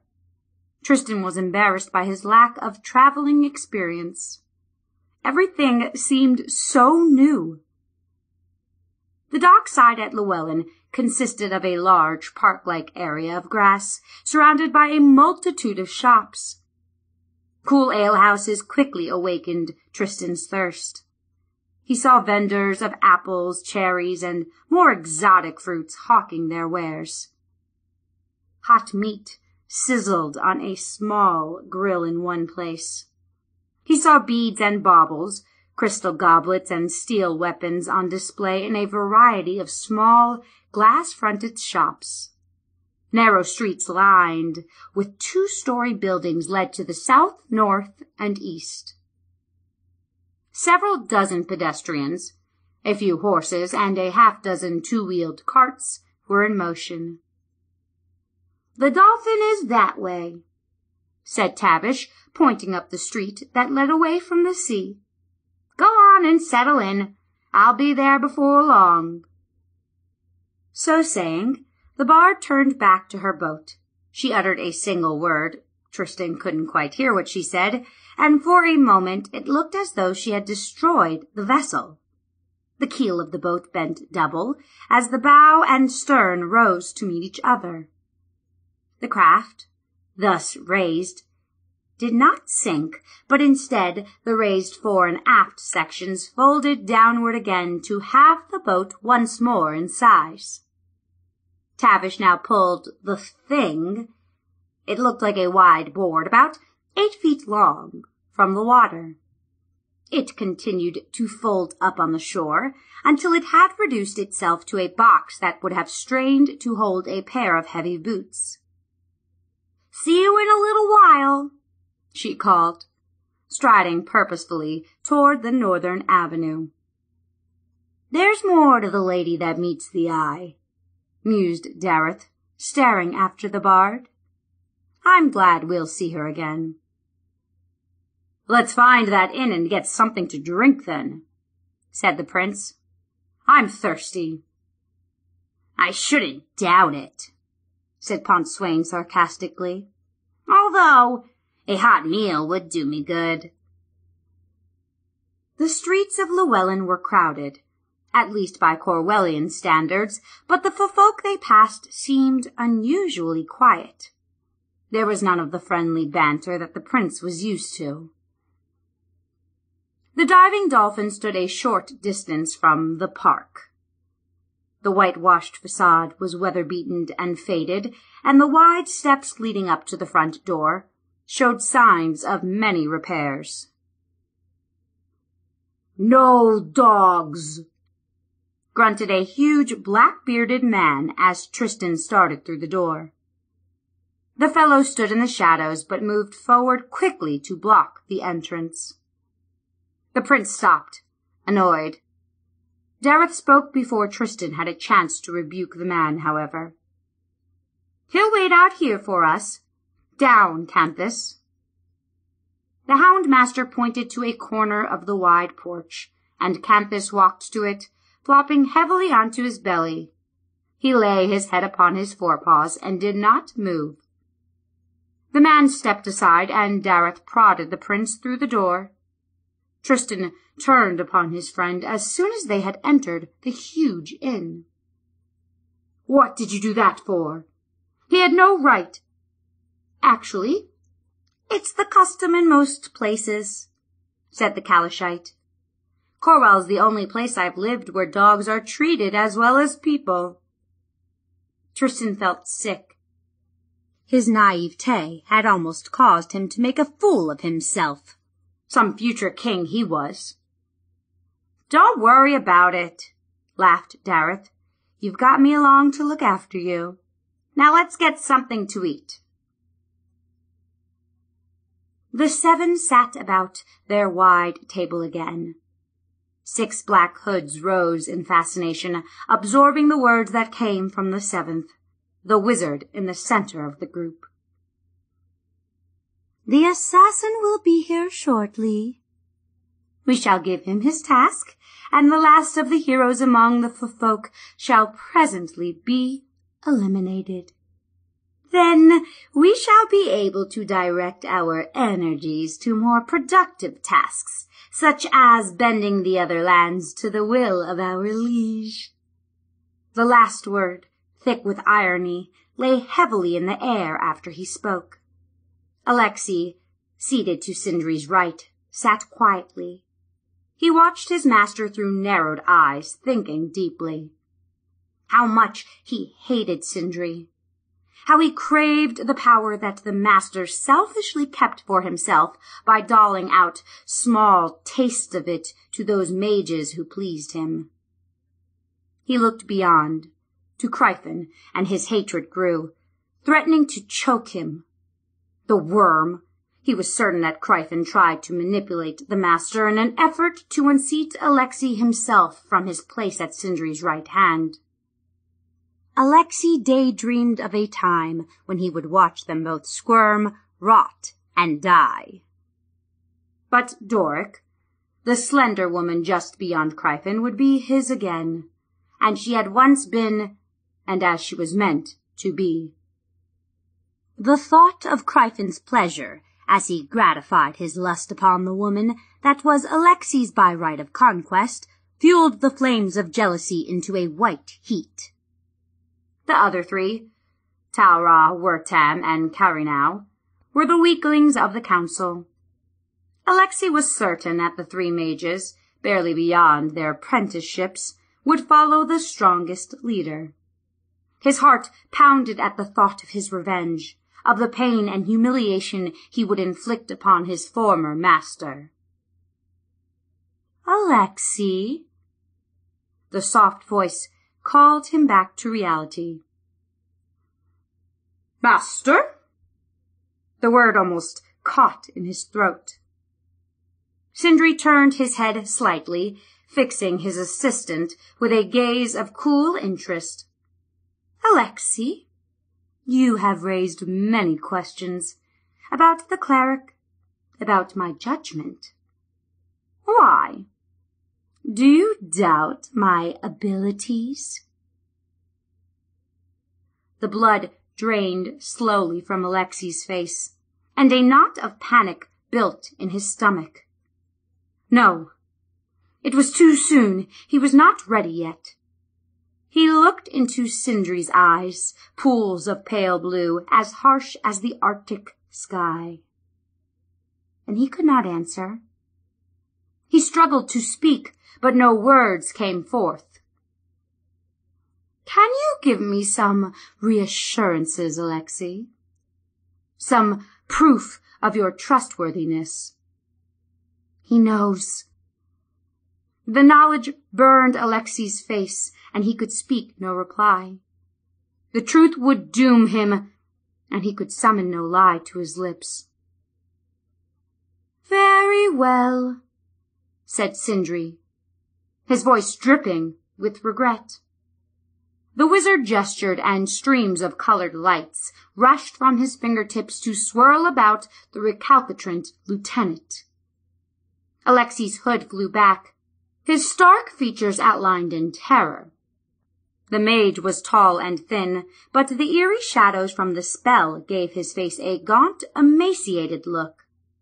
His mouth opened in a soundless scream, or perhaps the noise he made was masked from the council by the filtering curtain of lights. Alexei's long, thin hands clasped the arms of his chair, but already his image grew blurry. In moments, he had faded from view, banished, the other wizards knew, to a lonely imprisonment in a place known only to the master. A few hours later, the assassin and his band dashed through the courtyards of Caer Callidyrr on galloping black steeds. Racing through the night, they thundered along the streets of the town and soon disappeared along the King's Road. They rode to the south. Chauntea heard Bhaal's challenge and saw the game of the evil god. She briefly pondered her response. The Moonshaes were a small realm, unimportant in the vast scale of her domains. Were they worth the trouble of a conflict? Yet the Isles had shown some promise. The people there, the Ffolk, were a good people, strong and devout in their own way. It saddened her to think of them falling under the thrall of Bhaal's evil. And two, the acts of the evil god needed a counter, or they would grow too powerful and arrogant for the safety of all the planes. Since Bhaal had chosen the Moonshaes for his game, and Chauntea, alone among the gods of good, had power there, should she not resist him? Chauntea, like Bhaal, had clerics among the Ffolk, though perhaps not as powerful and certainly not as deadly as the minions of Bhaal. Her clerics had skills of their own, healing, beneficial powers. Perhaps one of them could aid the players in this game. She selected several of her worshippers, not certain what the future would hold. Perhaps one of them might have the chance to do her bidding. Chauntea made her wishes known to these clerics in the guise of a dream. Chapter 7 The Scarlet Guard Robyn took a deep breath and felt her body relax as she exhaled. She felt weak, but immeasurably better than she had upon first awakening. Whatever the nature of Acorn's black rock, it had been far mightier than her ability to protect herself. Her fingers were blistered and hot, though the damage did not look permanent. She splashed one more handful of cool water against her face. She stood up and stretched slowly, trying to shake off a sense of guilt over Acorn's death. She had had no choice. Angrily, she wondered about the sudden transformation. Certainly he had made her nervous before, but what had driven him to attack? Why, when she would have spared him, had he been driven by such bloodlust? And a deeper, even more frightening question arose within her. How had he come to learn druid magic? What did you do with that thing, that rock? she asked Newt who buzzed worriedly at her shoulder. Oh, that awful stone! I hated it, and I took it away from here. It was no good for you. I hope you're not mad at me. I only wanted to help. The little dragon shivered at the memory of the rock, peering hopefully at Robyn. No, you did the right thing, she said reassuringly. Poor Newt. You worry too much, like an old nursemaid. Well, I just wanted to see you awake again. And I must say, getting rid of that nasty fellow doesn't bother me at all. Maybe it should, but it doesn't. I think we're all better off with him lying dead over. Ack! Newt squealed in terror and zipped past Robyn, hovering over the stream and pointing speechlessly over her shoulder. Robyn spun around and thought immediately that her senses had deserted her. The stranger was dead. She knew this, for she had checked carefully. So what was this thing lurching toward her? The body was only ten feet away, shuffling forward with an awkward gait. The neck was still broken, for the head hung grotesquely over its shoulder. A swollen black tongue extended from its gaping mouth, and the two eyes were dull and glazed, though still open. But the hands clutched for her eagerly, each finger like a living snake thirsting for her blood. The thing took another step forward, and another, as she stood transfixed, too shocked even to scream. Run! Newt cried. Somehow, the little dragon's warning restored her self-control, and she turned and sprinted down the riverbank. Gasping and shaking with fear, she turned to look. It came ahead slowly, shuffling awkwardly but steadily toward her. She wanted to cry out her fear, but she bit her tongue and used her mind. How could she fight this thing that was already dead? Run, Robyn! Cried Newt, buzzing in a tight circle around him. He darted forward to hover in the air between her and the animated corpse, wringing his forepaws in agitation. No, Newt, she shouted, seeing by his concentration that he was preparing to cast a spell.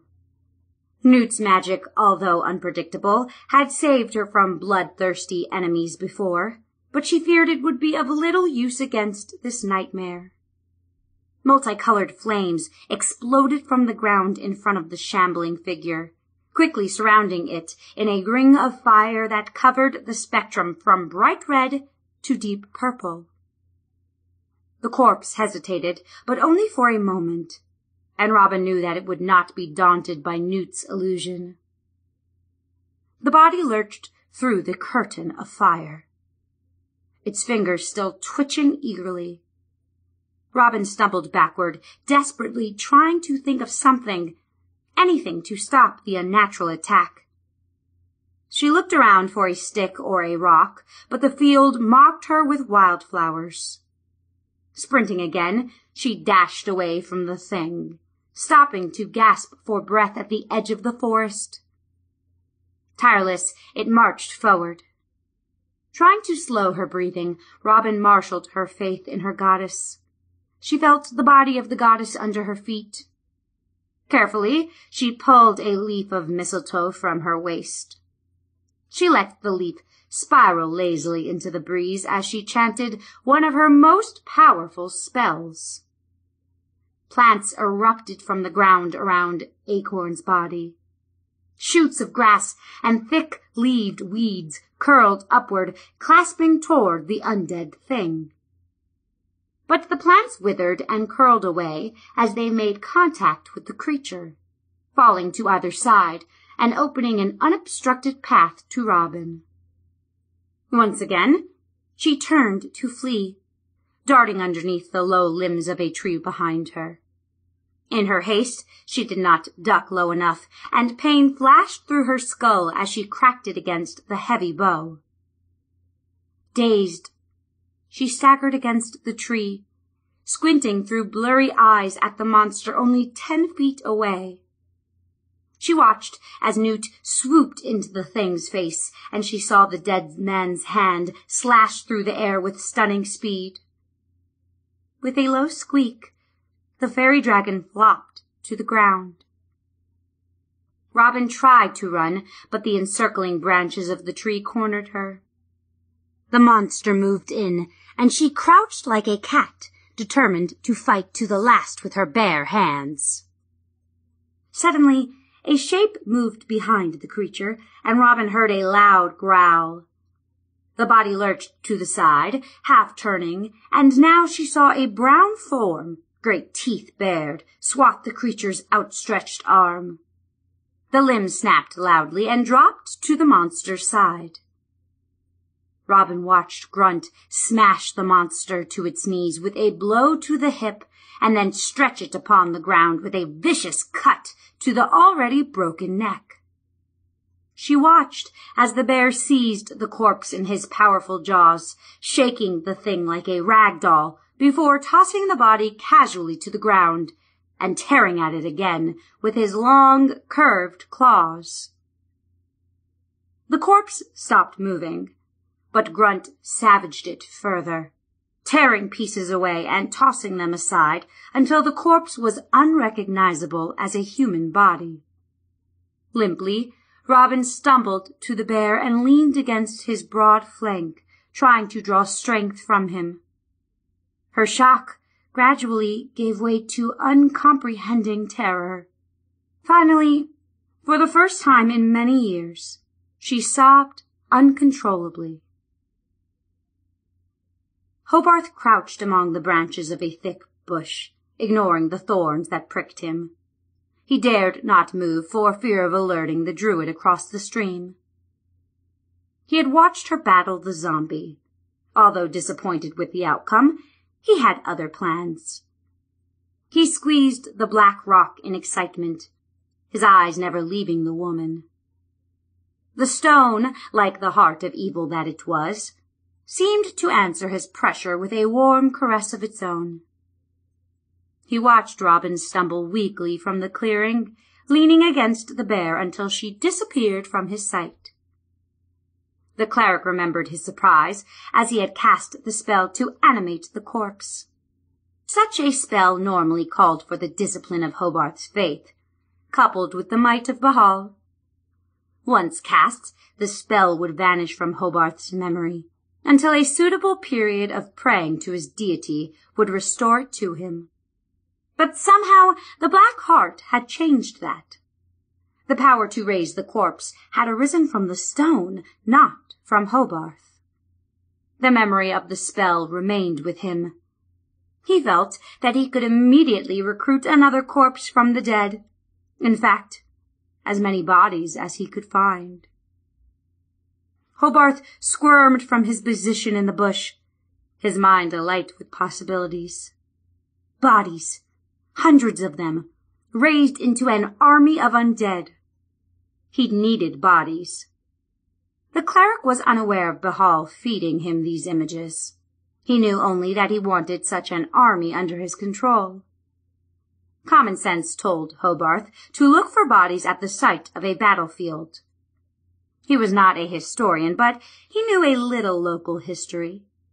A year earlier, a battle had been fought not many days' march from here. Quickly, eagerly, the great cleric turned his steps back toward the south. He would call upon the wisdom of his God to show him the exact route, but he knew that this was the general direction to Freeman's Down. Genna opened her eyes and studied Robyn with a look of great tenderness and understanding that the people had not seen for many weeks. She rose to her feet, and the young woman saw again the sturdy muscle of the stout druid's body. Trying to banish her lingering sense of horror, she embraced Genna in relief. The cottage door was securely bolted behind her, and Grunt sat just outside, but even the cozy fire in the stove and the lace curtains filtering the afternoon sunlight could not entirely soothe her. What could it have been? she asked Genna. A creature animated from death. A zombie, Genna explained. But how it came to be here, I cannot imagine. I felt so helpless. Robyn said. My magic was useless. The powers of the druid are the powers of life and growth. We have no power over death or death's creatures. Genna looked warily across the grove, probing the waters of the pond and the flowers of the garden with her eyes. Whatever the source of this abomination, she said, we must take great care that it does not happen again. The results could be disastrous. And it's genuine crystal from the famed glasskins of Thay. Note the detail, the colors, and the shapes. The old sailor leaned in, burping discreetly to examine the shining object. The diminutive salesman pressed his pitch. This one has come thousands of miles by galley across the Sea of Fallen Stars, by camel across Anauroch, the great desert. It passed through the hands of pirates and bandits and traitors. Why, it's certain to be the only one in the Moonshaes, perhaps along the whole Sword Coast. Crystals of Thay, huh? mumbled the sailor intrigued in spite of himself. He looked through bleary eyes at the little fellow who held the glass ball in his hand. A halfling he was, one of the little folk, half the size of man. Why'd you bring it to Llewellyn? he asked suspiciously. A shrewd fellow you are, to be sure, said the halfling with a conspiratorial wink. To tell you the truth, I had no intention of stopping in Llewellyn, much less selling the crystal. I've become quite attached to it, you know. The halfling, his large brown eyes sliding furtively around the room, leaned in close. I had a little trouble up in Callidyrr. I have to get off the island in a hurry. The money'll make that possible. Who are you? Where's your home? The name is Pawldo of Lowhill, said the halfling easily. I hail from Corwell. Oh, it's nothing serious that has me in a hurry to leave. It involves, if you must know, a young lady. The sailor chortled knowingly and went back to examining the bright crystal sphere. Five gold, eh? The old sailor mumbled, turning the fascinating sphere in all directions, watching it catch the light from a nearby lantern, diffusing it into a million colors and patterns. He had just been paid, and though the price represented half a season's salary, the object was like nothing he had ever seen before. I'll take it. A fine deal.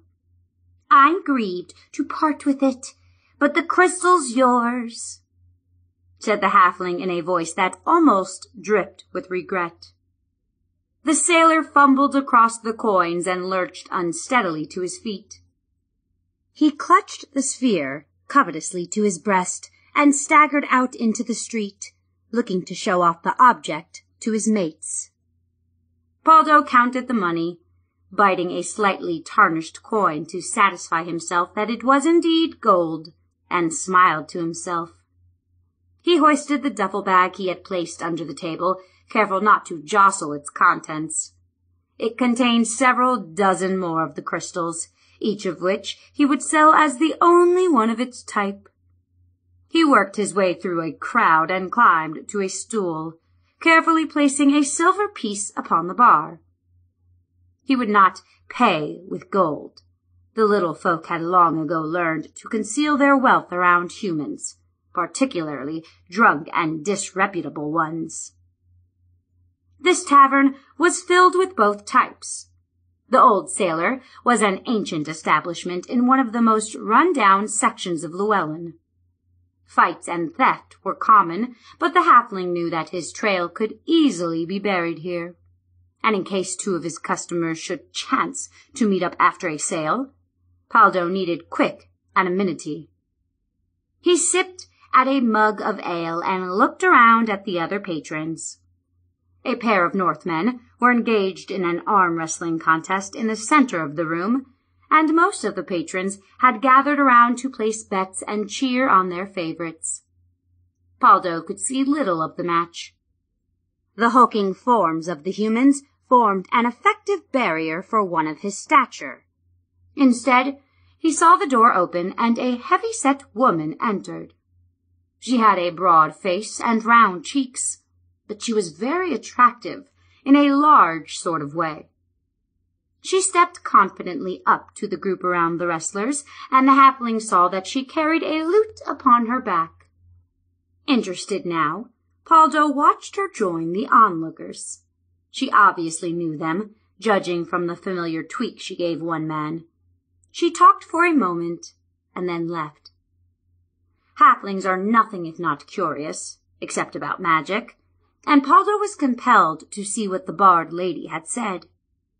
He hopped to the floor, hoisted his bag, and strolled over to the sailor she had tweaked. Any idea where I can find some music? he asked. Huh? Oh, sure, there's a party at the Diving Dolphin tonight.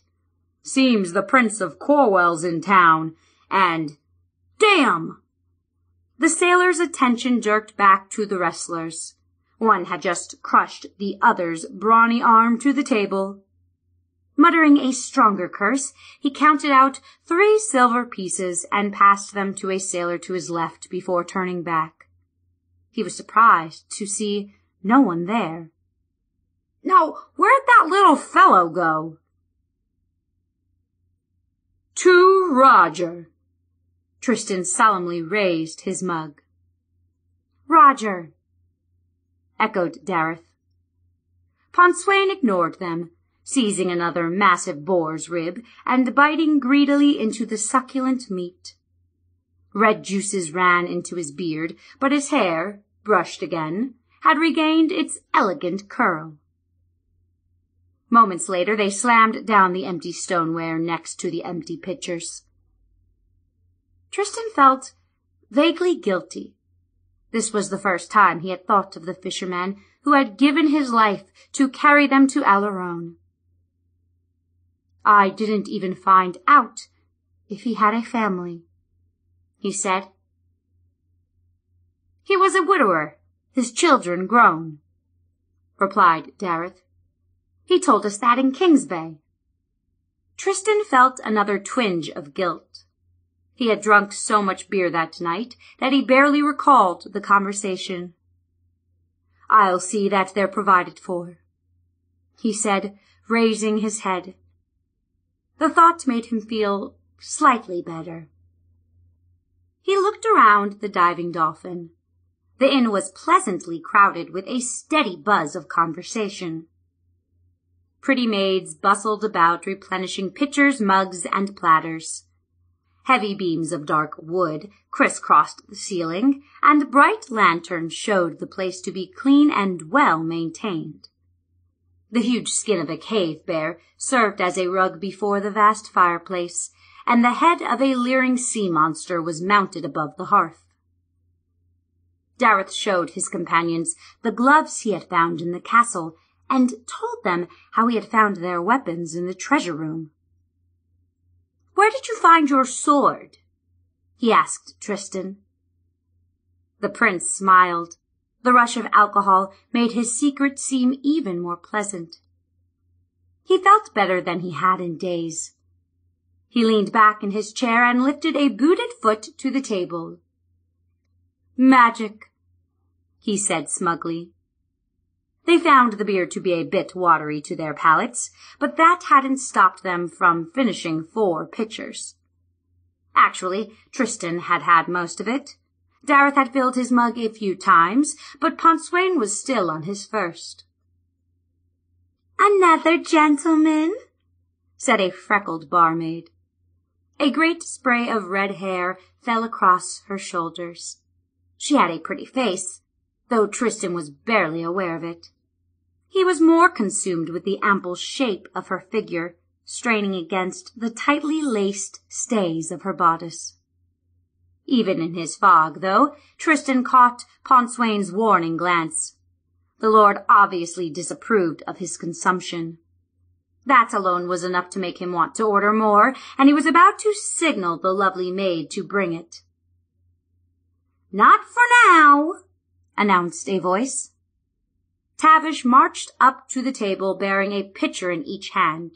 She ignored the barmaid, smiling at Daryth as he rose to offer her a seat. So, how do you like this place? She asked, as Tristan watched the barmaid flounce away. He thought wistfully of Robyn, and turned back to his companions. It was rather empty earlier, but it seems to be filling up, observed the prince. Oh, it gets pretty crowded, said Tavish with a secretive little smile especially on nights like this. What's so special about tonight? asked Daryth. Music, for one thing, she smiled, but would say no more. A screeching sound drew their attention to the hearth, where several pipers were tuning their instruments. I love the air pipes, shouted Tavish over the noise. The audience is always ready for something different when they stop. Tristan observed the pipers through a thin fog as they played a fast jig, drawing several dancers, including Daryth and Tavish, to their feet. A few more songs followed, and after each, Tristan noticed more and more of the patrons looking over at his table. Finally, one of them shouted, Tavish! In moments, the room vibrated as everyone called for the bard. Hometown girl. Tavish smiled at her companion's looks of surprise. Grinning easily, she took her lute and stepped to the makeshift stage vacated by the pipers. Twanging a few soft chords, she assured herself that the instrument was tuned. With the first chord, Tristan recognized the song. My tales of far Corwell, on Gwynneth so wild, of heroes and demons and druids and war. And the beast that rose darkly from waters deep black, and socks all of Corwell in times old and new. Tavish's clear voice carried the song of Karen to heights Tristan had never before heard. She sang almost without accompaniment, using the lute only to establish an occasional harmonic chord. The song took him back to the war, and with it, as background, he remembered the summer of battle in a dramatic, almost poetic light. He saw but one image, Robyn, her black hair flying in the breeze, standing alone atop the high tower of Caer Corwell, using the staff of her mother to call upon the powers of nature itself, bringing lightning crackling into the ranks of the blood riders that would otherwise have slain them all. Thick sky spit forth death's fire. The riders fell, black, while the white steeds' charge rumbled. Hold! The sharp command cracked through the room like a thunderclap. All eyes turned to the doorway. A tall man stood there, arrogantly looking about the room. He was dressed in a heavy red cloak, with gold braid decorating his shoulders. His head was protected by a steel helmet that did not cover his face. In his upraised hand, he clenched a shining steel longsword. I arrest the Prince of Corwell in the name of the king, he announced. He is charged with treason against the crown. Pawldo raced down the street, almost forgetting to cushion his bag. Tristan, he thought to himself, in Llewellyn. How they would celebrate the two old friends. Of course, the prince had probably brought that Calishite along, but even Pawldo had grown to trust Daryth, so that was all right. A long year of traveling was coming to an end, and the halfling was eager to think about home and old companions. He found the diving dolphin and dashed up the steps, only to bump into a massive figure. He recoiled, quickly, as he looked into the tusked face. An ogre! Closed! muttered the monster, giving the halfling a casual shove that knocked him across the entryway. Stunned, Pawldo looked around to see a dozen ogres, all clutching weapons and standing ready to charge through the door. His gaze rested upon a familiar shape in the corner. Canthus? He whispered. And the great moorhound thumped his tail in greeting. He did not raise his head from his paws, however, instead shifting his brown eyes to stare mournfully at the door to the inn. The cleric of Chauntea slept soundly, secure in the warm embrace of his goddess. His breathing was deep and slow as the night reached its deepest hour. Finally, the goddess sensed that he was ready for her dream. The cleric dreamed that he awakened to find a sword on the steps of his chapel. Though unskilled in weaponry, he recognized the blade as a wondrous piece of work. But the weapon had been damaged. Its silvery blade was tarnished, chipped, and bent. The tip had been broken off. Its smooth, leathery hilt was worn away by rot and decay. The cleric took the weapon into his chapel, which had suddenly become a forge. Though he knew nothing of smithing, he took a hammer and fired the forge. The handle of the hammer was smooth and comfortable in his hand. He stroked the weapon across the anvil, caressing it with gentle taps of the hammer. Slowly it regained some of its former shape. The metal was straightened, and the tip gradually sharpened into a point. The hilt healed itself. The rot fell away, and the leather grew once again sturdy and thick. And then the blade was done, and it was a glorious thing to behold. The cleric held it up to the sun, and the light of it nearly blinded him. Patriarch Trevor awakened suddenly and sat up in bed. His breathing was ragged, and his heart pounded. Elated, he sprang to the floor and knelt in reverence before a statue of his goddess. He had received a vision. He did not know what the dream meant, but he had no doubts about its nature. And so he would wait.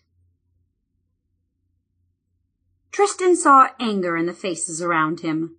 Not anger directed at him, the alleged traitor, but toward the officer who stood at the door.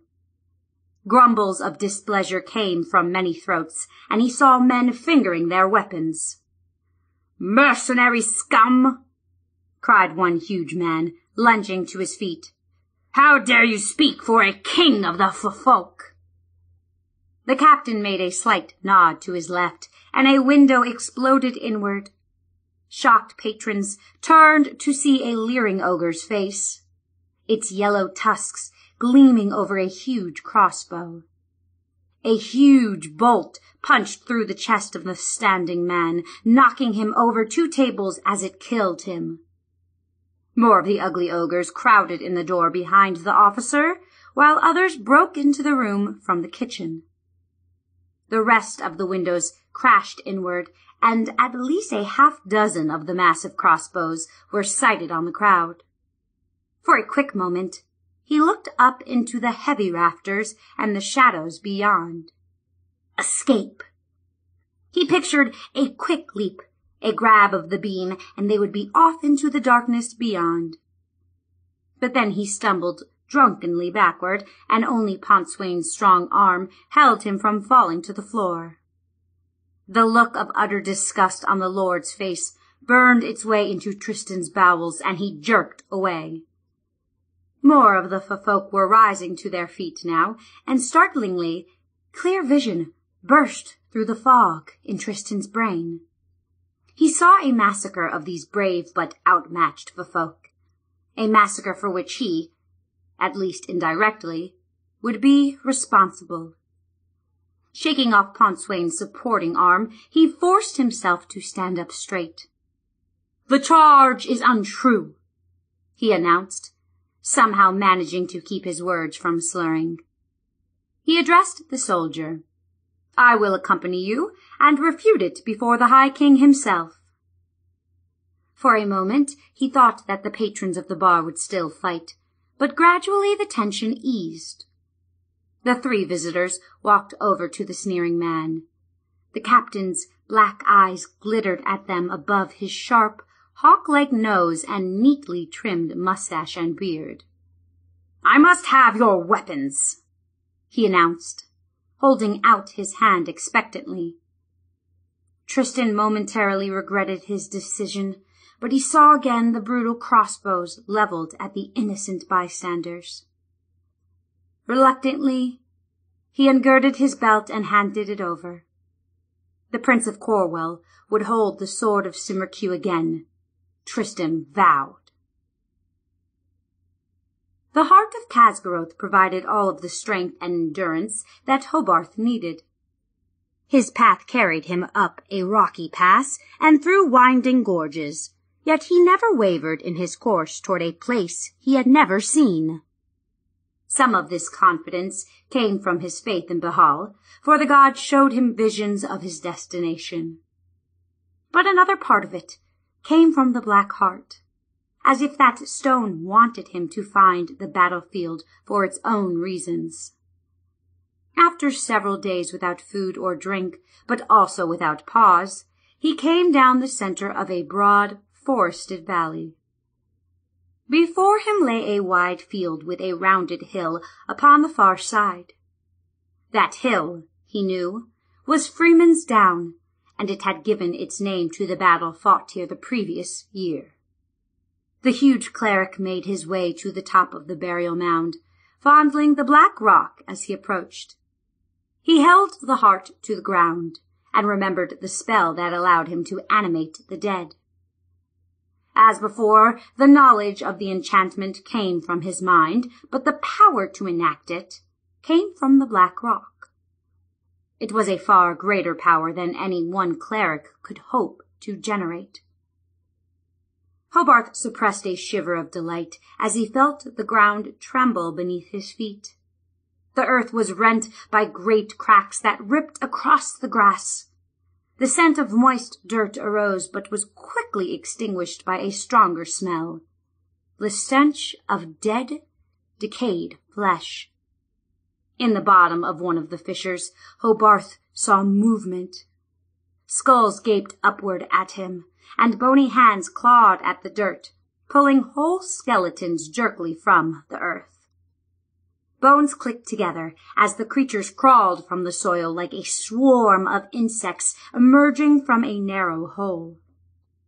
They crawled over each other, mindless of those that were dragged down or reburied. More and more of the things emerged as the fissures deepened.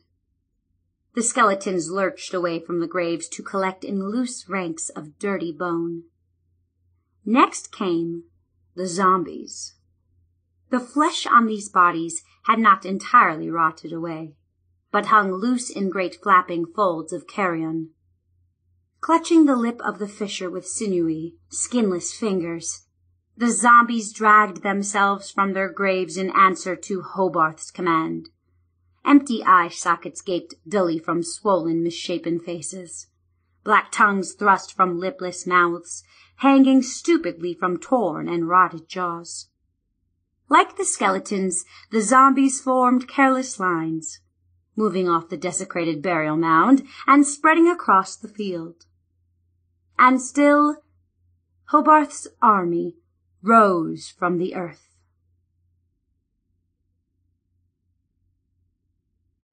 Chapter 8 The Crystals of Thay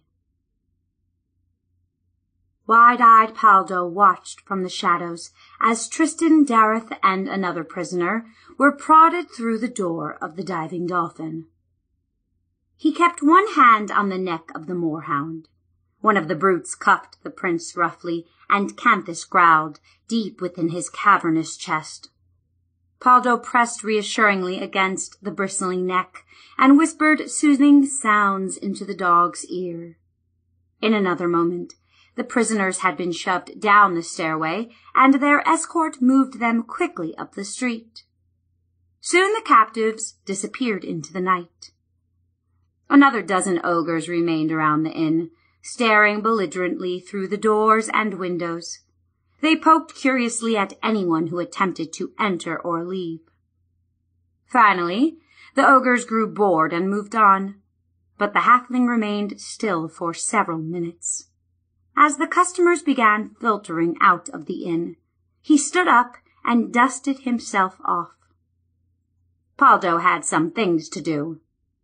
He found some old rags and quickly repacked his duffel, burying each of the crystals of Thay in several layers of cushioning cloth. Next, he pulled out a sturdy leather tunic that fit snugly over his shoulders. Lastly, he took a slim blade and girded it to his waist. That blade, no more than a long dagger to a man, had sipped the lifeblood of more than one foe. Finally, he turned again to the moorhound, who had lain motionless while he completed his preparations. Tristan, said Pawldo, inclining his head to the street.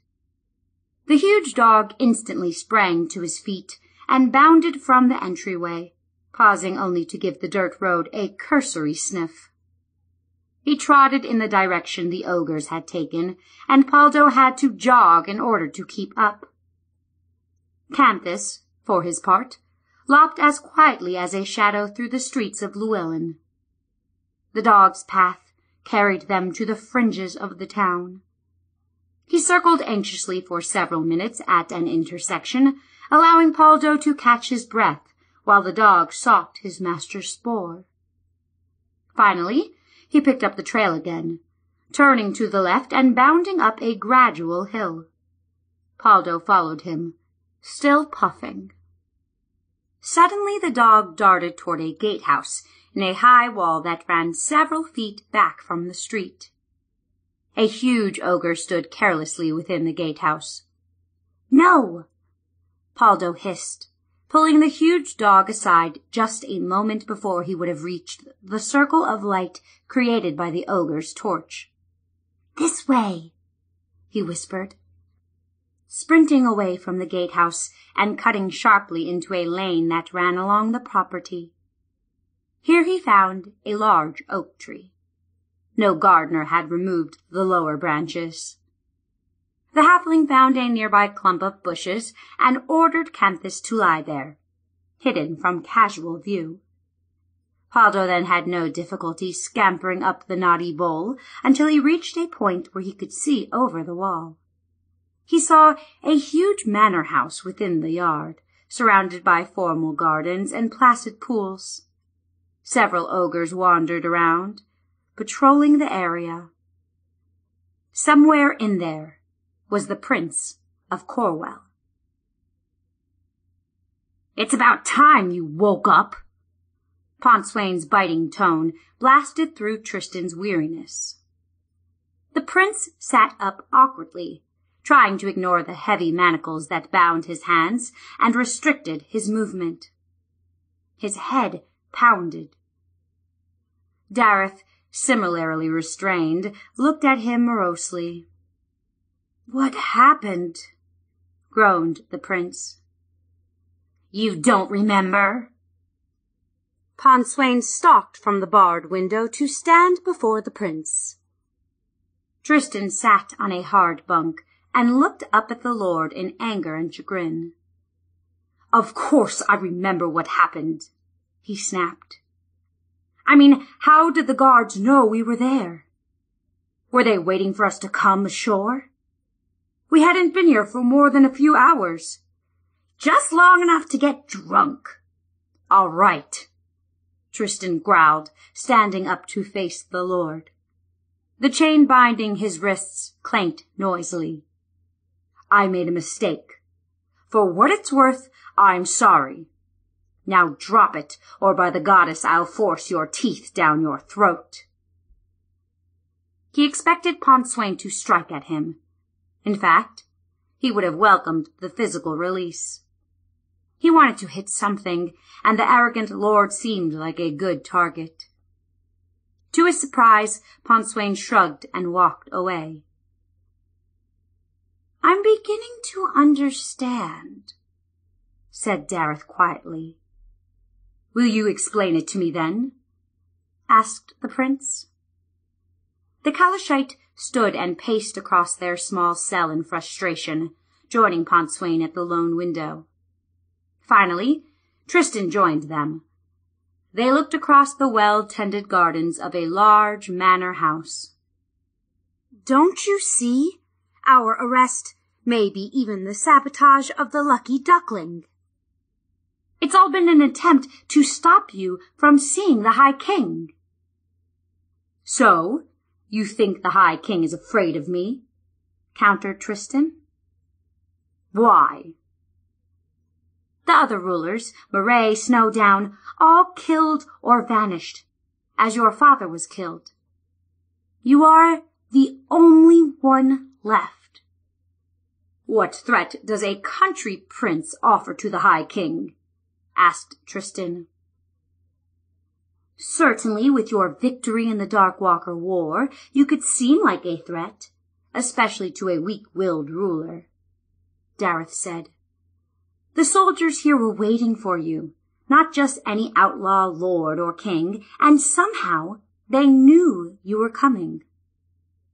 All fell deadly silent as each realized the implications of the Calishite's words. Tristan nodded his agreement. He wondered as he did so if the walls were listening or watching. These feathers steady and steer her in flight. The muscles in the wings are strong enough to allow her to lift a large rabbit from the ground. The young eagle sat calmly in Genna's lap as the great druid stretched out its long wing. Robyn watched attentively as her teacher lifted the graceful bird. Of course, this one is still small, added Genna. She must grow before she can attempt anything so ambitious. They sat upon a bench in the garden, amid red and purple flowers and the stately boles of a few ancient oaks. Fat bees buzzed lazily from blossom to blossom, sipping nectar. She has the keenest eyes of any of our creatures, continued Genna, and speed. Her form is one of the most useful when one must travel from one place to another in hurry. I would love to try that, exclaimed Robyn, imagining the joys of flight to see the whole valley, the whole world. Soon, child, said Genna, surprising her. Your lessons have progressed very well despite my recent lethargy. You are almost ready to learn the secrets of the animals, to assume their forms when the need is upon you. Teacher? Robyn asked, hesitantly voicing a question that had been concerning her. Your lethargy, had it to do with the stranger's presence in the grove? Genna paused a long time before answering. For a while, Robyn wondered if she had heard the question. My ailment cannot be blamed upon the stranger. At least, not entirely, explained Genna at last. You see, I am getting old, quite a bit older than I look, if the truth be told. The infirmities of age sometimes weigh heavily upon me. At first, I thought that was all that was wrong with me. After the stranger's coming, however, I felt something much more sinister, the presence of an ancient and powerful enemy, one whom I had hoped I was done with at least in this life. That presence brought a kind of madness upon me. She raised a hand at Robyn's look of surprise. No, not the stranger himself. I know him now. He was a powerful druid in Myrloch Vale. Traherne of Oakvale was his name. I thought that he was killed during the war. No, it was not Traherne that caused my ailment. It was a presence that came along with him, something that wore me down and frightened me. Perhaps it had inhabited his body, or maybe it was something that he carried. Why didn't you tell me? I couldn't, explained the great Druid. The madness that infected me kept me silent. I dreaded that presence, but I could not articulate the words to warn you. It's gone now, or at least lessened greatly in strength. The Black Rock! Robyn exclaimed. What? What Black Rock? Why didn't you tell me about this? Genna demanded. I didn't know about it, at least not until he died. The first time he died, I mean. She proceeded to explain about the ragged bundle Acorn had carried, and described the rock that fell out of it after his death. Where is it now? asked Genna. Newt took it away after I was stunned. I don't know exactly where he put it. Newt? The little dragon blinked into sight a dozen feet away. He had been buzzing about the garden, invisible, shaking the stems of flowers as bees attempted to land upon the petals. Is it lunch time already? he cried, eagerly zipping over to the bench. It's been a long and hot morning. You two are being very, very boring today, you know. What's for lunch? Hey, where's the food? I don't see any food. Wait, cried Robyn, holding up her hand. We'll eat soon. First, I need you to tell me where you took that black rock. Newt shuddered nervously, twisting his agile neck to look in all directions, as if he expected savage enemies to burst from the woods at any moment. I hid it, he explained in a stage whisper. I took it into the forest and dropped it. But where? persisted the young druid. Over there somewhere, replied the fairy dragon with an irritated gesture to the south. Now, can we eat? Robyn couldn't help but laugh and agree. She turned to go to the cottage to gather some bread, cheese, and fruit. Only then did she notice Genna's eyes, squinting warily into the woods in the same direction as Newt's gesture. Pawldo was about to jump from the tree back into the narrow lane. The sound that froze him was little more than a faint scuffing, indistinguishable from wind in the grass or a dozen other common noises.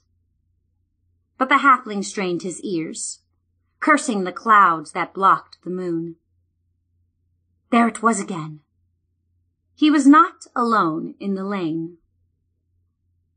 A crease between clouds dropped a slow wash of illumination, and the halfling saw dark shapes moving toward him. Men on horseback, he suddenly realized.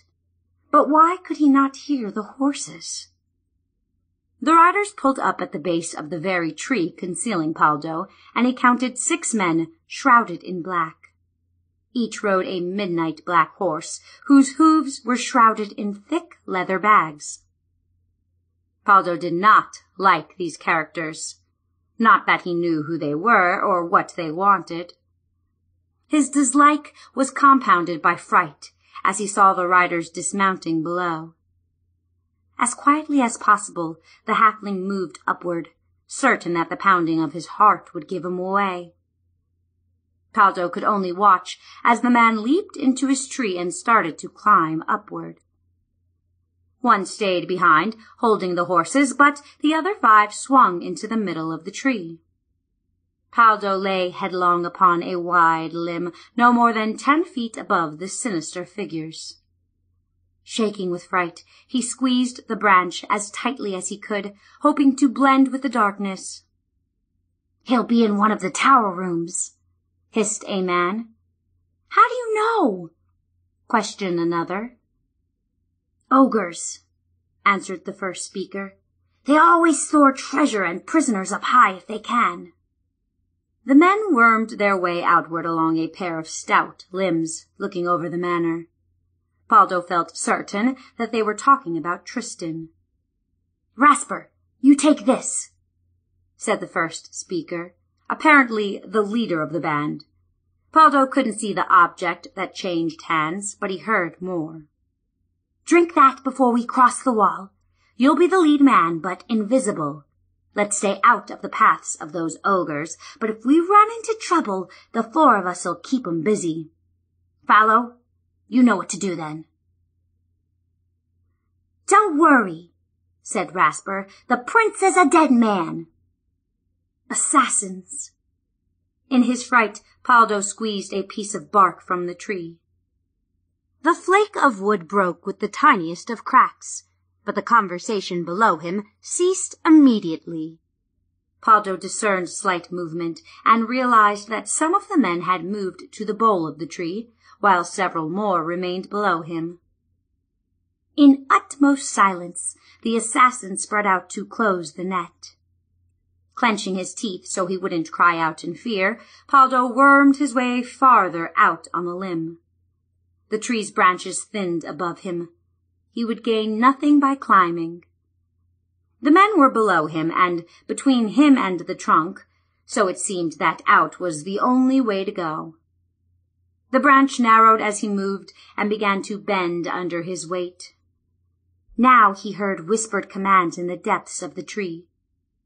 He swung his feet into space, tightly clasping the end of the bough, and felt it swing down under his weight. His feet touched a lower branch and he let go, trusting his sense of balance. Tumbling free, he barely grabbed the lower branch, but this one also sagged.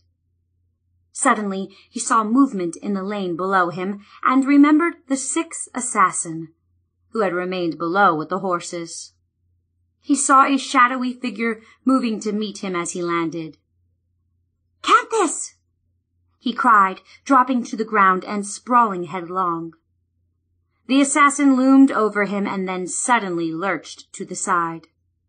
Pawldo saw the form of the giant moorhound bearing the man to the ground. Canthus's long white fangs were buried in his shoulder. Let's go!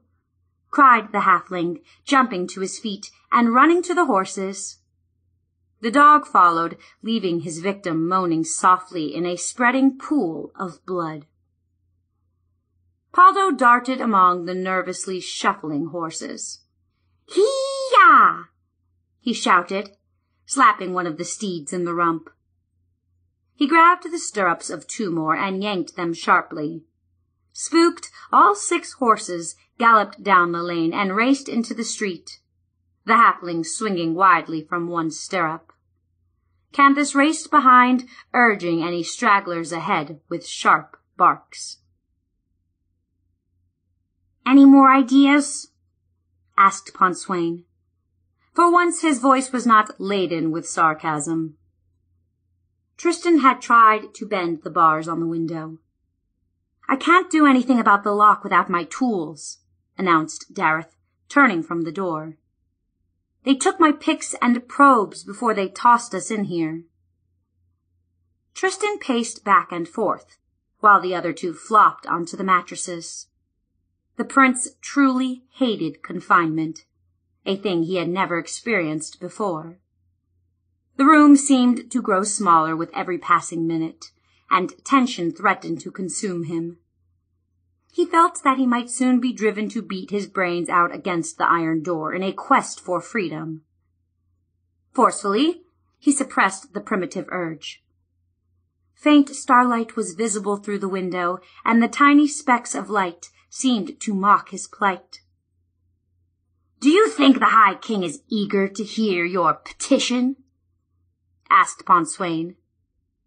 He certainly has taken great pains to see that you waste no time getting to him. Tristan whirled on the Lord, but then halted. He didn't know if the man was baiting him or asking an honest question. Judging by the curious, slightly amused look on the man's face, Pontswain didn't know either. That's not too likely, said Daryth quietly. Why? Asked the prince.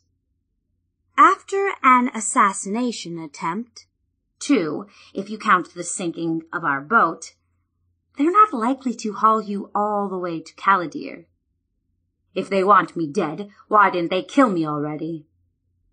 Perhaps because they didn't dare do it in a public place, interjected Pontswain. Remember the mood at the inn? Daryth nodded and stood, nearly tripping on the chain linking his manacles. Cursing, he pulled his hands apart and stared in shock as one of the iron rings slipped over his hand to clink to the floor. How did you do that? asked Tristan. I don't know. Daryth was obviously mystified. He tugged on the other hand, and it too slipped through the tight and rusty bond. He looked at Tristan as he threw the manacles to the bed. Suddenly, he laughed. These gloves are from the sea castle, he cried, holding up his hands. I knew there was something special about them. They're magical. He pulled one of the gloves off and looked at it. Let's see, said the prince, wondering if the gloves would work on his hands. He tried to pull one of them on, but it was too tight. But what's this? He asked as he examined the glove and noticed a tiny pouch inside. What's what? asked the Calishite, taking the glove. He looked inside and pulled out a thin piece of stiff wire from the hidden pocket. A picklock, he announced. I'll have you out in no time. Daryth knelt beside the prince and pushed the thin probe into the keyhole of Tristan's right manacle. After a minute of delicate probing, the lock snapped open. In another moment, both of the prince's hands were free. That's great, said Tristan, jumping to his feet. Now we... Shh. Daryth hissed suddenly, holding up a hand. The faint scraping sound of metal against metal reached his ears. He looked anxiously toward the door. Nodding in agreement, Daryth pantomimed a probing gesture. Someone was picking the lock to their cell. Pawldo crouched next to the gatehouse, telling himself he was crazy. His wild plan didn't have a prayer of success. To the contrary, it virtually assured that he would be killed, no doubt squashed like a bug beneath some ogre's boot. The Prince of Corwell was a decent friend, but nowhere was it stated that friendship meant senselessly sacrificing one's life for a comrade who was probably already dead. And Tristan's no good friend, Daryth, deserved whatever he got. At least, these were the arguments raging through the halfling's brain. But it was no use. Pawldo decided that he had no choice but to go through with it. It would be the last thing he ever went through, but do it he would. He would try his plan. He tentatively hoisted one of the crystals of Thay, tossing the spear up and down a few times until he had captured the right degree of jauntiness. He tried to whistle cheerily, but only after licking his lips repeatedly could he call forth a few faint notes. Finally, he was ready. He emerged from the shadows and sauntered into the street, whistling a little jig and tossing the crystal into the air as if he hadn't a care in the world. Canthus followed at his heels. He smoothly approached the ogre, standing at the gatehouse, blocking entrance to the manor grounds. The monster regarded him in surprise, blinking its wide, dull eyes.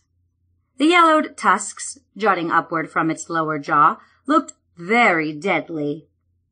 Pawldo hoped that the look held more curiosity than belligerence. He stopped whistling as he reached the ogre. Hi there, he beamed. How'd you like to buy a crystal? It's the only one of its kind in the Moonshaes. The army of undead crawled like a living organism across the land, needing neither food nor drink, completely tireless and insensitive to pain. The creatures trampled beds of flowers and thickets of thorns with equal impunity. But the plants suffered from more than just the shuffling footsteps. As each of the undead stumbled forward, each blade of grass, weed, and flower stalk that lay in its path simply turned brown and shriveled it died before the monster even reached it. The bushes and trees that the army walked past gradually dropped their leaves. Slender branches drooped lifelessly. The zombies moved in the vanguard of the army. The dirt had been washed from them by a sudden downpour, and their rotting flesh hung in great folds of gore. Some of them carried rusty weapons, others had no weapons except their bare hands But even these were formidable, for most of the skin and flesh on the fingers had rotted away, leaving twisted claws of bone extended. The eyes had rotted from the sockets of most, but the lack seemed to make no difference. All of them moved with the same shuffling gait, tripping and stumbling often, but climbing to their feet to march forward. Often they left a piece of rancid flesh clinging to a thorny branch or sharp rock. Curiously, the zombie's hair remained in full, except for patches where the flesh had torn away.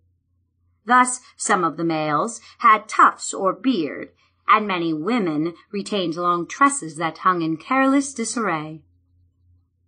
The skeletons were gradually cleaned as a succession of rainstorms washed the dirt from their white bones.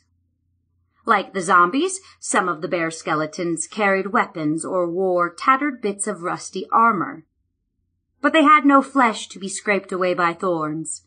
Empty eye sockets stared ahead as the unearthly force stumbled forward.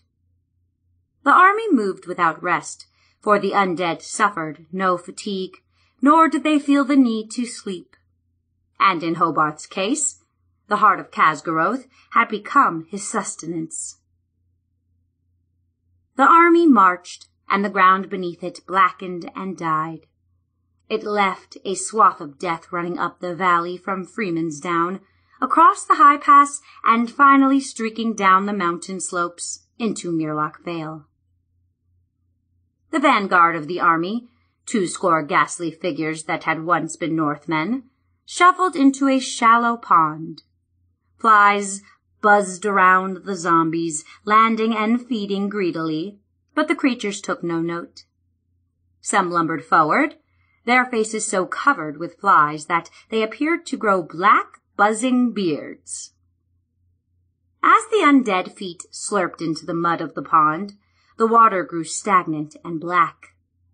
Then wisps of pungent steam rose into the air with each footstep, and fish floated, belly up, to the surface. These first zombies crossed the waist-deep water and trudged through the muddy shore on the far side. They moved into a field, bright with flowers, and the petals fell like snowflakes. As more of the army crossed the field, more of it died. The force left a muddy wasteland of death in its wake. One zombie, who had nearly lost her leg to a Northman battle axe, suddenly collapsed as that leg gave way beneath it. Those behind, the bodies of friends and foes alike, trudged mindlessly over the twitching corpse, trampling it into the mud until only a clasping, clenching hand could be seen above the ground. The animals of the vale sensed the approaching horror and fled upon hoof, paw, or wing. The army marched through a lifeless forest. Soon, now, Hobarth dreamed. The girl would be his. Tristan and Daryth stood to either side of the door. Pontswain, still manacled, sat upon a mattress facing the door. He nodded at the other two, and they understood. He would try to distract whoever it was that tried to enter their cell. The faint sounds of the picklock indicated a thief of considerable skill. There was no wasted motion or clumsy probing or an assassin trained at the Academy of Stealth, thought Tristan. In a moment, the lock released. The men held their breath, tension rising as they waited to see who was breaking into their cell. With a low creak, the door began to slide open. Daryth moved like a striking snake, reaching through the widening crack to grasp at the shirt of whoever stood outside but his hand closed upon air. Stunned, he pulled the door open to reveal the intruder. But they saw no one standing in the hallway until they looked down. Pawldo! cried the prince, reaching down to clasp his friend warmly. How did you get here? You'd never believe it if I told you, replied the halfling in a tense whisper. He threw an anxious look over his shoulder. Come on now. We've got to move. Just a minute, said Daryth, passing Pawldo to look cautiously into the hall. He darted back to Pontswain and slipped the wire probe into one manacle. After a moment's hesitation, Pawldo joined him and worked on the other. Thanks, the Lord said, briskly rubbing his wrists. Let's go, hissed Pawldo, turning to the door. Tristan sensed a note of panic in Pawldo's voice. What do you mean? What do you know? Assassins! Pawldo whispered. They're here to kill you. In this building, maybe coming up the stairs right now. Wait, cried Tristan. I've got to find the sword of Cymrych. I can't leave without it. Pawldo looked like he wanted to argue, but he finally turned with a sigh of exasperation. All right. I've got an idea where they might be keeping it. They've got an ogre on guard outside one of the rooms downstairs. Damn! cursed Tristan. How are we going to get past it? That's the least of our problems, said Pawldo. He took the lead, his little short sword drawn as they slipped quietly down the spiraling stairway. They circled three times to reach the ground level, where a door led to an alcove off the great hall of the manor. As Pawldo reached for the doorknob, they heard the unmistakable snort of an ogre coming from the other side of the door. How are we going to fight that thing? whispered Daryth in exasperation with nothing but that little pig sticker between the three of us. This little blade has stuck some pretty big pigs, declared Pawldo. Now shut up and follow me. Before the men could react, the halfling pushed open the door and stepped past the hulking ogre who stood outside.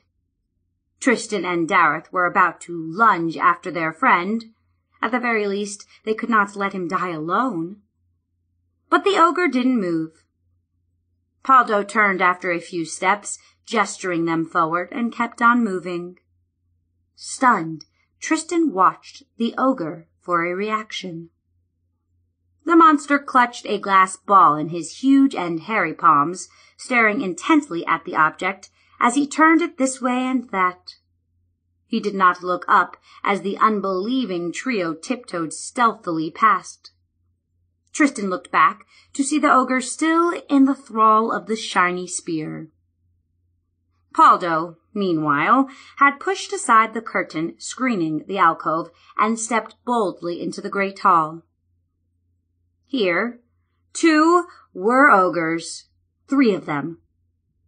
Each of the monsters sat upon the floor, legs outstretched to either side, and each stared intently at a glass bauble that seemed to be a match for the one in the alcove. Amazed at their good fortune, the men followed Pawldo across the hall to a wooden door. Although the halfling boldly stepped over the outstretched log of one of the ogres, the men could not bring themselves to test the limits of their good fortune further.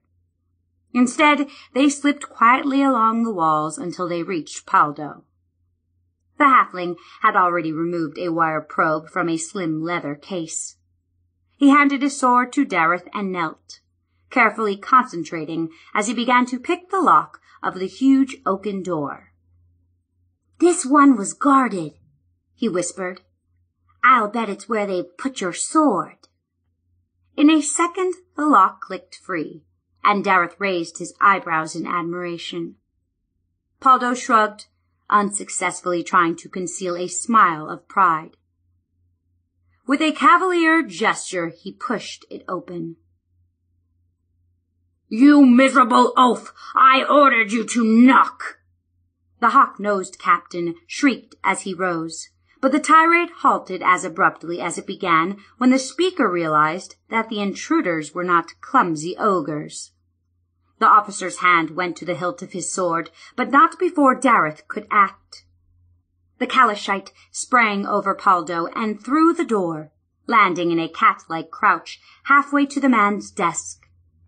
Pawldo's blade quivered overhead as Daryth held the tip in his fingers, poised for throwing.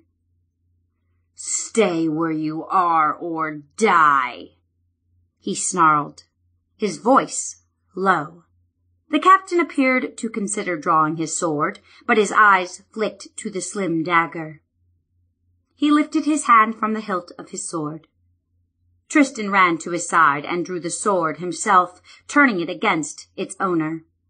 Where are our weapons? The officer nodded to a cabinet against the wall of the room, and Pawldo hurried over to open it. He pulled out both swords and the scimitar and was about to close it when something else caught his eye. He lifted out a leather sack, hoisting it a few times to hear a satisfactory clink before closing the cabinet and handing the sword of Cymrych to Tristan.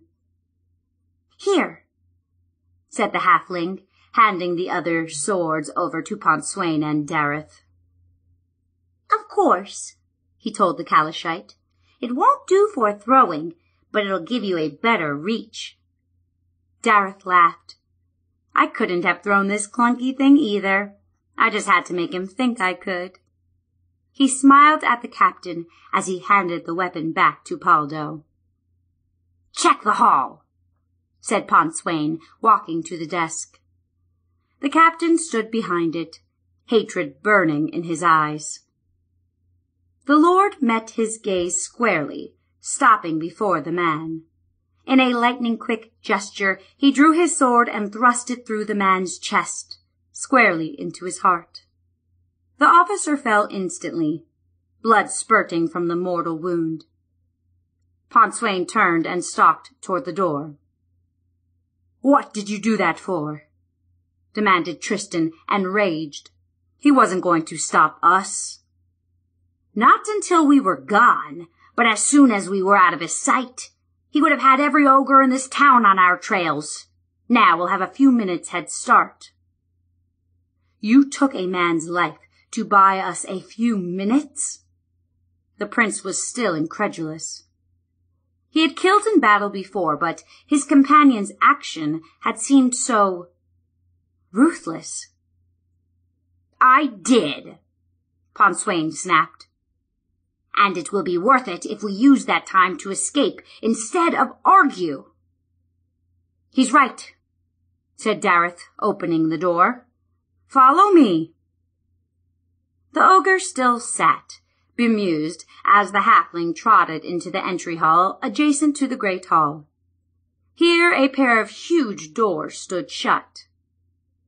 Do you have a plan? The prince asked the halfling.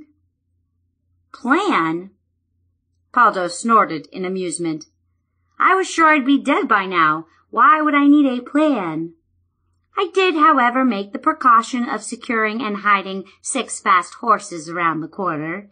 This is the way I came in, explained the halfling, lifting the latch and pushing open one of the doors.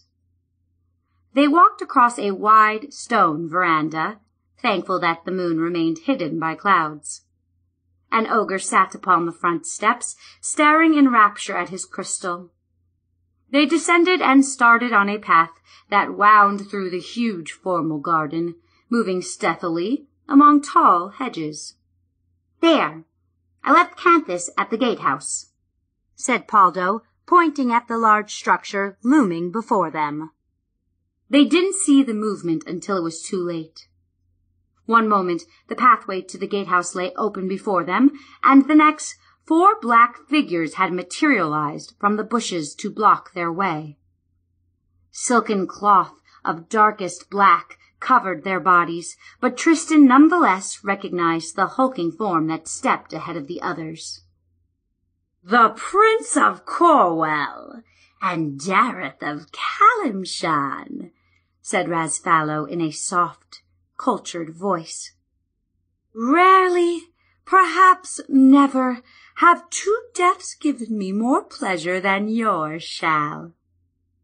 The leader pulled his silken mask aside as the moon broke from the clouds, washing the garden in milky light. The half-orc's beastly features leered at them, but his voice continued smoothly. And that little fellow who spied upon us. What a delightful surprise. See how nicely he waits for us, Rasper? Didn't I tell you we'd find them here? One of the assassins nodded agreement. The little crossbow in his hand did not waver from them, however. The weapon was identical to the one that had killed Tristan's father.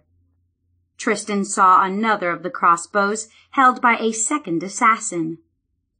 Those bows could kill two of them before they could move. So, Rasfallow, said Daryth pleasantly, still whoring for the highest bidder, I see. Indeed, replied the half-orc. And you could have joined me and lived to a ripe old age. You were good back then. I would have made you my lieutenant instead of my victim. Working for the likes of you is no choice, Daryth stated simply. Rasfallow shrugged, uninterested. He turned to the assassin with the bow. Now, Rasper, who should we kill first? The strength of the goddess was centered in Myrloch Vale. Nowhere else was her power so concentrated. Nowhere else were her druids so strong and the forces of disruption so weak.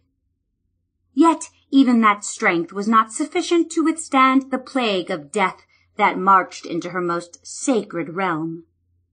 Each unnatural footstep, and there were thousands every minute, brought fiery pain to the soul of the goddess. Each of the undead creatures was a blasphemy against life itself, a chaotic disruption of the balance of all things.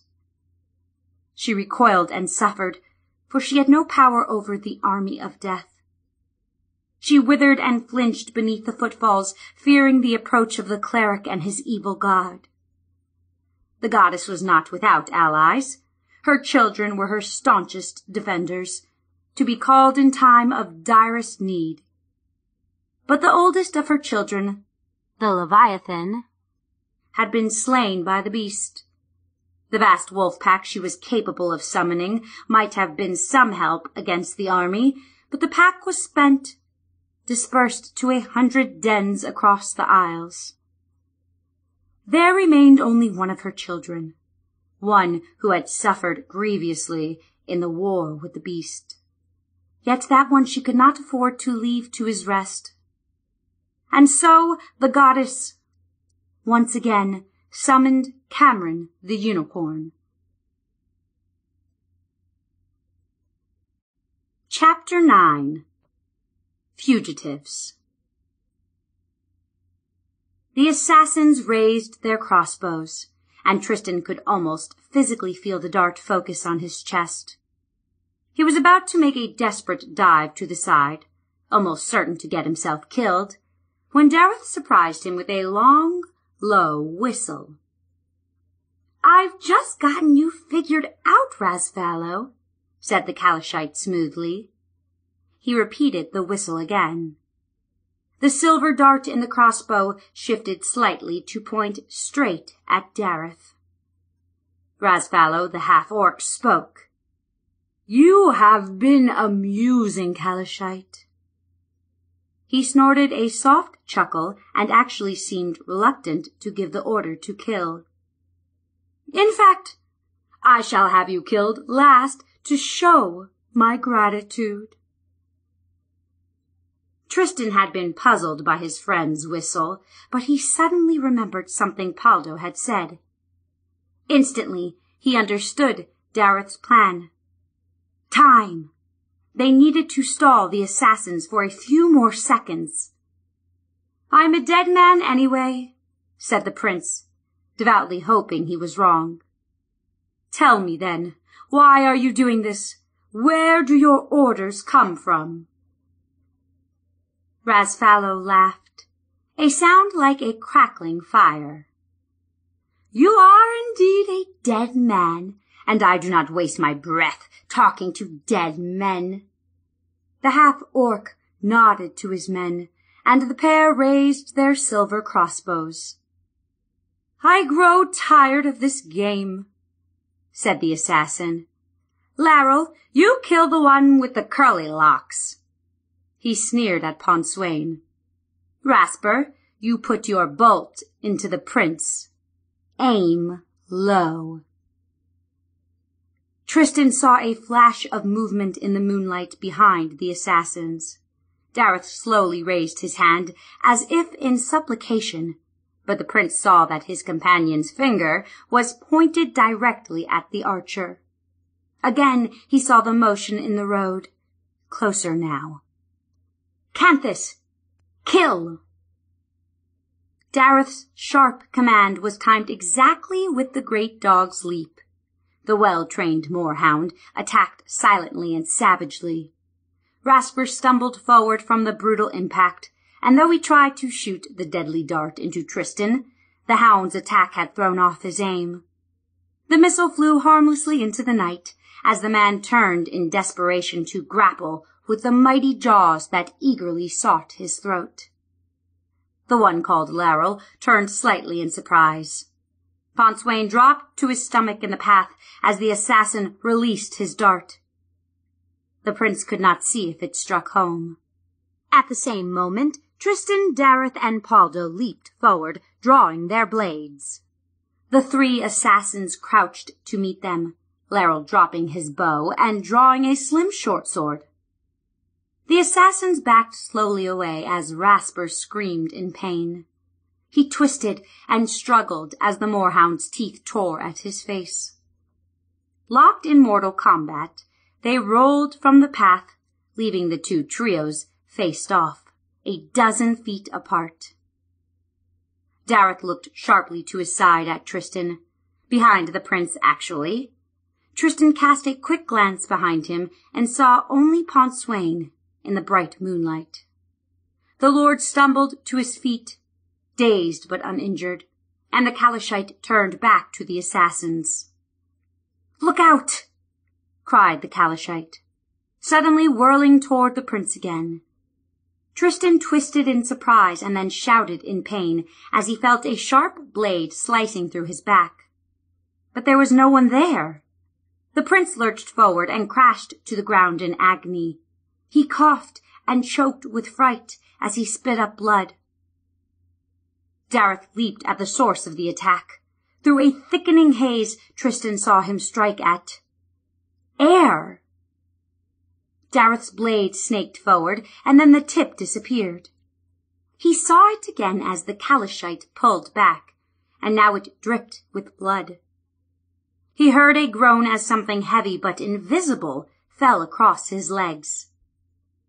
Tristan clenched his teeth to keep from crying out, and he struggled to remain conscious. The invisible sword had stricken deep into his back. It would almost certainly have killed him had not Daryth's warning caused him to turn at the last minute. Dimly, he realized that one magically invisible assassin had crept up behind them. Pawldo rushed forward to keep the three assassins at bay. Now the Calishite leaped forward to stand at the halfling's side as Pawldo stumbled rapidly back before three slashing attackers. Pontswain climbed to his feet and charged forward, waving his long sword before him. Daryth sliced savagely at Rasfallow's face, but the assassin ducked the blow easily and almost took off the Calishite's ear with the counter thrust. One of the others tried to follow up his master's advantage with a lunging stab, but this one overstepped his reach. Daryth's downward cut loped off his arm at the elbow, and the man stumbled to his knees, holding the bleeding stump in shock. Pawldo attacked aggressively. The Calishite crouched and jabbed at Rasfallow, but neither of them could gain an advantage. Pontswain ducked about the edge of the melee, looking for an opening. Suddenly, the halfling shouted in alarm. His attacker had just knocked the blade from his hand.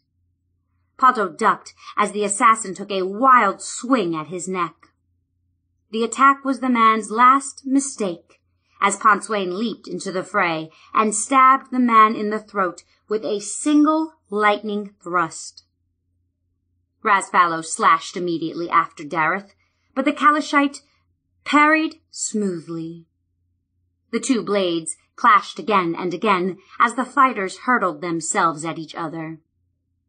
Pawldo scrambled to regain his sword, and rage twisted Rasfallow's face into a hideous mask of hatred.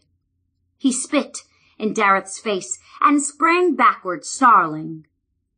I will see you again, Calishite! His voice was a rasping, inhuman growl as he turned and raced into the darkness. I'll get that baboon-faced, growled the halfling, at last finding his sword. He lunged after the half-orc, but Daryth caught him by the collar and pulled him back. I admire your courage, he said sincerely. But he would kill you, or me. The darkness is his element. He wants us to come after him. Besides, our companion needs our help. Tristan saw his friends coming toward him and then nothing more. Come here, little fellow. You know I won't hurt you. To most listeners, Genna's voice would have sounded like an assortment of chirps, squeaks, and clicks. Robyn, however, had no difficulty understanding her teacher's speech. Neither did the small red squirrel, obviously, for the little creature bounded to the end of a long limb and then hopped lightly onto the great druid's outstretched hand. The creature jumped to her shoulder and sniffed curiously at her ear as Genna smiled at Robyn. I really think the mammals are the most fun of them all, she said. They are the most like us, of course, and I think they can be friendliest of all our creatures when they want to be. Food? The squirrel chirped. Oh, you little beggar, sighed Genna in resignation, nevertheless reaching into a pocket of her loose gown to draw forth an acorn. Robyn looked up suddenly as the limb next to Genna sagged slightly. Don't you dare, Newt! Scowling, the dragon became visible. Perched over the squirrel, he had been about to squeeze the animal's tail, a prank that certainly would have sent it shrieking in terror to the highest branches of the tree. You should be ashamed of yourself, rebuked Genna. I can't help it, whined the dragon, his wings and tail drooping pathetically. I'm so bored. You two never have time for anything fun anymore. It's always lesson this and teach that and learn the other thing. And you're always yelling at me too. He pointed out defensively. Newt, where are you? Or don't do that, Newt. Or stop eating that, Newt. Or something else. We have been working hard, said Genna, with a look at Robyn. I suppose I have been trying to make up for lost time. Why don't we have lunch at the pond? We can share a bottle of wine and have a quiet afternoon. Yes, yes, yes, yes, yes! shrieked Newt, blinking into invisibility in his excitement. A second later he was back, buzzing happily. I was going to introduce you to the bats today, said Genna as they started toward the cottage. But that can wait till later. They're more talkative at night, anyway. Robyn walked thoughtfully back to the cottage. She felt at peace for the first time since the stranger had come. When Newt had removed the heart-like rock from the grove, it seemed as though a whole world of trouble had vanished. But another thing bothered her, and now she felt she could talk about it. Teacher, I'm troubled by a dream I have had several times in the past weeks. I'm certain it is a vision from the goddess. Genna looked at her quizzically. It's about my father, the king. And Tristan too. I'm afraid something terrible has happened. They need me. You wish to cease your studies? Genna asked softly. No, but I must learn what has happened. I must go to them.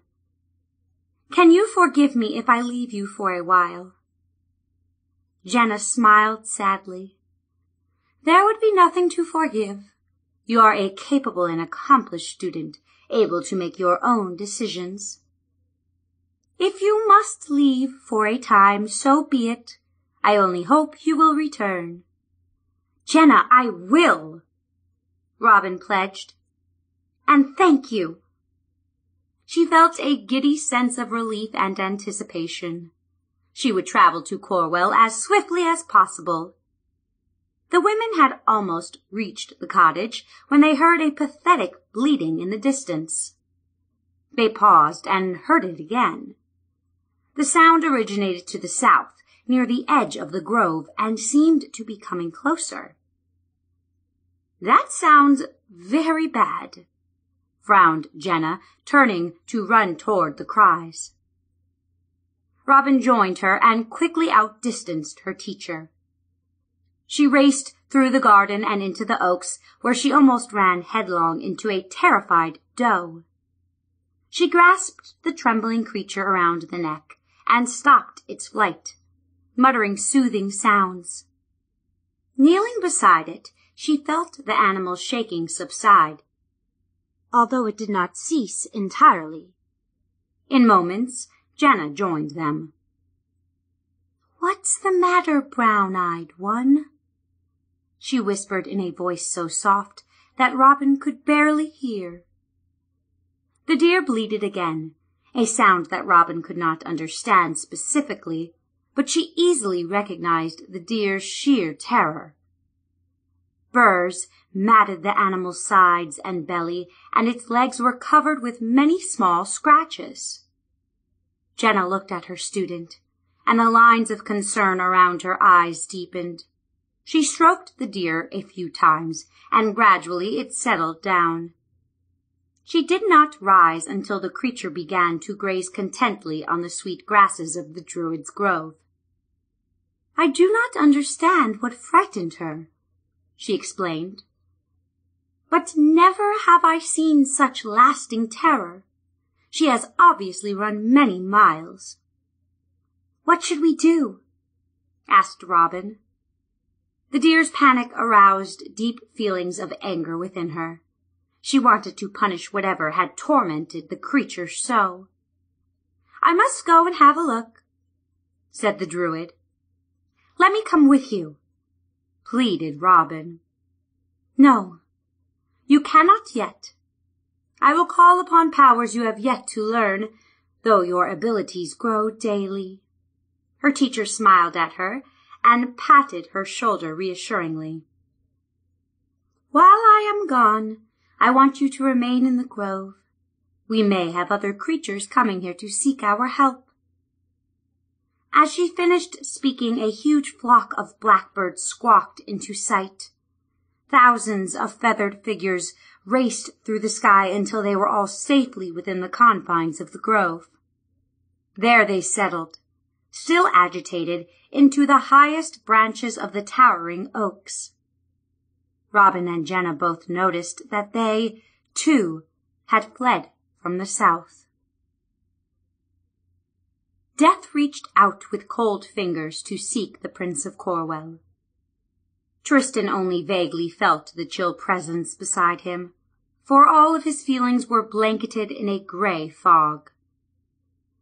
The pounding cadence of the galloping horse penetrated his consciousness only barely, and he did not sense Daryth's arms around him holding him in the saddle. The pain of his wound had long since vanished. His only discomfort now came from straining for air in his wounded lung. For a time, the prince was ready to yield to the dark figure that rode beside him.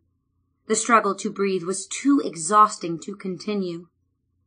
The blessed relief promised by the one who held those arms outspread seemed the most pleasant recourse. Trusted! look to me, my prince. For a second he didn't react to the distant voice. When he did, it was as if his body was mired in thick mud. He couldn't open his eyes or turn without expending great effort. But finally he saw. An ocean of mist spread around him, muffling the sounds of the horse's hooves.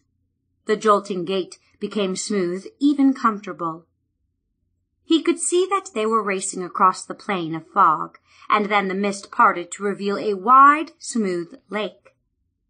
It seemed to him that they were galloping along the shore, though he couldn't see any ground below him. In truth, he did not look down. Tristan! The voice again reached seductively for his mind, and he struggled to see who was speaking. Then he saw the white figure, standing serenely on the waters of the lake. Her arms were spread wide, beckoning. Queen Alysanne stood some vague distance away. It seemed that she was very far, yet he could see tears welling in the corners of her eyes. He could hear her voice, though she spoke in the softest of whispers. How beautiful she was!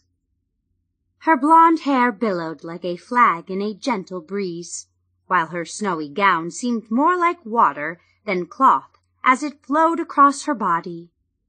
She looked very sad, and the prince wanted to hold her, to comfort her. And then he understood her sadness. His quest had failed.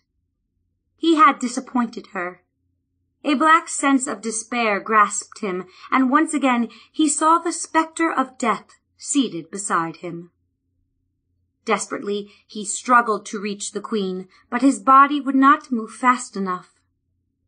A sob forced itself from his throat, and already her image grew dim.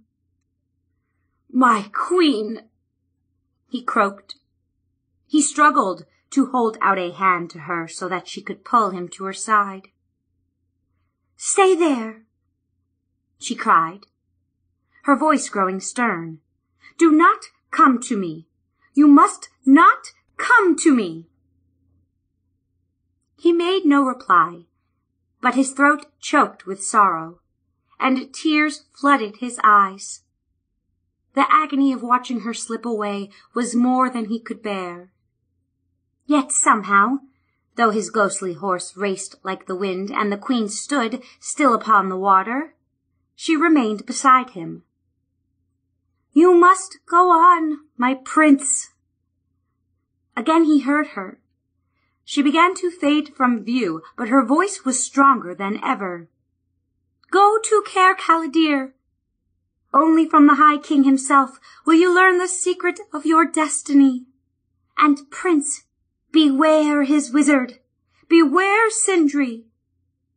She had almost disappeared from his sight, and despair threatened to drown the prince in his well of self-pity. My lady, he moaned softly. No, she said, and suddenly her image was clear again. Your lady is another, a woman who needs you, and who can help you.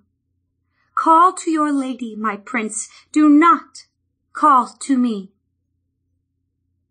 And then she was gone, and in her place stood a green-eyed druid with flowing black hair. Her beauty brought a lump to his throat. By the goddess, how he needed Robyn! He must see her again. He must live. Robyn, he croaked, quietly and the sound became a sob. But then his companions slowed the pace of their flight as the black horses grew winded. The pain returned, lancing through his chest and throat in fiery agony. The taste of blood was bitter in his mouth. But with the pain came awareness, an understanding that he did want to live, that he had a mission to perform. With this understanding, he banished the spectre of death from his side. The prince was unconscious to his surroundings. He did not feel his companions lift him from the saddle, nor see them enter the battered door of a frail country chapel. But he was aware of his life, and he was determined to keep it. The courtier timidly approached the great throne, his powdered wig trembling as he walked.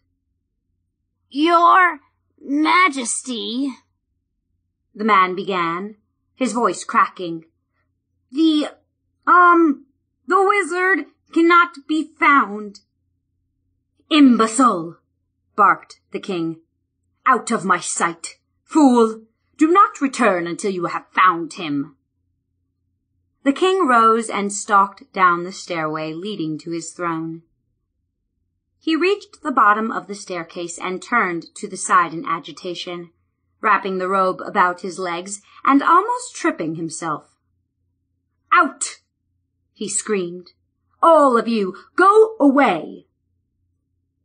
The courtiers, jesters, and ladies in waiting in the huge chamber all turned and fled for the doors. In seconds, the vast room was empty except for the king.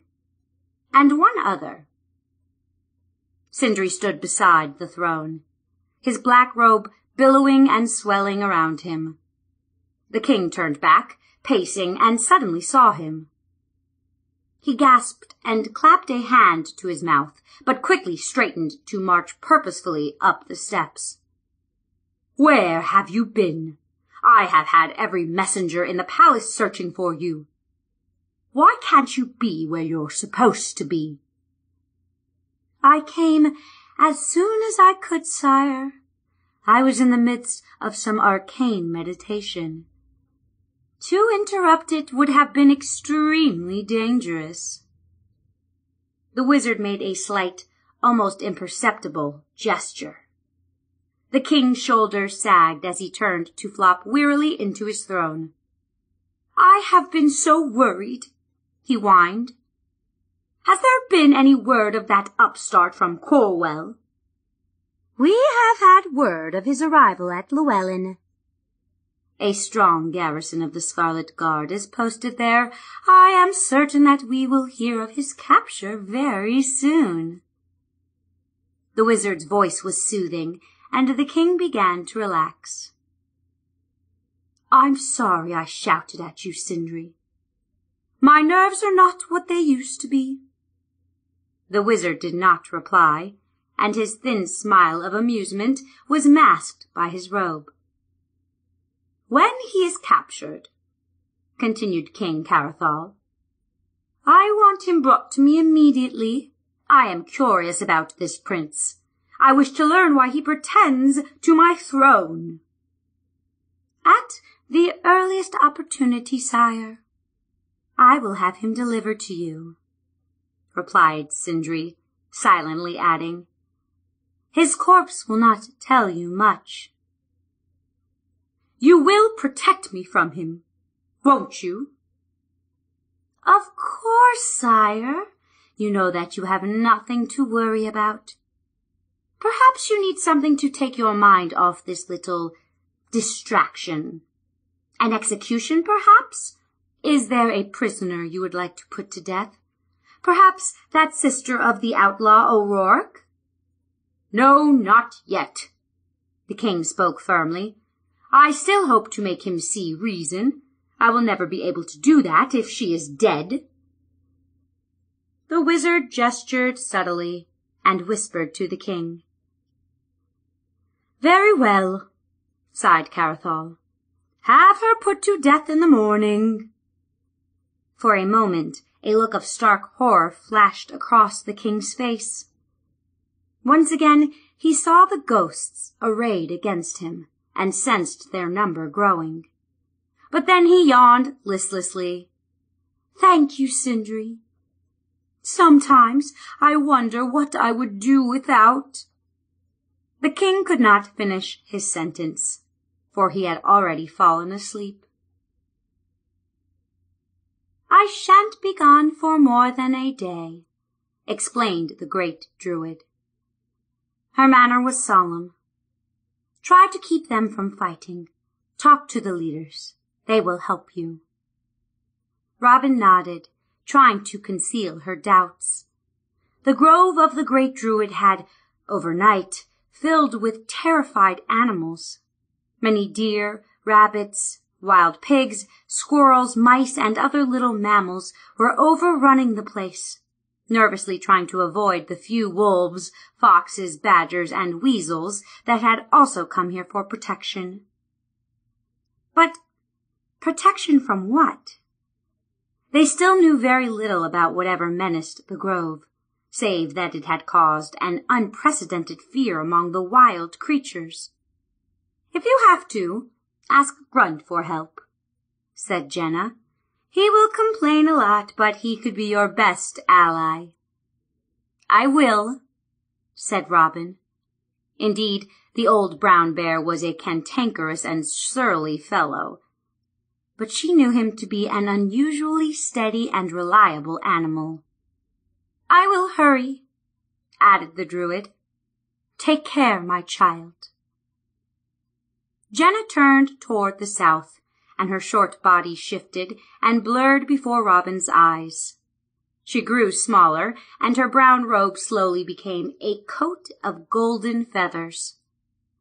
Her arms became wings, and her nose became a beak.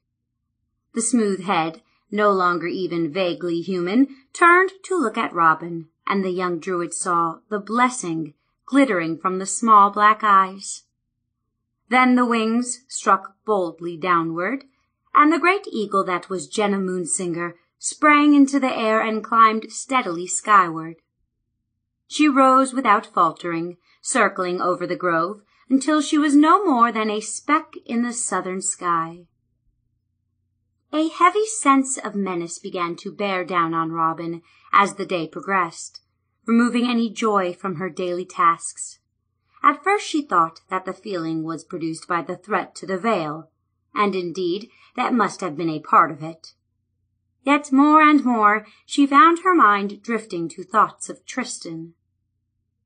Instead of the usual ripples of pleasure that his memory ordinarily gave her, her thoughts of the prince actually increased her anxiety. This feeling grew every time she thought of him, which was nearly every minute. She could not escape the feeling that he was in terrible danger. She wrestled with a strong temptation to flee the grove, abandoning everything in a headlong dash to reach him. Yet, even if she had known where he was, and she felt certain that he was far from Corwell, she could not have brought herself to renounce her trust with the goddess. And so once again she turned herself to her many chores. But the work had a hollow, meaningless quality today. She was certain that it did not come from within herself. Then she felt a strange peace fall over the grove. The squeaks and squawks of the animals quieted as she looked up. Something had already entered the grove. It was a presence mighty, yet serene. Robyn walked quickly through the oaks, finally breaking into a run. She suspected the visitor's identity even before he stopped from between the oaks to regard her. She thought she saw a benign smile upon his face as she shouted with joy and ran to clasp her arms around his neck. The smile was in her imagination, of course, for although he, too, felt great joy, Kamerynn the unicorn could not be expected to smile. A cool, strong breeze flowed steadily northward, lashing the waters of the strait into rolling gray swells. Tavish fought the wind, tacking back and forth, but she still made only slow headway toward Corwell. For the hundredth time she wondered if she was doing the right thing. After all, she reminded herself, what could she have done to rescue the prince? Painfully but pragmatically, she knew that she was no fighter. A daring escape from the heart of the enemy stronghold was something she could never hope to accomplish. The only place that seemed to offer the chance of help was the prince's homeland. She didn't know what kind of help the lords of Corwell could offer, but she had nowhere else to turn. And still the wind blew and the gray waves rolled. Put him in here, said the short cleric, pushing aside a wool tapestry to reveal a small room. The only furnishing was a narrow bed, but Daryth and Pawldo were grateful for the chance to lay Tristan upon even that tiny platform. Pontswain remained outside, sword held at the ready, looking up and down the long ribbon of darkened, empty road. The cleric ran back to the doors of his chapel and saw that the road was empty. The deepest hours of night were just beginning to yield to morning. Cowan, he called, come here. Moments later, a lad of about fifteen emerged from a small alcove, rubbing his eyes and yawning. He blinked curiously at the visitors, and his eyes widened as he saw the blood-stained prince stretched, pale and deathlike on the bed. See to their horses, lad, barked the cleric. Cowan hurried from the chapel as the man turned back to them. I am Patriarch Trevor, a cleric of Chauntea, he said, moving quickly to Tristan's side. The man moved with a smooth and easy grace. He took the prince's hand in one of his while pressing the other to Tristan's forehead. He is very near death. A few more miles on horseback, I'm certain would have killed him. The patriarch closed his eyes, still touching the prince's wrist and face. He whispered softly, a ritual sound that lasted nearly a minute. A warm glow seemed to surround the prince visible as a faint light to the watchers. Daryth had a feeling of deep reverence and wanted to drop to his knees. He stubbornly resisted the urge, instead staring, spellbound, as the cleric worked his healing magic. Chauntea, said the cleric reverently. Tristan winced and thrashed on the narrow mattress, a sudden shocking spurt of red blood burst from his mouth to spatter the cleric, but the patriarch ignored it. Daryth's hand leaped to his sword. He feared for the prince, but the cleric held a steadying hand up, and the Calishite relaxed. The prince groaned and twisted on the bed. His eyes opened, but the pupils rolled so far back in his head that only the whites were visible. The cleric whispered again, and the soft glow brightened and then slowly faded away. As the cleric finally opened his eyes, Tristan's chest began to rise and fall with deep, regular breathing. Slowly, color began to creep into his face. He sleeps, explained the cleric. Now, let us talk. Daryth and Pawldo followed him into another small room. Here Trevor pulled a bottle of wine from a wooden chest and gestured them to sit at the small table. You are fugitives, he said finally. But from what? Pawldo and Daryth exchanged quick looks, obviously surprised by the blunt question. Finally, the halfling spoke. The High King's ogres took the pri- uh, my friend on false charges. We helped him get away, but he was wounded during the escape. Ogres of the Scarlet Guard, growled the patriarch with surprising venom. The mercenary scum! Seeing their startled looks, he explained. The guard is just another example of the blight that seems to have fallen across our land. We watched them march through Grady. That's this little town, some days past. The sight of the people huddled in their homes, shivering in terror, broke my heart. Remember, these are the troops of their own king. I ask you, what kind of king would bring such terror to his own subjects? Those kings are more common than you'd like to believe, said Daryth.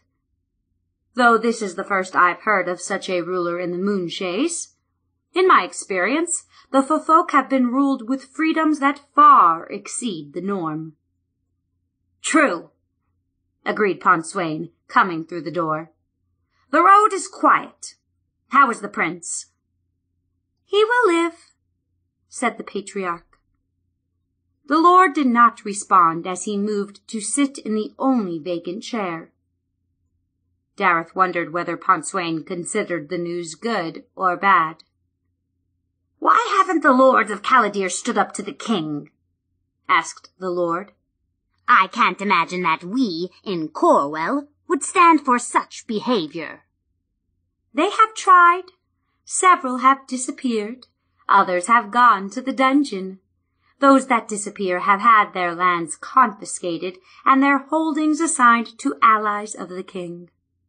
One, the former Lord Roark, has become an outlaw in the forest, railing bitterly against his fate, but helpless to do anything about it.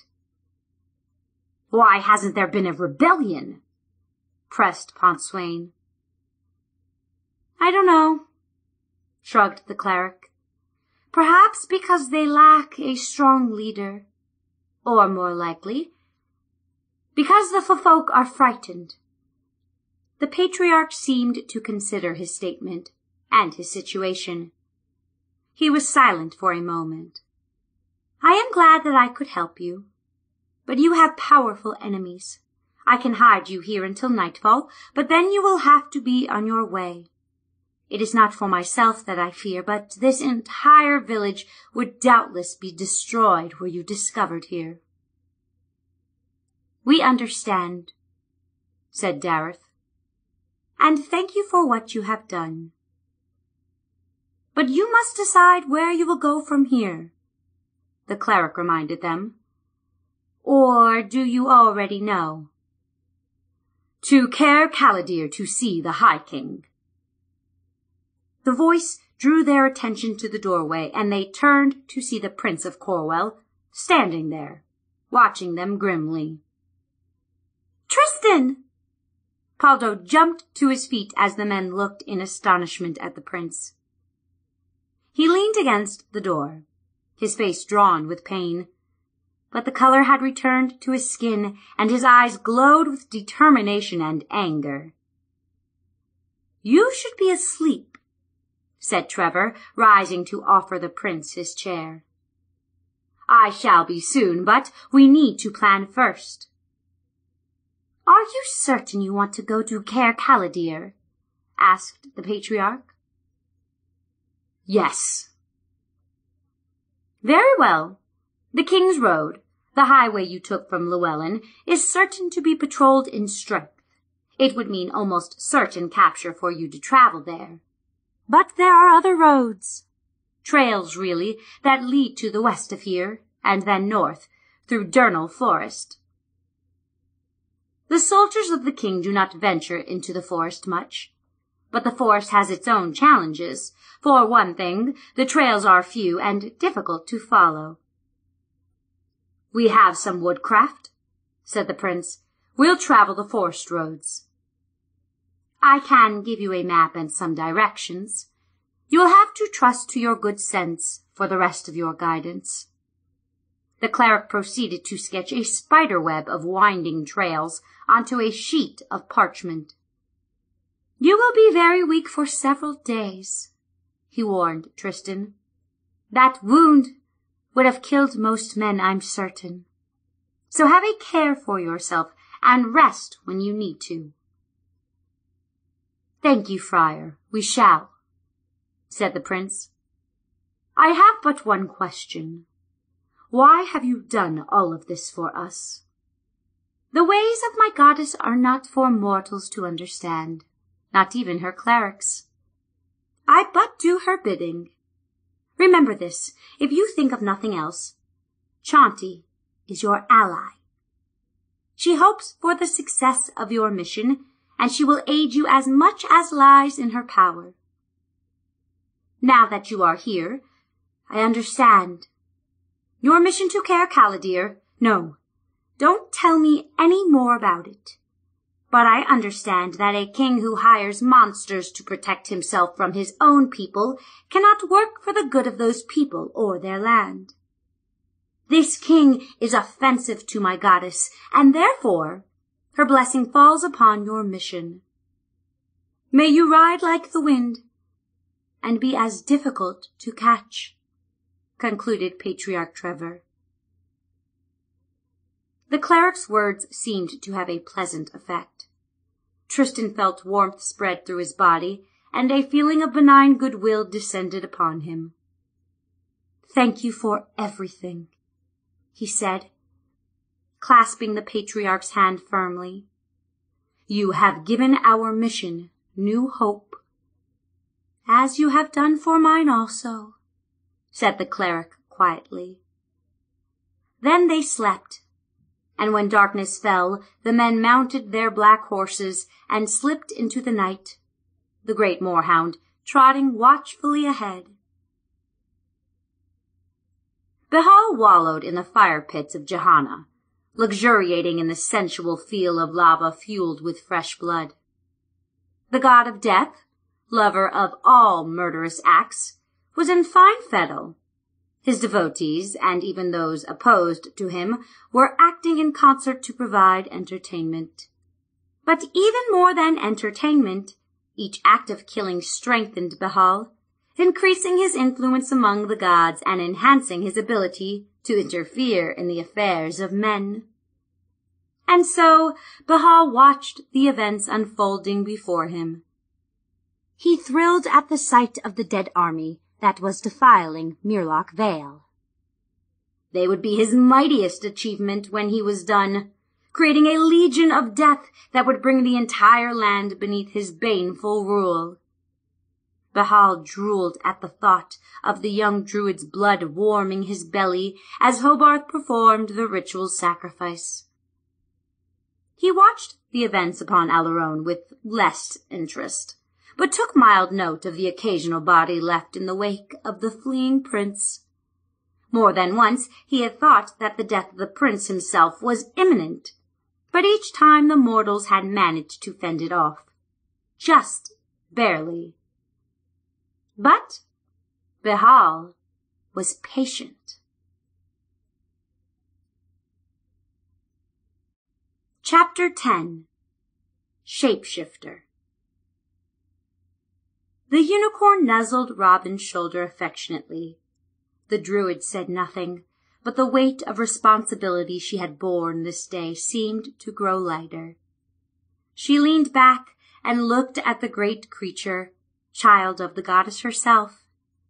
Kamerynn's white beard hung in a thick tuft from his jaw, and his ivory horn jutted proudly before him, more than four feet long.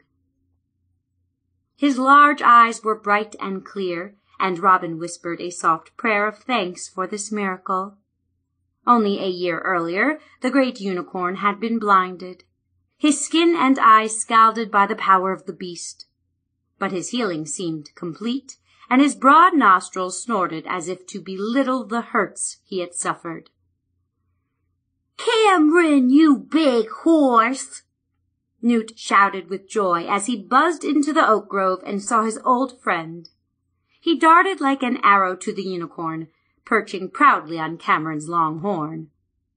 Thank the goddess you're here, he chattered.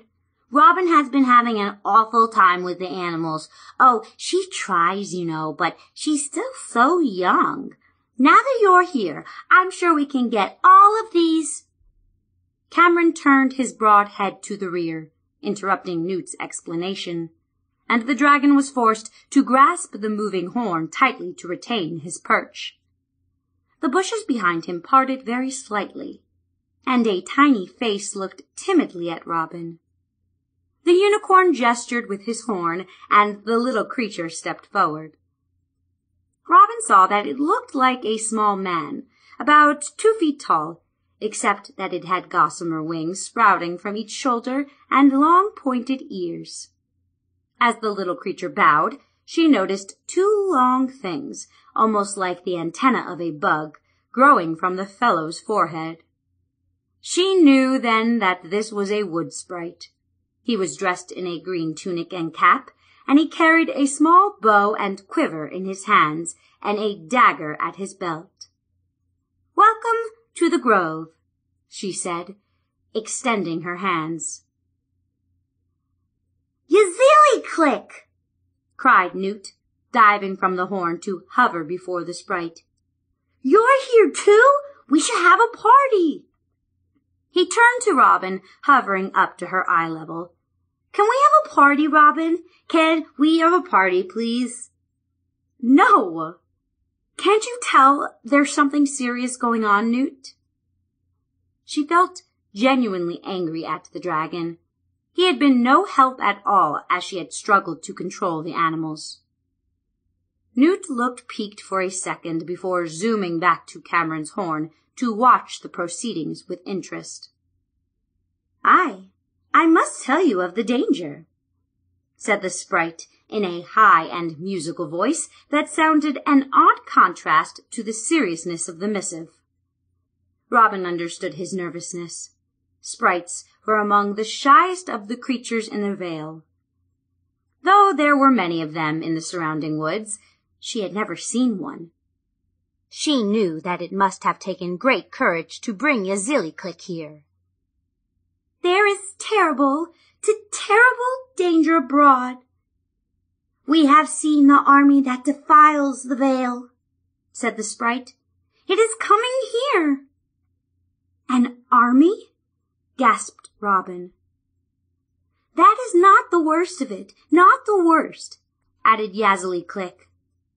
It is not an army of men or Llewyrr or even firbolgs.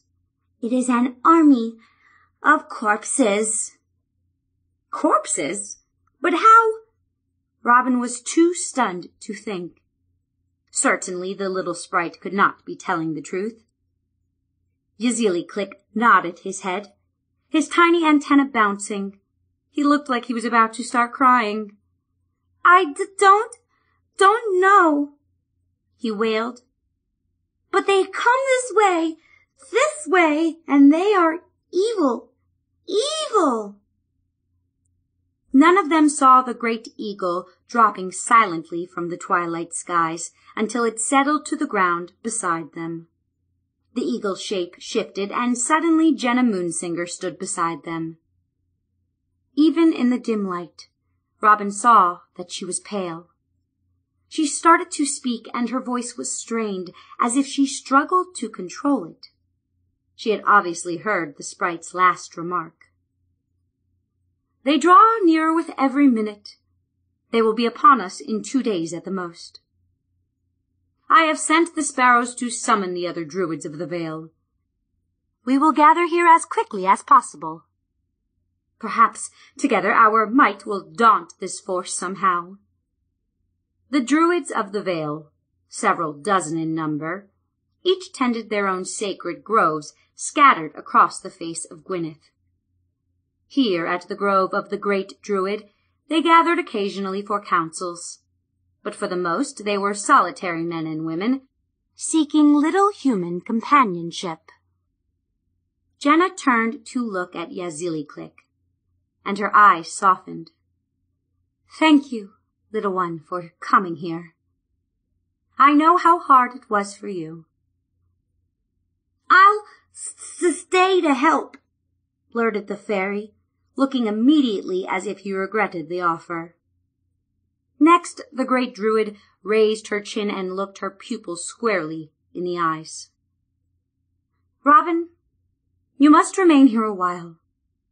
I know of your concern for the king and for your prince, but you are needed here. Robyn sensed the command in her teacher's words, but that command was not necessary. She knew where her duty lay, and she nodded in response. There was nothing else that she could do. The patriarch's map proved invaluable as the black horses carried the riders through the night.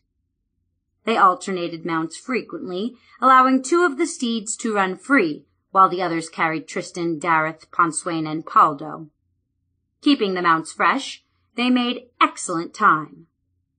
The hours in the saddle wore heavily on Tristan, However, as the pain of his wound grew into a throbbing ache across his entire back, he said nothing, fearing that his companions would slow their pace, but he was none the less relieved as dawn approached and they began to look for a place to hide during the day. There were few likely spots along the winding country lanes.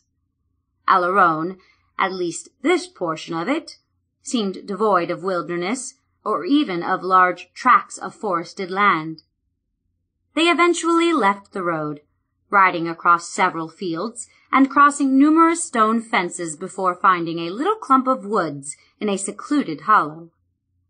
Here they dismounted, ate some of the bread and fruit that the cleric had sent with them, and prepared to rest. Pawldo left the three men to fill his water sack in a nearby stream, and they sat quietly for a time. I suppose you've realized that our original mission no longer has much relevance, said Pontswain, lounging. Tristan looked at him suspiciously. He could not help but suspect the Lord's motives, but he nodded now. Indeed, there's not much point in petitioning approval from a man who has ordered me arrested and killed. Then let's go back to Corwell and leave this madhouse to its inmates, said the Lord. What can you hope to accomplish here? I can gain a measure of vengeance for my father's death, I can force the king to admit his crimes against the Ffolk, perhaps even to make some of them right again. You're mad. He's tried to have you killed already. Now you want to travel to his very stronghold and tell him you don't like what he's done? You don't have a chance. On the contrary, I think I have a good chance. We have avoided his pitfalls thus far, and besides, I have to try something. I cannot let my father's death go unavenged. Your foolish vengeance will get us all killed. You are free to return to Corwell whenever you want. We can go on without you. Tristan challenged. Pontswain slumped silently, scowling. Pawldo returned with a dripping goatskin of water and passed the bag around. Silently they drank as the halfling flopped to the ground beside them. How do you propose to gain entrance into the castle? asked Daryth as they settled into their makeshift beds. I don't know, admitted the prince. But if there's always a way to escape from a place, as you've told me, then it follows that there's always a way to get in. The opposite of escape is capture, announced Pawldo. We have to get there before we worry about getting in, observed the Calishite. And from the looks of this country, that's far from guaranteed, especially if there are troops out looking for us. On the other hand, the troops of the High King seem to be none too popular in this part of the country. If the folk in the diving dolphin or the cleric Trevor are any indication, said Tristan. Still, let's try and stay hidden, warned the halfling. I don't want to have to rescue you again. I've been meaning to ask you about that, said the prince. How did you pull that off, distracting the ogres? Pawldo chuckled not a little proud. He told the story of the assassins in the tree and his entry into the manor house. For once he embellished the details only slightly.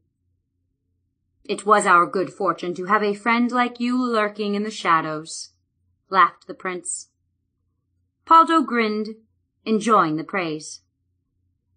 Now tell me, asked the halfling, what did you scoundrels do to get in trouble with the law? Were you stealing milk from a baby? Or perhaps you got enthusiastic about the young daughter of some local lord? Nothing so straightforward, said Tristan. He explained about the assassination of King Kendrick and their mission to Alaron. After a long hesitation, he described the castle of Queen Alison and the prophecy he had received there. I'm sorry to hear about your father, Pawldo said. Tristan felt a moment of sorrow. It came suddenly and then passed. He realized with a twinge of guilt that it had been many days since he had thought of his father. But now he could feel some sense of atonement. We did more than a little avenging in Llewellyn, he said. I'm certain that the men with Rasfallow were the same who accompanied him to Corwell. I wish that bloodthirsty devil hadn't gotten away, said Daryth bitterly. But we've certainly trimmed down the numbers of his band. It's too bad we couldn't have put an end to his killing, said the prince. But we'll have another chance, I'm certain. Especially with your subtle plan, snapped Pontswain. He had been listening to their conversation, using a saddle to keep his head off the ground.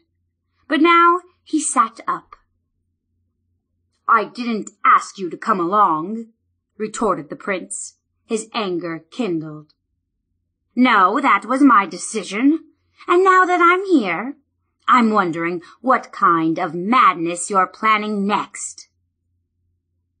My lord Pontswain, this is my fight, and it has become a personal matter. I neither seek nor welcome your involvement in it. If you have concerns that can better be addressed elsewhere. Indeed I do, Prince. I want our kingdom to prosper, to see some of the glory it had ages ago. If I am king, I think it will. Perhaps the same thing can happen under your rulership, but I haven't seen any proof of that yet. Tristan flushed, instinctively reaching for his sword. Anger blazed from his eyes as he met Pontswain's level gaze.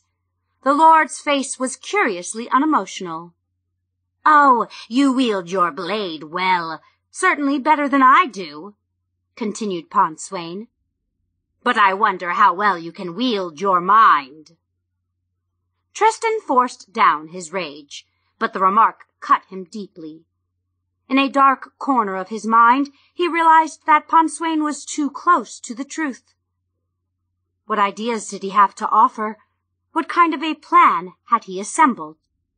Perhaps under the tutelage of your wisdom I'll learn, he snapped, trying to turn Pontswain's sarcasm back at him. But the challenge sounded hollow, even to himself. On that cheerful thought, I'm going to get some rest, said Daryth. The others, too, rolled into their blankets. Tristan was still livid. His mind coughed up numerous sharp remarks that he regretted he had not thought of at the time. But as his anger cooled, a strange thought struck him. For the first time, he saw Pontswain not just as a rival for the throne, but as a man who truly cared for the kingdom. The knowledge was disturbing, and he took it with him to sleep. That night they rode again, gradually turning north. They found themselves entering wilder country now, though still tame in comparison to Corwell. The prince's wound still hurt, but did not seem to have gotten worse during the last day. This time they found it easy to find a secluded place to spend the day, and on the following night they rode into Durnall Forest itself. At least we're a bit more secure here, remarked the prince as they trotted down a dark forest lane. Canthus, as usual, lopped along before them. We should have no trouble finding a place to hide during the day. All of them felt more relaxed among the thick, sheltering branches. Though the moon was half full, the canopy of leaves made the road almost black. That changed very suddenly. Their only warning was a low growl as Canthus froze, staring into the darkness. Harsh words in a strange language barked from the night. Magic!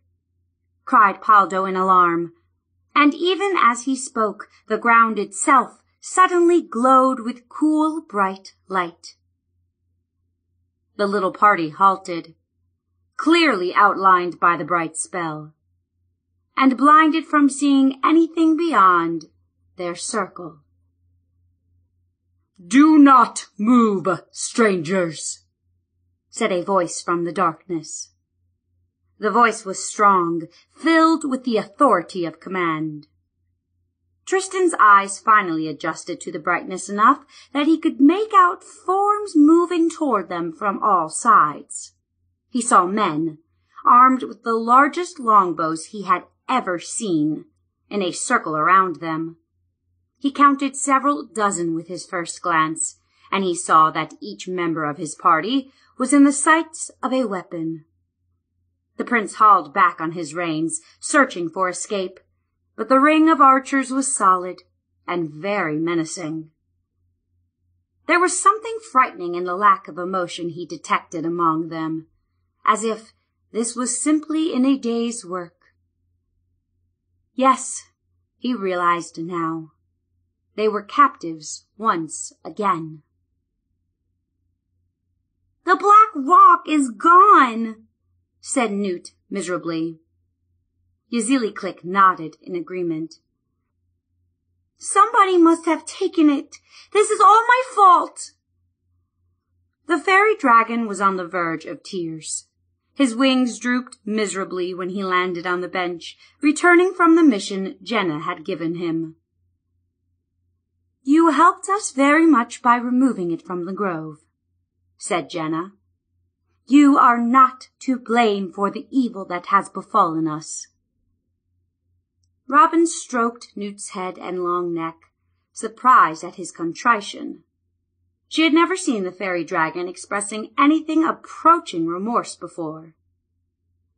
Now, continued Genna, addressing the creatures that had gathered before her cottage, you must all listen very carefully. Around her were arrayed Kamerynn the unicorn, the great brown bear Grunt, and a hundred or more of the animals, the strongest and wisest from among the teeming throngs. The great druid sought to calm the fears and soothe the tensions of the gathered wild creatures. She needed them to remain peaceful throughout the night, for she and Robyn would not be able to watch them. Finally, she finished and the animals drifted away to rejoin their kind. Now, Newt, Yazili said the great druid, I must ask you to care for the grove while we're gone. The other druids should be arriving soon. You must tell them where we have gone. Will you do this? The sprite nodded. Can't I come along? pleaded Newt. You will get into we need you here, soothed Robyn. You must help us. I will, said the fairy dragon with a resigned sigh. He darted to Kamerynn's horn and looked away from them. Now, my dear, it is time, Genna said quietly, turning to Robyn. The two druids entered the cottage. There, Genna opened several clay jars and removed pieces of holly and mistletoe. Robyn picked up her long staff, the legacy of her mother. She handled the smooth ashwood staff reverently, grateful for the potent magic it contained.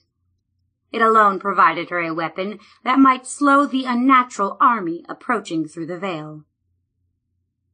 Come along, her teacher walked outside again, with Robyn following.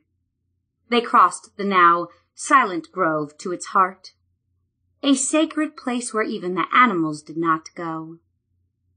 Here the moonwell illuminated the surrounding ring of stone columns with a soft milky glow. Here the power of the goddess was most accessible to her druids. Woman, you must concentrate like you never have before. You must realize that your youth and lack of experience make this even more dangerous than it must be. I understand, teacher, said Robyn solemnly. I would not even allow you to consider this action were it not for our dire emergency. And I admit the fact that you have displayed an inherent talent gives me some reassurance that you are capable of this feat. Now, hold your staff and listen to me. Robyn planted the staff at her side, grasping it firmly in her right hand. She heard Genna whisper something, private words to the goddess. Remember your lessons, intoned the great druid, her voice taking on the cadence of a chant. Remember the bright eyes, remember the long light bones and the feathers. Think of the beak and the claws so hard. Concentrate. Robyn remembered well. She pictured the powerful bird upon her teacher's lap, and she saw every detail of its graceful body. She didn't feel the magic of the Earth Mother wash over her, or even notice the sudden change in her body. So intently was she focused within her mind. She only noticed as she stretched to keep from falling. Driving powerful wings downward, she felt her feet lift from the ground. She looked around, and her eye saw the moonwell in minute detail, falling away below. Again and again she extended her wings, aware of Genna soaring beside her. But only slowly did she understand. She was an eagle. She was flying. Alexei endured days and nights of black silence, chained to the wall of a stone cell. Madness came closer, daily, and the mage had few weapons with which to fight for sanity. Only hours after Alexei's imprisonment, Cyndre and a cruel pain-master had paid a visit to the cell. The pain-master was an expert from Calimshan who had gleefully broken Alexei's hands, taking care to shatter every bone. For a time, the agonizing pain of those wounds had served to give him focus, but gradually the bones healed, freezing the appendages into twisted claws, useless for the delicate spell-casting gestures required by Alexei's craft. And as they healed, the pain lessened, and Alexei had only the darkness and solitude to comfort him. Now that the pain was gone completely, he had only his hate to keep him going. And so he nurtured that hatred, caressing it in his mind, building it, and storing it for the moment it could be released. He hated the king and Cryphon. He was certain that they had betrayed him. And he hated the painmaster who had broken his hands. But most of all, he hated Cyndre. The mage thought over and over of ways to destroy his former master. He relished thoughts of the sorcerer's death, a lingering death utilizing a variety of methods, most of them magical. But even had he been able to use his hands, he could not have cast a spell, for Cyndre had encased his cell within a cone of silence neither a chip of stone falling to the floor, nor a hoarse scream from a terrified throat, made any noise in that awful stillness. For a time, the mage wondered why Cyndre had kept him alive instead of slaying him outright. But then he remembered the lurid god of the cleric Hobarth and his bloodthirsty altar. Blood of high magic flowed through Alexei's veins, and when Hobarth returned from his mission, the altar of Bhaal would welcome Alexei to its eternal night. Welcome, travelers! A tall man jumped smoothly from a tree limb into the pool of magical light.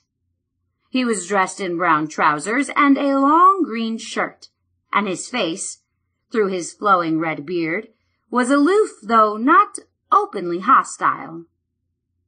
He spoke again. You really should take more care, you know, traveling the ways of Durnal Forest on a night so dark. Tristan looked at the ring of archers surrounding them. None had moved a muscle. Perhaps you would be good enough to provide us with an escort?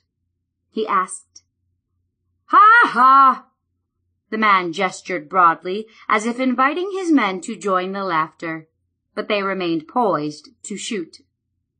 An audacious one! I like that in a man. Perhaps you'll be allowed to hang onto a coin or two.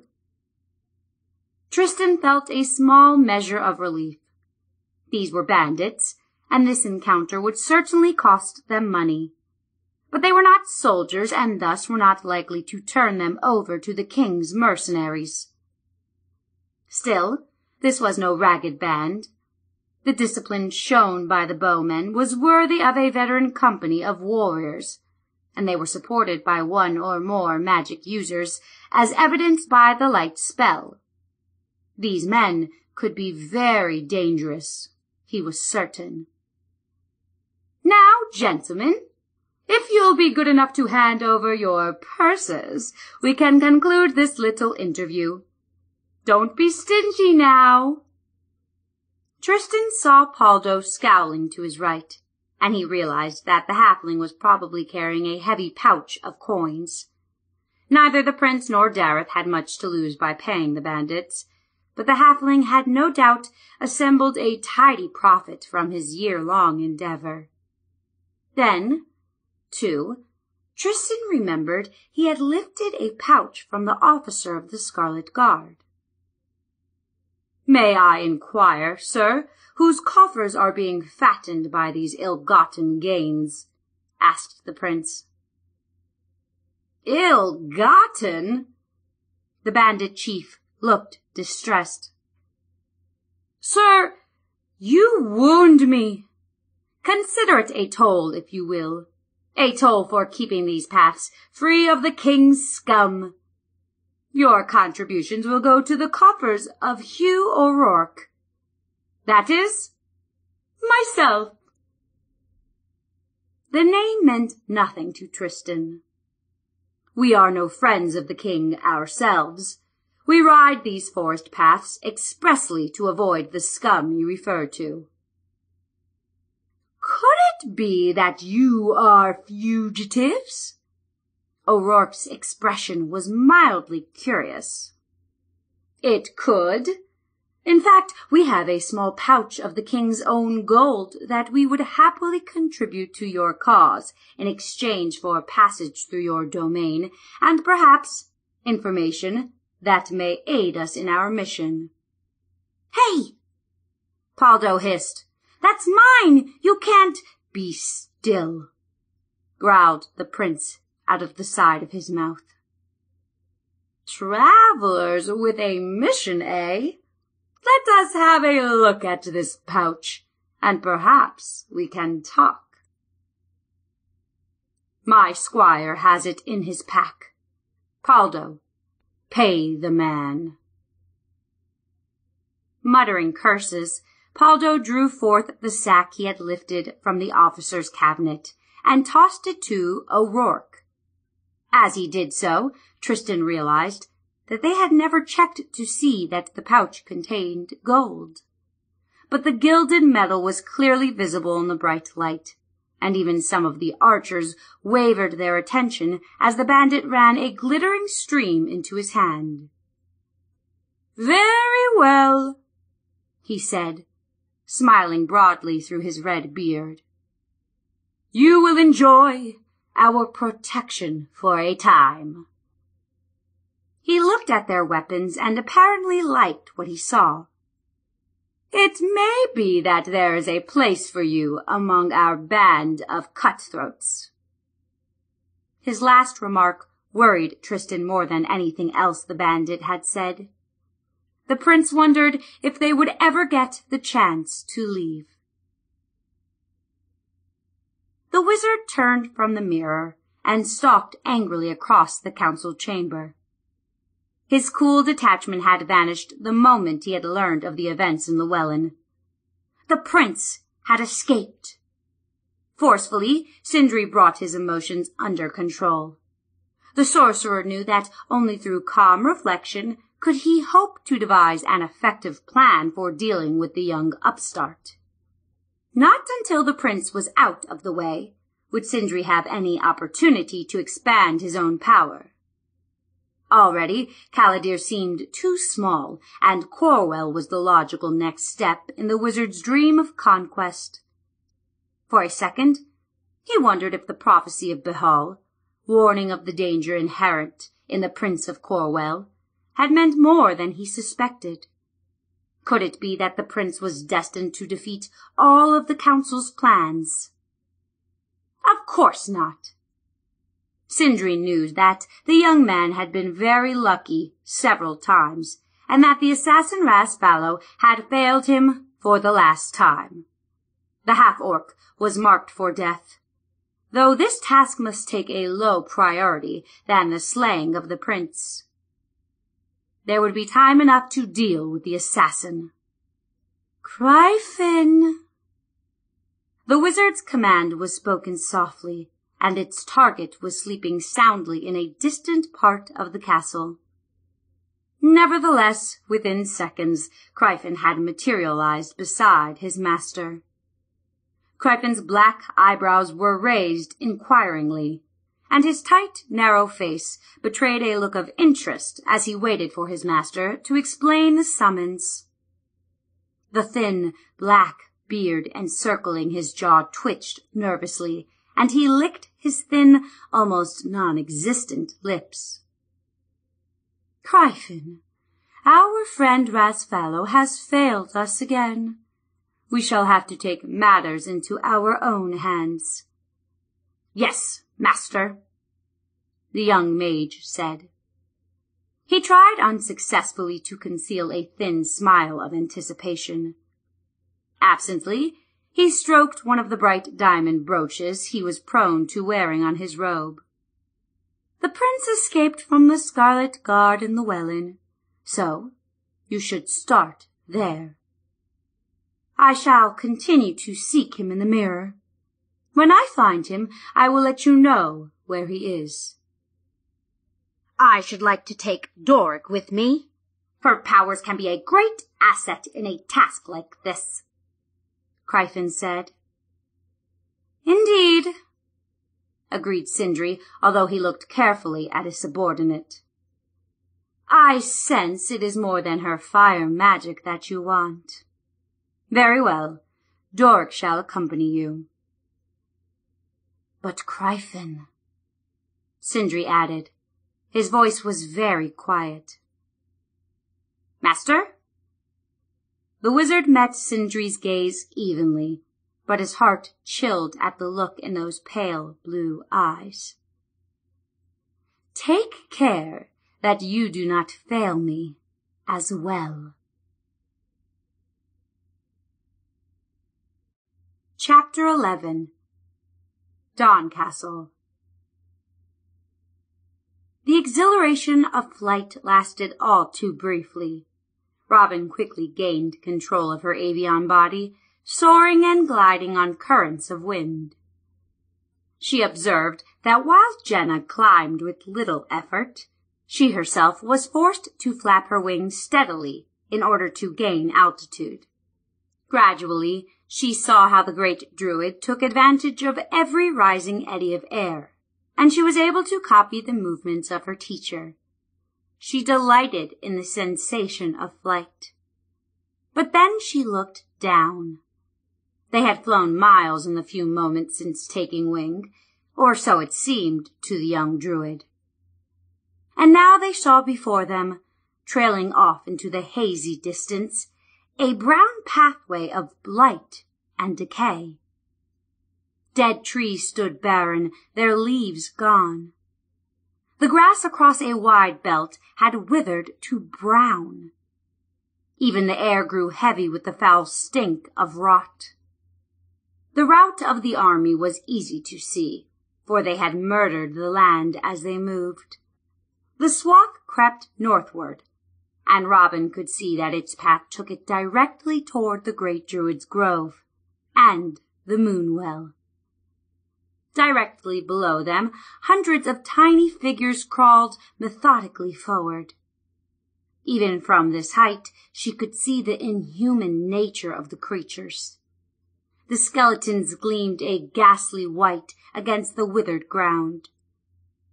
All the undead moved with a lurching, shambling gait that reminded her vividly of the zombie that had attacked her in the grove. The spirit of the forest itself seemed to cry out in agony as the undead advanced, stretching the boundaries of the wasteland, moving ever northward. Robyn watched hundreds of remarkably human-like figures plod purposefully northward. Her keen eye saw several huge forms among them, and she bristled at the sight of the firbolg bodies. The army entered a grove of quaking aspens, their white trunks and silvery leaves glistening brightly in the sunlight. Horrified, she saw the leaves turn brown and fall like a blizzard of dead snow. The white bark turned brown and curled away from the trees. The grove seemed to sigh sadly as it died. Thick fumes rose into the air, threatening to gag Robyn. The stink of the bodies, the stink of death that arose from the land itself, made the air both heavy and poisonous. She swirled through the foul stuff, seeking a breath of freshness, but there was none to be had. As the army moved on, it left the grove barren and defiled. Robyn saw Genna tuck her wings and plummet toward the earth. In another moment she did the same, falling with dizzying rapidity. She spread her wings desperately as the ground rushed toward her, surprising herself by gliding quickly forward. She had to circle to land beside the great druid, a half mile from the army of the undead and directly in its path. The rocky knoll Genna had chosen came up fast, and Robyn twisted desperately to avoid a thrusting boulder that threatened to end her flight abruptly. The air slipped from beneath her wings, and she crashed heavily to the ground, feeling a sharp pain in her left wing. Slowing her breathing, she willed her body to become her own again. She was certain that her arm was broken, but as she stretched and grew, the pain in her limb vanished, and she felt a smooth transition back to her human form. She once again held her staff in her hand and slowly climbed to her feet. Genna, too, had changed to human form and now stood looking to the south. Robyn saw that the great druid had selected a rounded, rocky hilltop, almost barren of trees. The undead would be slowed by the rugged ground, and the spells of the druids would be unlikely to do serious harm to the forest here. Remember, said Genna. Do not use your staff unless it becomes absolutely essential. Its powers are best held for our final defense. Our goal tonight is to delay and harass. And when we have delayed them, then we escape. You are to change upon my signal. When you have done so, I will follow. We must then return to the grove with all possible haste. Genna turned to the south and Robyn followed her teacher's gaze. Gradually, through the widely spaced trunks of the oaks that spread away from the base of the hill, they began to see the vanguard of the horrible force.